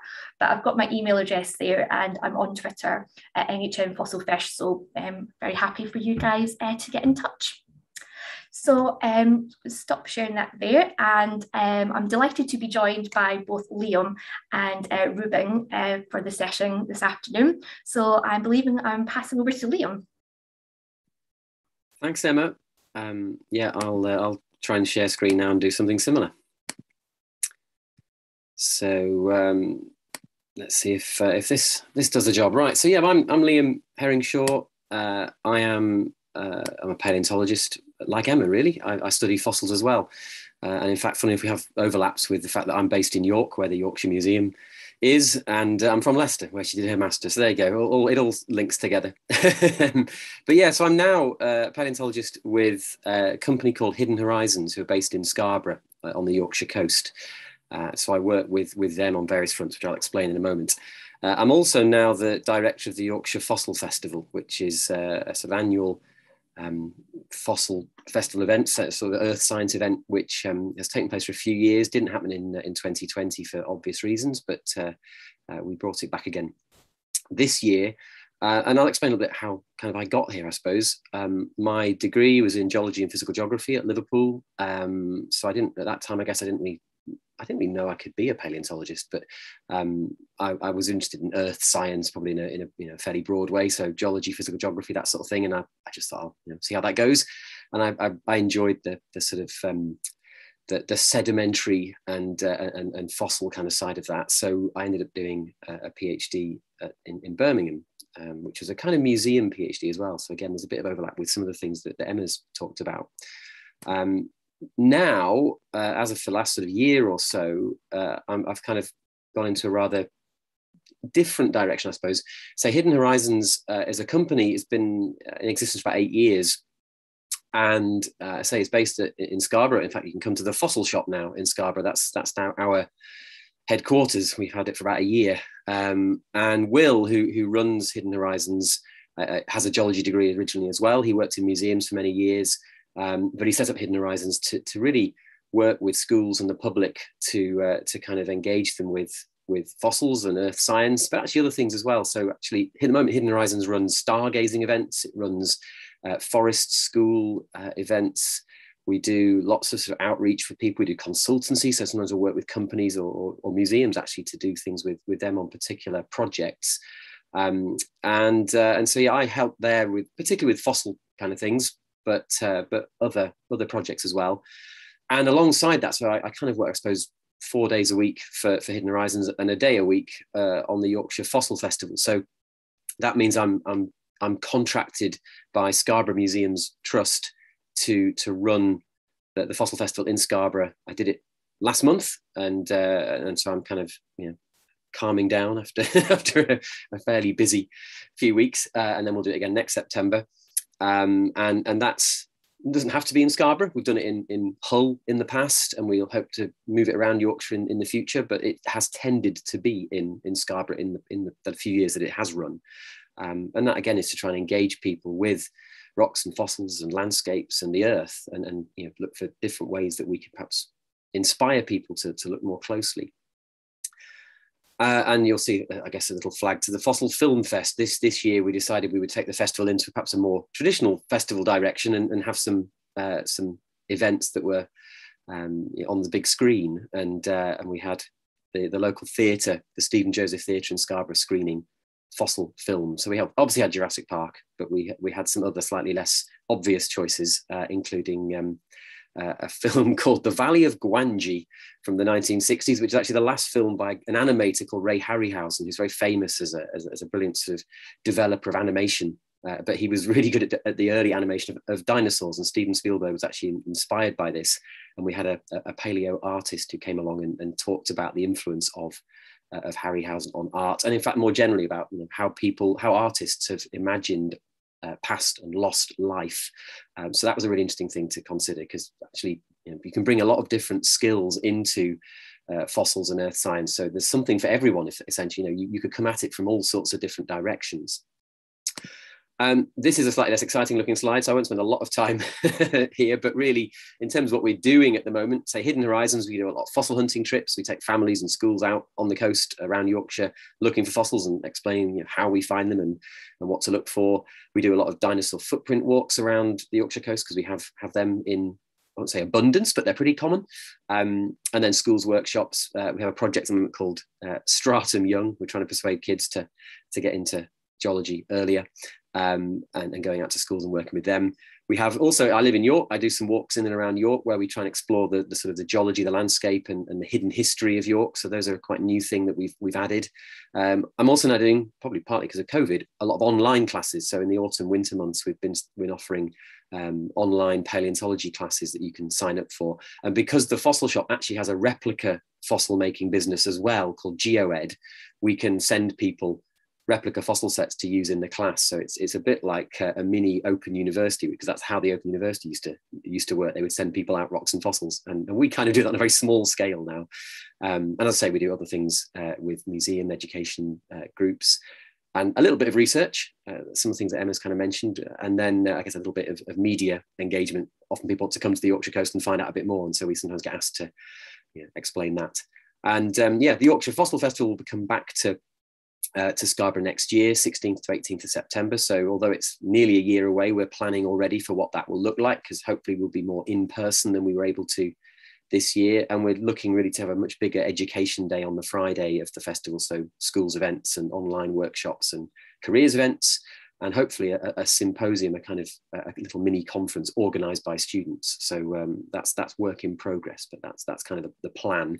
Um, the Fossil Festival website at the moment is mostly stuff from this year, but we're in the process of updating it for next year. And one of the things we are putting up at the moment on our new YouTube channel is the videos from this year's festival. Um, so you can go and sort of hear some of the talks that people gave and, and, and see some of the videos that we that we got produced. Um, so yeah, hopefully the, the festival will be something that we we can run with for many years. Uh, but there's certainly lots of different things going on on the coast, and it's really interesting to be now kind of part of this um, this sort of project or these projects. Uh, and yeah, how did I get here? Well, uh, complicated. So I won't try and run through all of it, but I've done lots of things um, to get here. I, have basically most of the last, last 15 years been working in, in universities, um, but up until uh, up until 2015, it was all very short-term contracts typically. So I moved around quite a lot. I was in Canada for a while, in Scotland for a while, uh, in Birmingham for a while. I worked in an office in Leicester for a year, trying to work out what I was going to do, um, and and then I got eventually a, a, lecture lecturer position in in Hull. So the last five years, 2015 to 2020, I was a lecturer in geology at the University of Hull, and then I decided that I was going to take a different direction, and so I uh, I, I, quit, and I've uh, I've gone into this uh, this rather new route. Um, and uh, and yeah, it's been a really interesting and enjoyable, uh, if slightly uncertain, year or so. Um, and yeah, you can you can find a bit more about what I'm up to on on Twitter and, uh, and Instagram if you uh, if you're interested in that sort of thing. My subject skills are really fossils and, and, sedimentary rocks. I've learned quite a lot of transferable skills, I suppose, over the years, and and you know lots of sort of presentation type. I wasn't very good at giving talks when I was a student, and I've I've done it so much now that I've got a lot happier with it. And people say, "How do you do that?" Well, practice really, um, but also things like uh, you know project management, teamwork, fundraising, all these things that perhaps I never thought of having to do. I've found myself learning and, and getting better at. I wouldn't say I'm good at all of them, but uh, I've, I've got better at them. So yeah, you'll find that that skills can be both subject specific and quite quite general and transferable. So we can pick up some more of that, I'm sure, uh, later in the discussion. So I will hand over now, I think, to uh, to Ruben. Hello, folks. Hiya. I'm going to see if I can. Um, First of all, having, thank you for having me here. I'm going to see if I can share my screen. Give us a thumbs up if this works, please. Are you seeing that? Not yet. Oh no. I don't worry, we had this earlier. yeah, yeah. Um, um, do you want to email me the presentation I can share? I, I did try earlier and um, it got rejected, Becky, by your server. Oh, sorry. Yeah, I yeah. did. Um, um, I'll message you another email address in the chat. One minute. All right, okay talk amongst yourselves, folks. I'll just see if I can um, send this to you so that you can share it on my behalf, Becky, please. Yeah, so if there's anybody in the audience that's watching this just now, if you want to put any of your questions um, into the chats um, from any, you know, any sort of questions you might have about going into museums, um, working in universities, um, why we chose our um, career paths, you know, what a typical day even involves, because um, I would have to say there's probably not a typical day as such. Always expect the unexpected, I think. Um, but yeah, so do feel free to put any uh, comments or questions um, in the chat as well. And uh, yeah, hopefully we'll be able to uh, bring you Ruben's presentation. Yeah, I say I, I, I, could talk about lots of different bits that have kind of led me to where I where I've got, but uh, I guess like like Emma says, you often end up doing quite a few different things and, and you don't quite always know where it's going to um, end up so uh, so yes there's not really so where, certainly where I've got I don't think there's a single way you you must do it. Um, it it's kind of worked out in a probably a fairly roundabout way at times of you know, getting to where I am now so um, yeah, yeah. I, I, think I feel like you couldn't repeat what I I wouldn't suggest you repeat what what, I, what I've done exactly yeah I, I completely drifted into teaching and uh, as I'd, I'd, like to be able to show you in a, in a minute or so, uh, I'm just waiting to see if I can get a, a different email address uh, from Becky. But um, oh, yeah, it's, it's, it's funny how. Sorry, I've messaged you in the chat. Ah, right, okay. Sorry. All right, okay, sorry, I'll try that. Here we go. Here we go. We're all now waiting. Yeah, I know. building up there. It's great. Don't say anything else in case uh, in case we. Uh, we we had this in the uh, session just before. Um, exactly the same thing. Screen share and it just did not come up. So um, it's you're not the only one today. No, I I think keep on looking over here because I've got two screens on the go. So, yeah. right here it comes, Becky. I hope ah, Excellent. has that arrived? Um, no, I'll give it a few seconds because sometimes with an attachment it takes slightly longer. So yeah, it's quite nice in being involved in a day like today, actually, and just hearing people's different um, paths to the um, where they ended up in. You know, the I think the one thing, um, you know, because I listened to a few of the other sessions, it's not necessarily a straight path or smooth. I think we've all had like little bumps in our career and had to go through uh, some uh, difficult times sometimes, you know, like being unemployed or, you know, just trying to get different jobs and finding out exactly what you love to do. Um, so I think today's been a really great session and hearing a lot more about that. Yeah, I mean, I, I worked as when I was at the University of Hull. I became the director of admissions, so I, you know, I was in charge of the geography, geology, environment departments admissions thing. And I would say to people who are thinking of studying at university that one thing I've realised is there's always more time than you think. I know that's a geological kind of joke because there's obviously huge amounts of time, but but actually, you know, you, you don't your decision at one point in time does not then mean you can never get off that path or never, you know, follow something else. And I think I've realised that sometimes you do things that you thought were the right thing and actually turn out later on maybe they weren't but but there is always more time available to kind of change into a slightly different direction it's not all terrible pun again set in stone so you know it's i think and that's an important thing to get across really is you, know, you can travel in different directions and, and end up somewhere, Totally. Yeah, somewhere that totally. keeps makes you happy so Yeah. I think we're, we're nearly there. I think. Uh, I think Becky's now opening it. we, need, we need some uh, we need some sort of tension music or Yeah. uh, a little bit of uh, a countdown Right. Always uh, wanted to do this. Hello, Wembley. yeah, I'm ready. Um, Right. Thank you, Becky. Thanks for saving the day. Screen. Uh, it's okay. Um, bit of an overstatement there. Um, Right. I'll take that. right. Um, So, so see if you can start it and and I'll just keep saying next slide. So next slide, please. All right, so that's what it is. This is going to be an advert for teaching. This is what I drifted into and I've absolutely loved. Next slide, please. So my name's Ruben. Um, I'm currently teaching geology and environmental science at A level, and I also coordinate EPQ, which might be a new qualification for some of you. It's extended project qualification. It's worth half an A level, and it's just a project that is really popular now in six forms. I work at East Norfolk Sixth Form College in Norfolk, um, and a long, long time ago, I went to Oxford Poly. Next slide, please. There you go. So there's a photo from, or a couple of photos from the time. Don't look. Let's go on to the next slide, please. And it's much the same now. It's just Oxford Brookes, but um, there you go. It's turned into color now.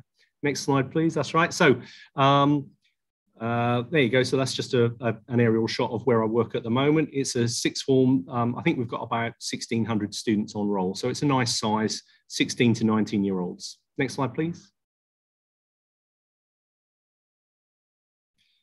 Uh, okay, so this is all about um, time and work-life balance and so on. So it says there, our timetable has three lessons each day. It's different everywhere you go, but um, where I work, we have three lessons each day. Each lasts an hour and a half, and there's also time built in for planning and preparation and meetings and marking. So if we have a look at the next slide, this is um, the latest iteration of my timetable. So I'm in at about quarter past eight in the mornings. I'm actually paid to be in from quarter to nine. And then um, the teaching finishes at three. We have a half an hour session after that for students to drop in in case they need any help. We're paid for that. And um, twice a week, I'm paid to stay until four o'clock for meetings. Okay, that's, that's my timetable. Next slide, please. So this is the important bit. This is called directed time. All teachers on a standard contract are paid for 1,265 hours a year. spread over up to 195 days. And what I find is it does give me brilliant work-life balance. Next slide, please. So uh, here's just comparing teaching with working offshore on a two weeks on, two weeks off shift pattern or offshore on a two weeks on, three weeks off pattern or just uh, a standard um, UK um, sort of standard job, minimum um, 35 hours a week, 28 days a year, plus some, you know, in, including all of the uh, bank holidays and so on. So blue means how much, how many days you're free per year. And sorry, yeah, blue is how many days you work each year, and, and orange is how much you are free each year. So you can see that teaching's not that incomparable with working offshore and certainly seems to be um, um, a lot better or a lot more free time compared to a standard sort of working job in terms of days per year. Te- people always go on about teachers and how many holidays we get. Well, that is one of the attractions of the job. Next slide, please. And if you look at how many hours we're actually contracted to work a year, so teaching um, looks better now than offshore. Um, with offshore, of course, you're trapped because even if you're um, if you're there for say two weeks and you're working 12 hour shifts, you can't really do a lot that, that you might want to do in the 12 hours that you're not on shift. You know, you, you will have a gym and a cinema and a room to go to and so on, but you, it is trapped time. So that's why I've put in the, the trapped wedges in the middle two pies. Um, but um, it's you can see it compares fairly well with with someone who's just working as standard. But then they might want to do overtime as well on top of that. So so the hours per year aren't too bad. Next slide, please. And pay. So it's a bit hard to see the numbers on this. Um, all of the um, graphs show the uh, show from naught up to 140,000 pounds per year. So you can see that teaching salaries for um, you know, sorry, starting salaries in teaching um, are in the low 20s. Offshore tends to be a bit higher. Um, uh, statutory minimum, 30, uh, 35 hour week tends to be around about the same. Average teaching salary around about 40,000. Offshore tends to be a bit better. Statutory is a little bit lower. And the sky's the limit really with any sort of job, isn't it? Um, if you're prepared to move into management, you can earn up to about 120,000 a year in teaching, as you can in, in other jobs as well. Next slide, please. So, what's good about it? I enjoy it. I really, really love teaching. I've done it for years now, and I just get the same buzz from it now as I always have done. Um, I get to discuss my passion for my subject. I get to try and pass that on to new, new students every, every year. I get to keep on learning about geology and associated things. I get to try and um, inspire the next generation. We, we really need more geologists. Nationally, uh, the, the um, number of, of um, people who are going on to um, geoscience graduate, uh, undergraduate courses is dropping year on year. There's a real crisis. And so by trying to feed some students in who've had experience of it at A level means that uh, I'm hopefully doing my little bit to, to uh, help to make sure we've got enough geoscientists in the future. Next slide, please. So it's not all about fieldwork. When I was a student, and before that, when I did geology at school myself, um, it was the fieldwork that I loved most of all. Unfortunately, we don't do loads and loads and loads of fieldwork. Um, on the, I, I, follow the OCR exam board, um, A-level syllabus, and uh, that requires four days of field work throughout the whole of the A-level. But because of um, funding, because um, you're asking parents usually the ones who have to cough up for this, I try and make fieldwork as inclusive as possible. So we don't go away for long residential trips. I could offer them, but I know that I wouldn't get all my students doing it. So, so it's not all about fieldwork, I'm afraid. Next slide, please. So let's have a quick look at how I got to here. So I graduated in 1986. I really didn't know what to do next. As a, I think a lot of the panelists today have been like that, but I did know that I enjoyed being outside. So next slide. There you go. So some pictures of me enjoying being outdoors. Um, the one on the left that does show a, a uh, Liz Withington walking in the water there. If anyone knows Liz. Next slide, please. So I started volunteering after I'd finished my degree, just started volunteering with my local county wildlife trust in Suffolk. Next slide, please. And that was good. It, um, it taught me some different skills and um, it was nice to have a break from being in lectures and so on. But um, Next slide, please. I then decided to go back and just be a student for another year. Really, I think that was that was the truth of it. I quite wanted to just be another student, and doing a PGCE, a postgraduate certificate in education, was a route into doing that. Now, really important point to think about: if you're a geologist, do you go and train to do geography or science? Um, and uh, I chose geography, and it's been very good for me. But I do realise that I probably would have been promoted earlier if I'd gone in as science because there's a shortage of science teachers and it's all about market economics. If there's a if there's a shortage, then you tend to you're able to move around more. You've got more marketable skills. Next slide, please. So my first school was in Wantage in Oxfordshire. That's where I um, took part in teacher training. They offered me a job when I'd finished the year. So I worked there for a little while. Next slide. It's just showing where Wantage is. Next slide, please. Then I moved to Lowestoft. Next slide, please. On the east coast, and I was um, I was there for. I thought I was going to go there for a year. I ended up being there 18 years because it was so great. Um, I uh, at both of those schools, Wantage and, Low, and in Lowestoft, I um, was primarily a, a, geography teacher, but in both places I was able to introduce geology as a new subject and uh, and get some students into that. Uh, at Lowestoft, I also got involved in teacher training, both with the UEA and also through something called the Graduate Teacher Program. That's what those yellow dots are. Next slide, please. And then um, a few years ago, I moved here to work in a sixth form. So I've done mostly geology and environmental science.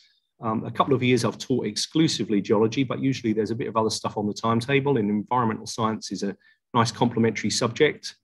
Uh, I've also been in management for a while, and um, I've also taught the EPQ. Next slide, please. So what I would suggest is if you are not quite sure what to do next and you're thinking, what shall I do with my degree? I would say try it. Find somewhere local, just get, contact a school, make sure that you're talking to the right person. Um, um, you know, so ask uh, who, who should I speak to about um, just trying teaching as a career. Um, you might find that you could go straight in and uh, without any teaching qualification, you could get employed because QTS, qualified teacher status, isn't actually needed to work as a teacher in an academy or an independent school or a free school. You will often find that you'll get paid on a different pay you pay scale if you have got QTS though. There's a lot of different schemes available that will allow you to get QTS.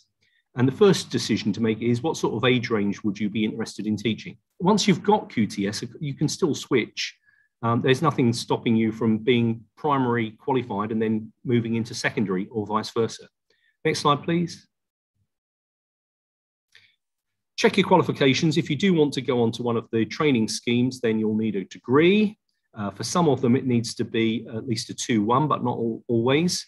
Um, you'll need a GCSE grade 4, which in old money is uh, a C grade in English and maths. And if you want to be a primary school teacher, you'll need science as well. Next slide, please. There's um, a, uh, a a funding calculator there to find out how much you could actually get um, for funding towards your the cost of doing the training. There's a big range out there, which is why it's worth doing your homework first. Next slide, please. So, for instance, if you say, "Oh, I'll be a biologist," well, you'll find that you'll get a seven thousand pound bursary, and you'll get um, loans for tuition fee and maintenance. Next slide chemistry, physics, maths at the moment, you'll get a £24,000 bursary, which is much nicer, isn't it? Um, there's also a scholarship of £26,000. And, uh, and of course, you're able to tap into tuition fees and maintenance loans. Whereas, next slide, please. For all geographers, there's plenty of geographers. Uh, the joke in schools is that anyone can teach geography, which isn't true, but um, you often find that um, PE teachers, once their knees have gone, they try and get themselves into geography departments. So geography, there's no bursary because there's there's there's an adequate number of geography teachers at the moment, but you can still apply for the tuition fee and maintenance loans. Next slide, please. So find the right training. Next slide. There's a range of options if you do want to get trained. Um, you could go via the traditional university route, a PGCE, that will include getting qualified teacher status. You can also use a scheme called School Direct, which has got two versions of it. You can have your fee funded, or you can be salaried by the teacher, uh, sorry, by the school, I beg your pardon. There's also a scheme called Teach First, which is also salaried. So there's there's it's a real jungle out there at the moment, and um, lots of different routes into teaching. Um, and as I said earlier, you don't even necessarily need to have a qualification, although I think that getting trained is a good thing to do. It means that you, um, you paddle before you swim. You don't just jump straight in the deep end. Next slide, please. A couple of other options. You could think of um, trying uh, just, just having a little go at working in education by working in a PGL centre or for the Field Studies Council. Um, if you look on their websites, you'll find that they, they will advertise where they've got vacancies. And quite often they're keen on taking just young, um, uh, keen graduates um, rather than being too worried about someone actually having a teaching qualification. And there's quite a few people will move into teaching because they've really enjoyed working for one of these employers. Other, other employers are available. Next slide, please. Okay, so those are my contact details. I know I've sort of gabbled on a bit, but um, I'm, I'm there on LinkedIn, so I'm more than happy for you to contact me if, you, uh, if, if you're interested in finding out more about this. Just look on LinkedIn. I think there's just one more slide. There you go. That's where I got the information yesterday about salaries. That's all of them. Thank you. Apologies that the uh, I couldn't I didn't have primary control over the PowerPoints. Thank you, Becky, for sorting that. Super. No, it was a great presentation. I'm glad we got there um, in the end. So thanks for that. okay. Yeah, thanks for that. So um, yeah, if anybody um, has got any questions, just pop them in the chat, and um, I'm sure we'll be very happy to uh, answer some of them. Um, but I thought maybe we might just start off with um, a few sort of like just general questions. Um, you know, what sort of things do we all like about our chosen fields? And then maybe um, slightly controversial, maybe some of the things that you don't quite like about your chosen fields. Because I think um, with any job, I think because I, I, always talk to people, I always like try and be completely honest and transparent. There's, you're going to have some really great, um, fun opportunities, but also equally, you know, with all of that good, there are some, you know, downsides to things. So, um, yeah, Liam, maybe start with yourself. Yeah, um, I, I mean, I guess what do I, I like my job now? It, it's it's so varied. Again, you know, so many different things you end up doing, um, and I guess I get to do a lot of sort of paleontological things and geological things that I that I like doing. You know, whether it's talking to school groups or or anybody really. Um, so that's that's really a big part of what what I enjoy the variety and, and the chance to you know, focus on the things that I really love doing but I guess the, the, the counterbalance that is is the uncertainty. So you know, I worked for quite a few years. So the last five years, I had a, you know essentially a permanent job in a university. I couldn't always do the things I wanted to do, but I had a you know had the stability, and I've now kind of swapped that round. In that sense, I have a sort of control over my own uh, destiny, but it does mean at times you're like, well, what am I doing next? Am I being paid for this? Does this, you know? So it, yeah, I guess you have to decide. And I think I probably got old enough that I worry a little less about that, and I think probably that was part of the reason I was able to you know to, to move almost was was that I felt okay and I'm, I'm happy to take this challenge um, but but yes it is at times you're almost self-funding in a way you're trying to find ways of bringing in things that will pay you and, and not everything does so so yeah that's that's the difficult part I suppose of what I do at the moment yeah Ruben what about yourself yeah yeah um so I've got a job that it doesn't pay the top but um, it pays enough for me to be comfortable. I've got a good pension scheme. Um, I've got plenty of holidays. Um, the things that I that that have been challenges in the past in education, I've, I've sort of learned how to work smart to avoid them. So um, uh, everyone is worried about um, discipline. If, if you're going to become a teacher, or you know, are, are there going to be problems with with discipline? and uh, you soon learn whether how to how to have your own strategies to deal with that and whether it's going to get to you or not. So so uh, some people put school problems in a box and walk away from it when they go home. Some people just develop very thick skin or whatever. Um, uh, I, have I've sort of learned over the year, or when I was working in schools, I learned to try and use humour as much as possible to to uh, diffuse uh, situations, so that you just get students actually wanted to just come and be not necessarily entertained. I'm not saying I did puppet shows in my lessons, but um, you know, so that it would be that they would they would not hate turning up for my lessons.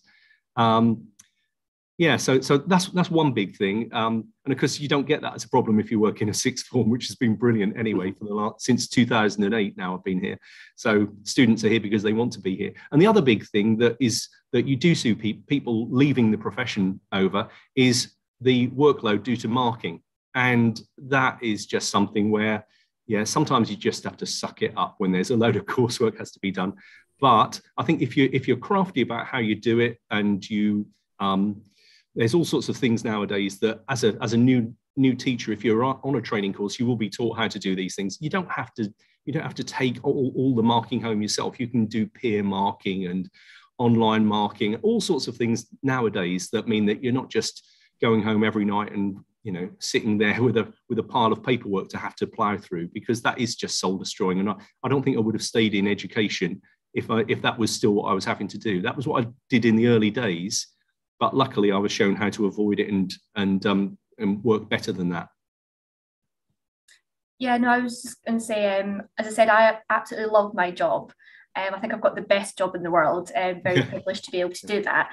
And um, getting to work with um, some of the world's leading scientists all around the world. So that was one of the reasons why I didn't want to do a PhD. I, I thought I would have that, you know, stereotypical, you know, undergraduate, master's, PhD, postdoc. Um, but when I got to do my master's, I realised that actually a PhD wasn't for me. I enjoyed learning a little about a yeah. lot. Yeah. And then working as a curator in museums, I get to do that, you know, every day. I'm always learning something new. So I think that's a that's a really great and good bonus part um, about the job.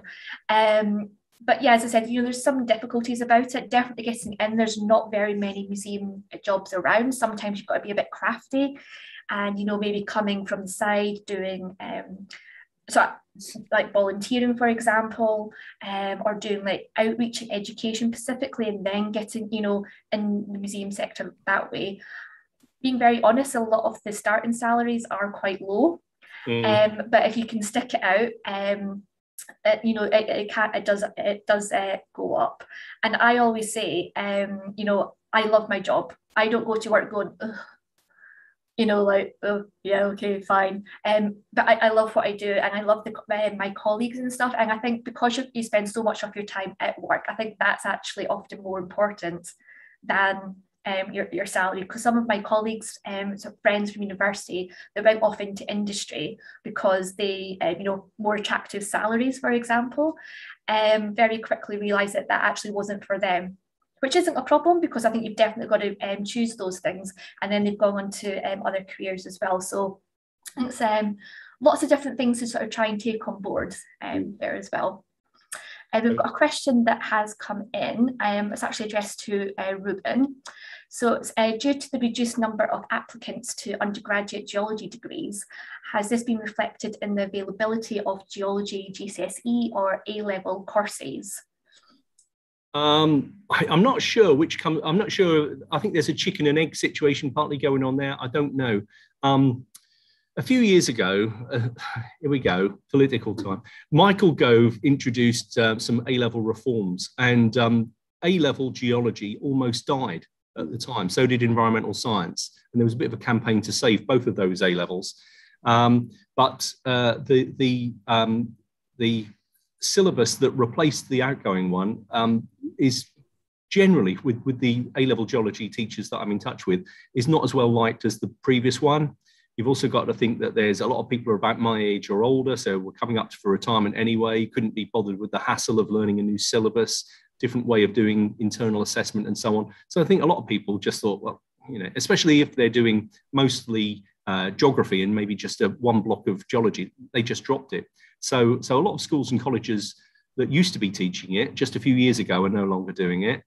Um, plus, there's something else going on anyway, you know, because um, universities recruit from a, a, lot of their geoscience undergraduates from, from people who've never had an, an opportunity to do it at A level anyway. And yet numbers are going down anyway. So, so I'm not quite sure what's going on. Is it because people think that um, uh, geology is all about oil and gas and that's a, that's a dying vehicle to get on? And so, so you know, do something different or what? I don't know, but but um, certainly I, I, I, like to think that I'm in my little corner of East Norfolk. You know, I'm trying to get get more people to be geologists rather than less.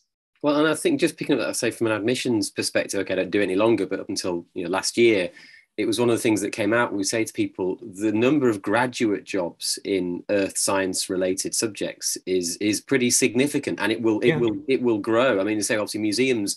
It's, it's quite challenging because there's a lot of places don't get the funding any longer and, it, and it's really difficult. And lots of friends who've got into museum jobs who've, who found it really hard. And that, that's that is a difficult thing to balance because you might love it, but it's it's you know it can be hard to make a you know a good a good sensible kind of living out of it.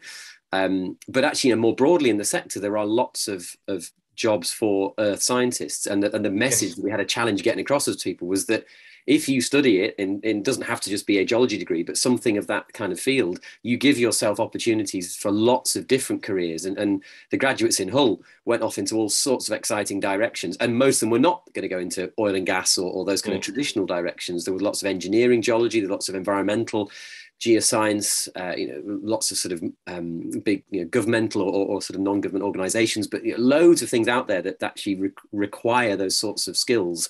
And I think, again, one of the important things probably we've all touched upon is, is that it's a sort of subject that actually brings in lots of different skills, uh, both you know, specific and, and general. And that can serve you well uh, as well. So, you know, you might find you go off somewhere else, but you some of the things you've learned in geology and, and, and paleontology you know serve you put you in good stead so the okay. yeah the challenge is that kind of is I think Emma also touched on primary school kids, you know, loads of lo- uh, loads of love for kind of fossils and volcanoes and earthquakes and all this earth stuff, and then it just sort of kind of not disappears, but it, it doesn't get channeled into into things, particularly at secondary school, because it's hard to to do that within within the subjects and the curriculums and so on. And then yeah you get to point where people are like they've sort of lost the subject a little bit. And i think that's one of the big challenges that we face as a as a subject in the broad sense is that we've got lots of people who are interested and there's lots of jobs out there but somehow the kind of the middle bit um, doesn't quite work at the moment which i think is a is a, a challenge definitely definitely yeah. yes I think I just want to pick up on something that you both actually alluded to um, through some of the questions and um, also your presentations, um, and is that that's about uh, transferable skills. You know, some of those skills that you learn whilst you're at university, and okay, you may not necessarily go into that specific role, but those transferable skills that you know that you learn at university, that no matter what career you end up taking on on, is actually really beneficial so I was just thinking about um, actually just uh, communication. no, no, matter what you do in life, you've got to communicate with people. Um, you know, Liam, you mentioned about that you really didn't like doing presentations, but as you go, um, you know, through your career and different roles, you've got to present. Whether that's just, um, you know, speaking to two or three people um, within in your team to delivering talks in front of um, you know a whole classroom, a lecture room, or um, you know in front of your department um, or you know working uh, with media and uh, schools as well. So I think you know like definitely for me that's our communication side of things, and a lot of the skills Excel. something like something pure basic like that. I use Excel almost every day in my job. Yes, yeah, same here, same here. Well. Yeah, yeah. So yeah, is there any sort of you know those kind of I guess, as I said, transferable skills that you would sort of say that is um, quite important or that you've picked up on and you definitely use almost every day? I didn't realize how much I was going to like working with people. When, when I was when I was a, a recent graduate, I thought uh, my ideal job would have been would have been I don't know a field geologist in the middle of nowhere, and uh, it wasn't until I actually got in the classroom that I realized I, I love working with teenagers. They're so funny. And uh, I, I, I, don't want to go as in case someone's listening. I don't want to say I would I would do this job for nothing because you know I, I, mustn't say that. But, but it is uh, I, I I have a good belly laugh every day, and I still do and and it's it's just wonderful working with these people. So so uh, i think i learned a lot about myself by coming into this but in terms of specific transferable skills you're absolutely right. And i, I think there's no end to the skill set that you keep on developing is there? So things like excel yeah absolutely. It's, it's bread and butter for when you're doing things like I don't know, looking at results that students are getting to try and edge them towards um, where they should be, or, or or whatever. So so making better use better use of computers, or uh, during lockdown, it was everything was on Teams or whatever. There's there's always new stuff, and um, and uh, I, I really enjoy making sure that I I wouldn't say that I'm an academic, but I enjoy reading. There you go. I, I try and keep up with the basics of what's going on in geology. And uh, so, and, and the students enjoy that as well. You know, these come into class and then I really like it that, that they'll get borrowed over a weekend and so on. And, and students like that as well. So I think it's a, it's a sort of combination of keeping yourself upskilled and up to date with what's going on and also making sure that you, you share that enthusiasm with the next generation. Yeah, I think just one of the things I've, I've realized in the last year or so, particularly, is, is actually there are quite a lot of opportunities in the sort of things that, that we're doing. So, for example, on the Yorkshire coast, we do fossil hunting trips. This summer, I could have done fossil hunting trips four times a day all throughout the summer, and, and we'd have sold out probably most most times. Uh, I obviously can't do that for various reasons. Um, and I suspect there's quite a lot of, of sort of opportunity for these sorts of things, but actually a big part of it is communication. So diff, there are, I know different people do it in different ways, but there are lots of, of, of kind of communication skills that you can bring in. Um, and I think these sorts of, yeah, communicating the importance of the earth to different audiences is a really important thing. But actually think in terms of our careers, I think there will be, um, you know, ongoing opportunities to, to, to, to do this sort of thing. And I suppose at the moment with people having spent more time kind of at home or, or, or locally, there's a bit of that uh, exploration that's been going on that, that might then hopefully sort of lead on a bit further where people you know, do spend longer looking at their local environment, but they'll need somebody to kind of help them with it. So I think that's again a big part of the communication yeah. stuff. Definitely. Yeah, I think that definitely sort of goes back to um, especially over the last 18 months, we've all had to find in new ways of adapting, um, overcoming things.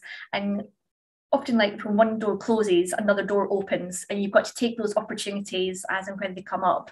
So I think that would be like a really good piece of advice. Is definitely yeah, just kind of if you've got a good opportunity, just go for it because I've I'd say I've definitely never regretted the things I've done. I've regretted the opportunities that I've not done. Yeah. So yeah, just to go for it. Mm-hmm. So um, yeah, thank you, Liam and Ruben, uh, for words of wisdom and uh, telling us a little bit more about what um, your jobs uh, involve. Thanks. It's been brilliant. It's been brilliant. Thank you. Thank you all. Yeah. Oh. Thanks so much for, for inviting me to take part. Thank you. Thank you, everyone. Um, that was absolutely fantastic and um, so nice to hear about the varied things that you do and that you've done. Um, Ruben, I don't know if you've seen James has um, put a message to you in the chat box. So if you scroll up a little bit. Um, oh, what about year 10s? Yes. Yes. So yeah, yeah, yeah, yeah. yeah, um, um the, the, easiest thing is just find me on LinkedIn. Find me on LinkedIn and uh, and connect there, and then I can. That, that's probably the easiest way of all, if that's all right. Brilliant, thank you. Um, well, it's been a brilliant kind of three days, and um, we've had some wonderful um, sessions. All of the speakers have been fantastic. Um, this will all be added to the Geological Society's YouTube channel as a resource.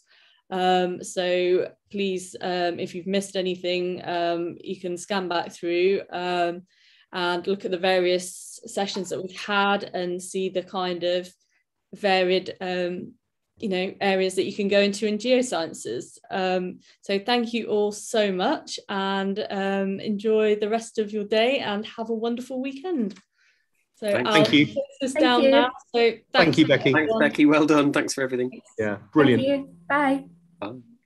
Bye. Bye bye bye folks. Thank you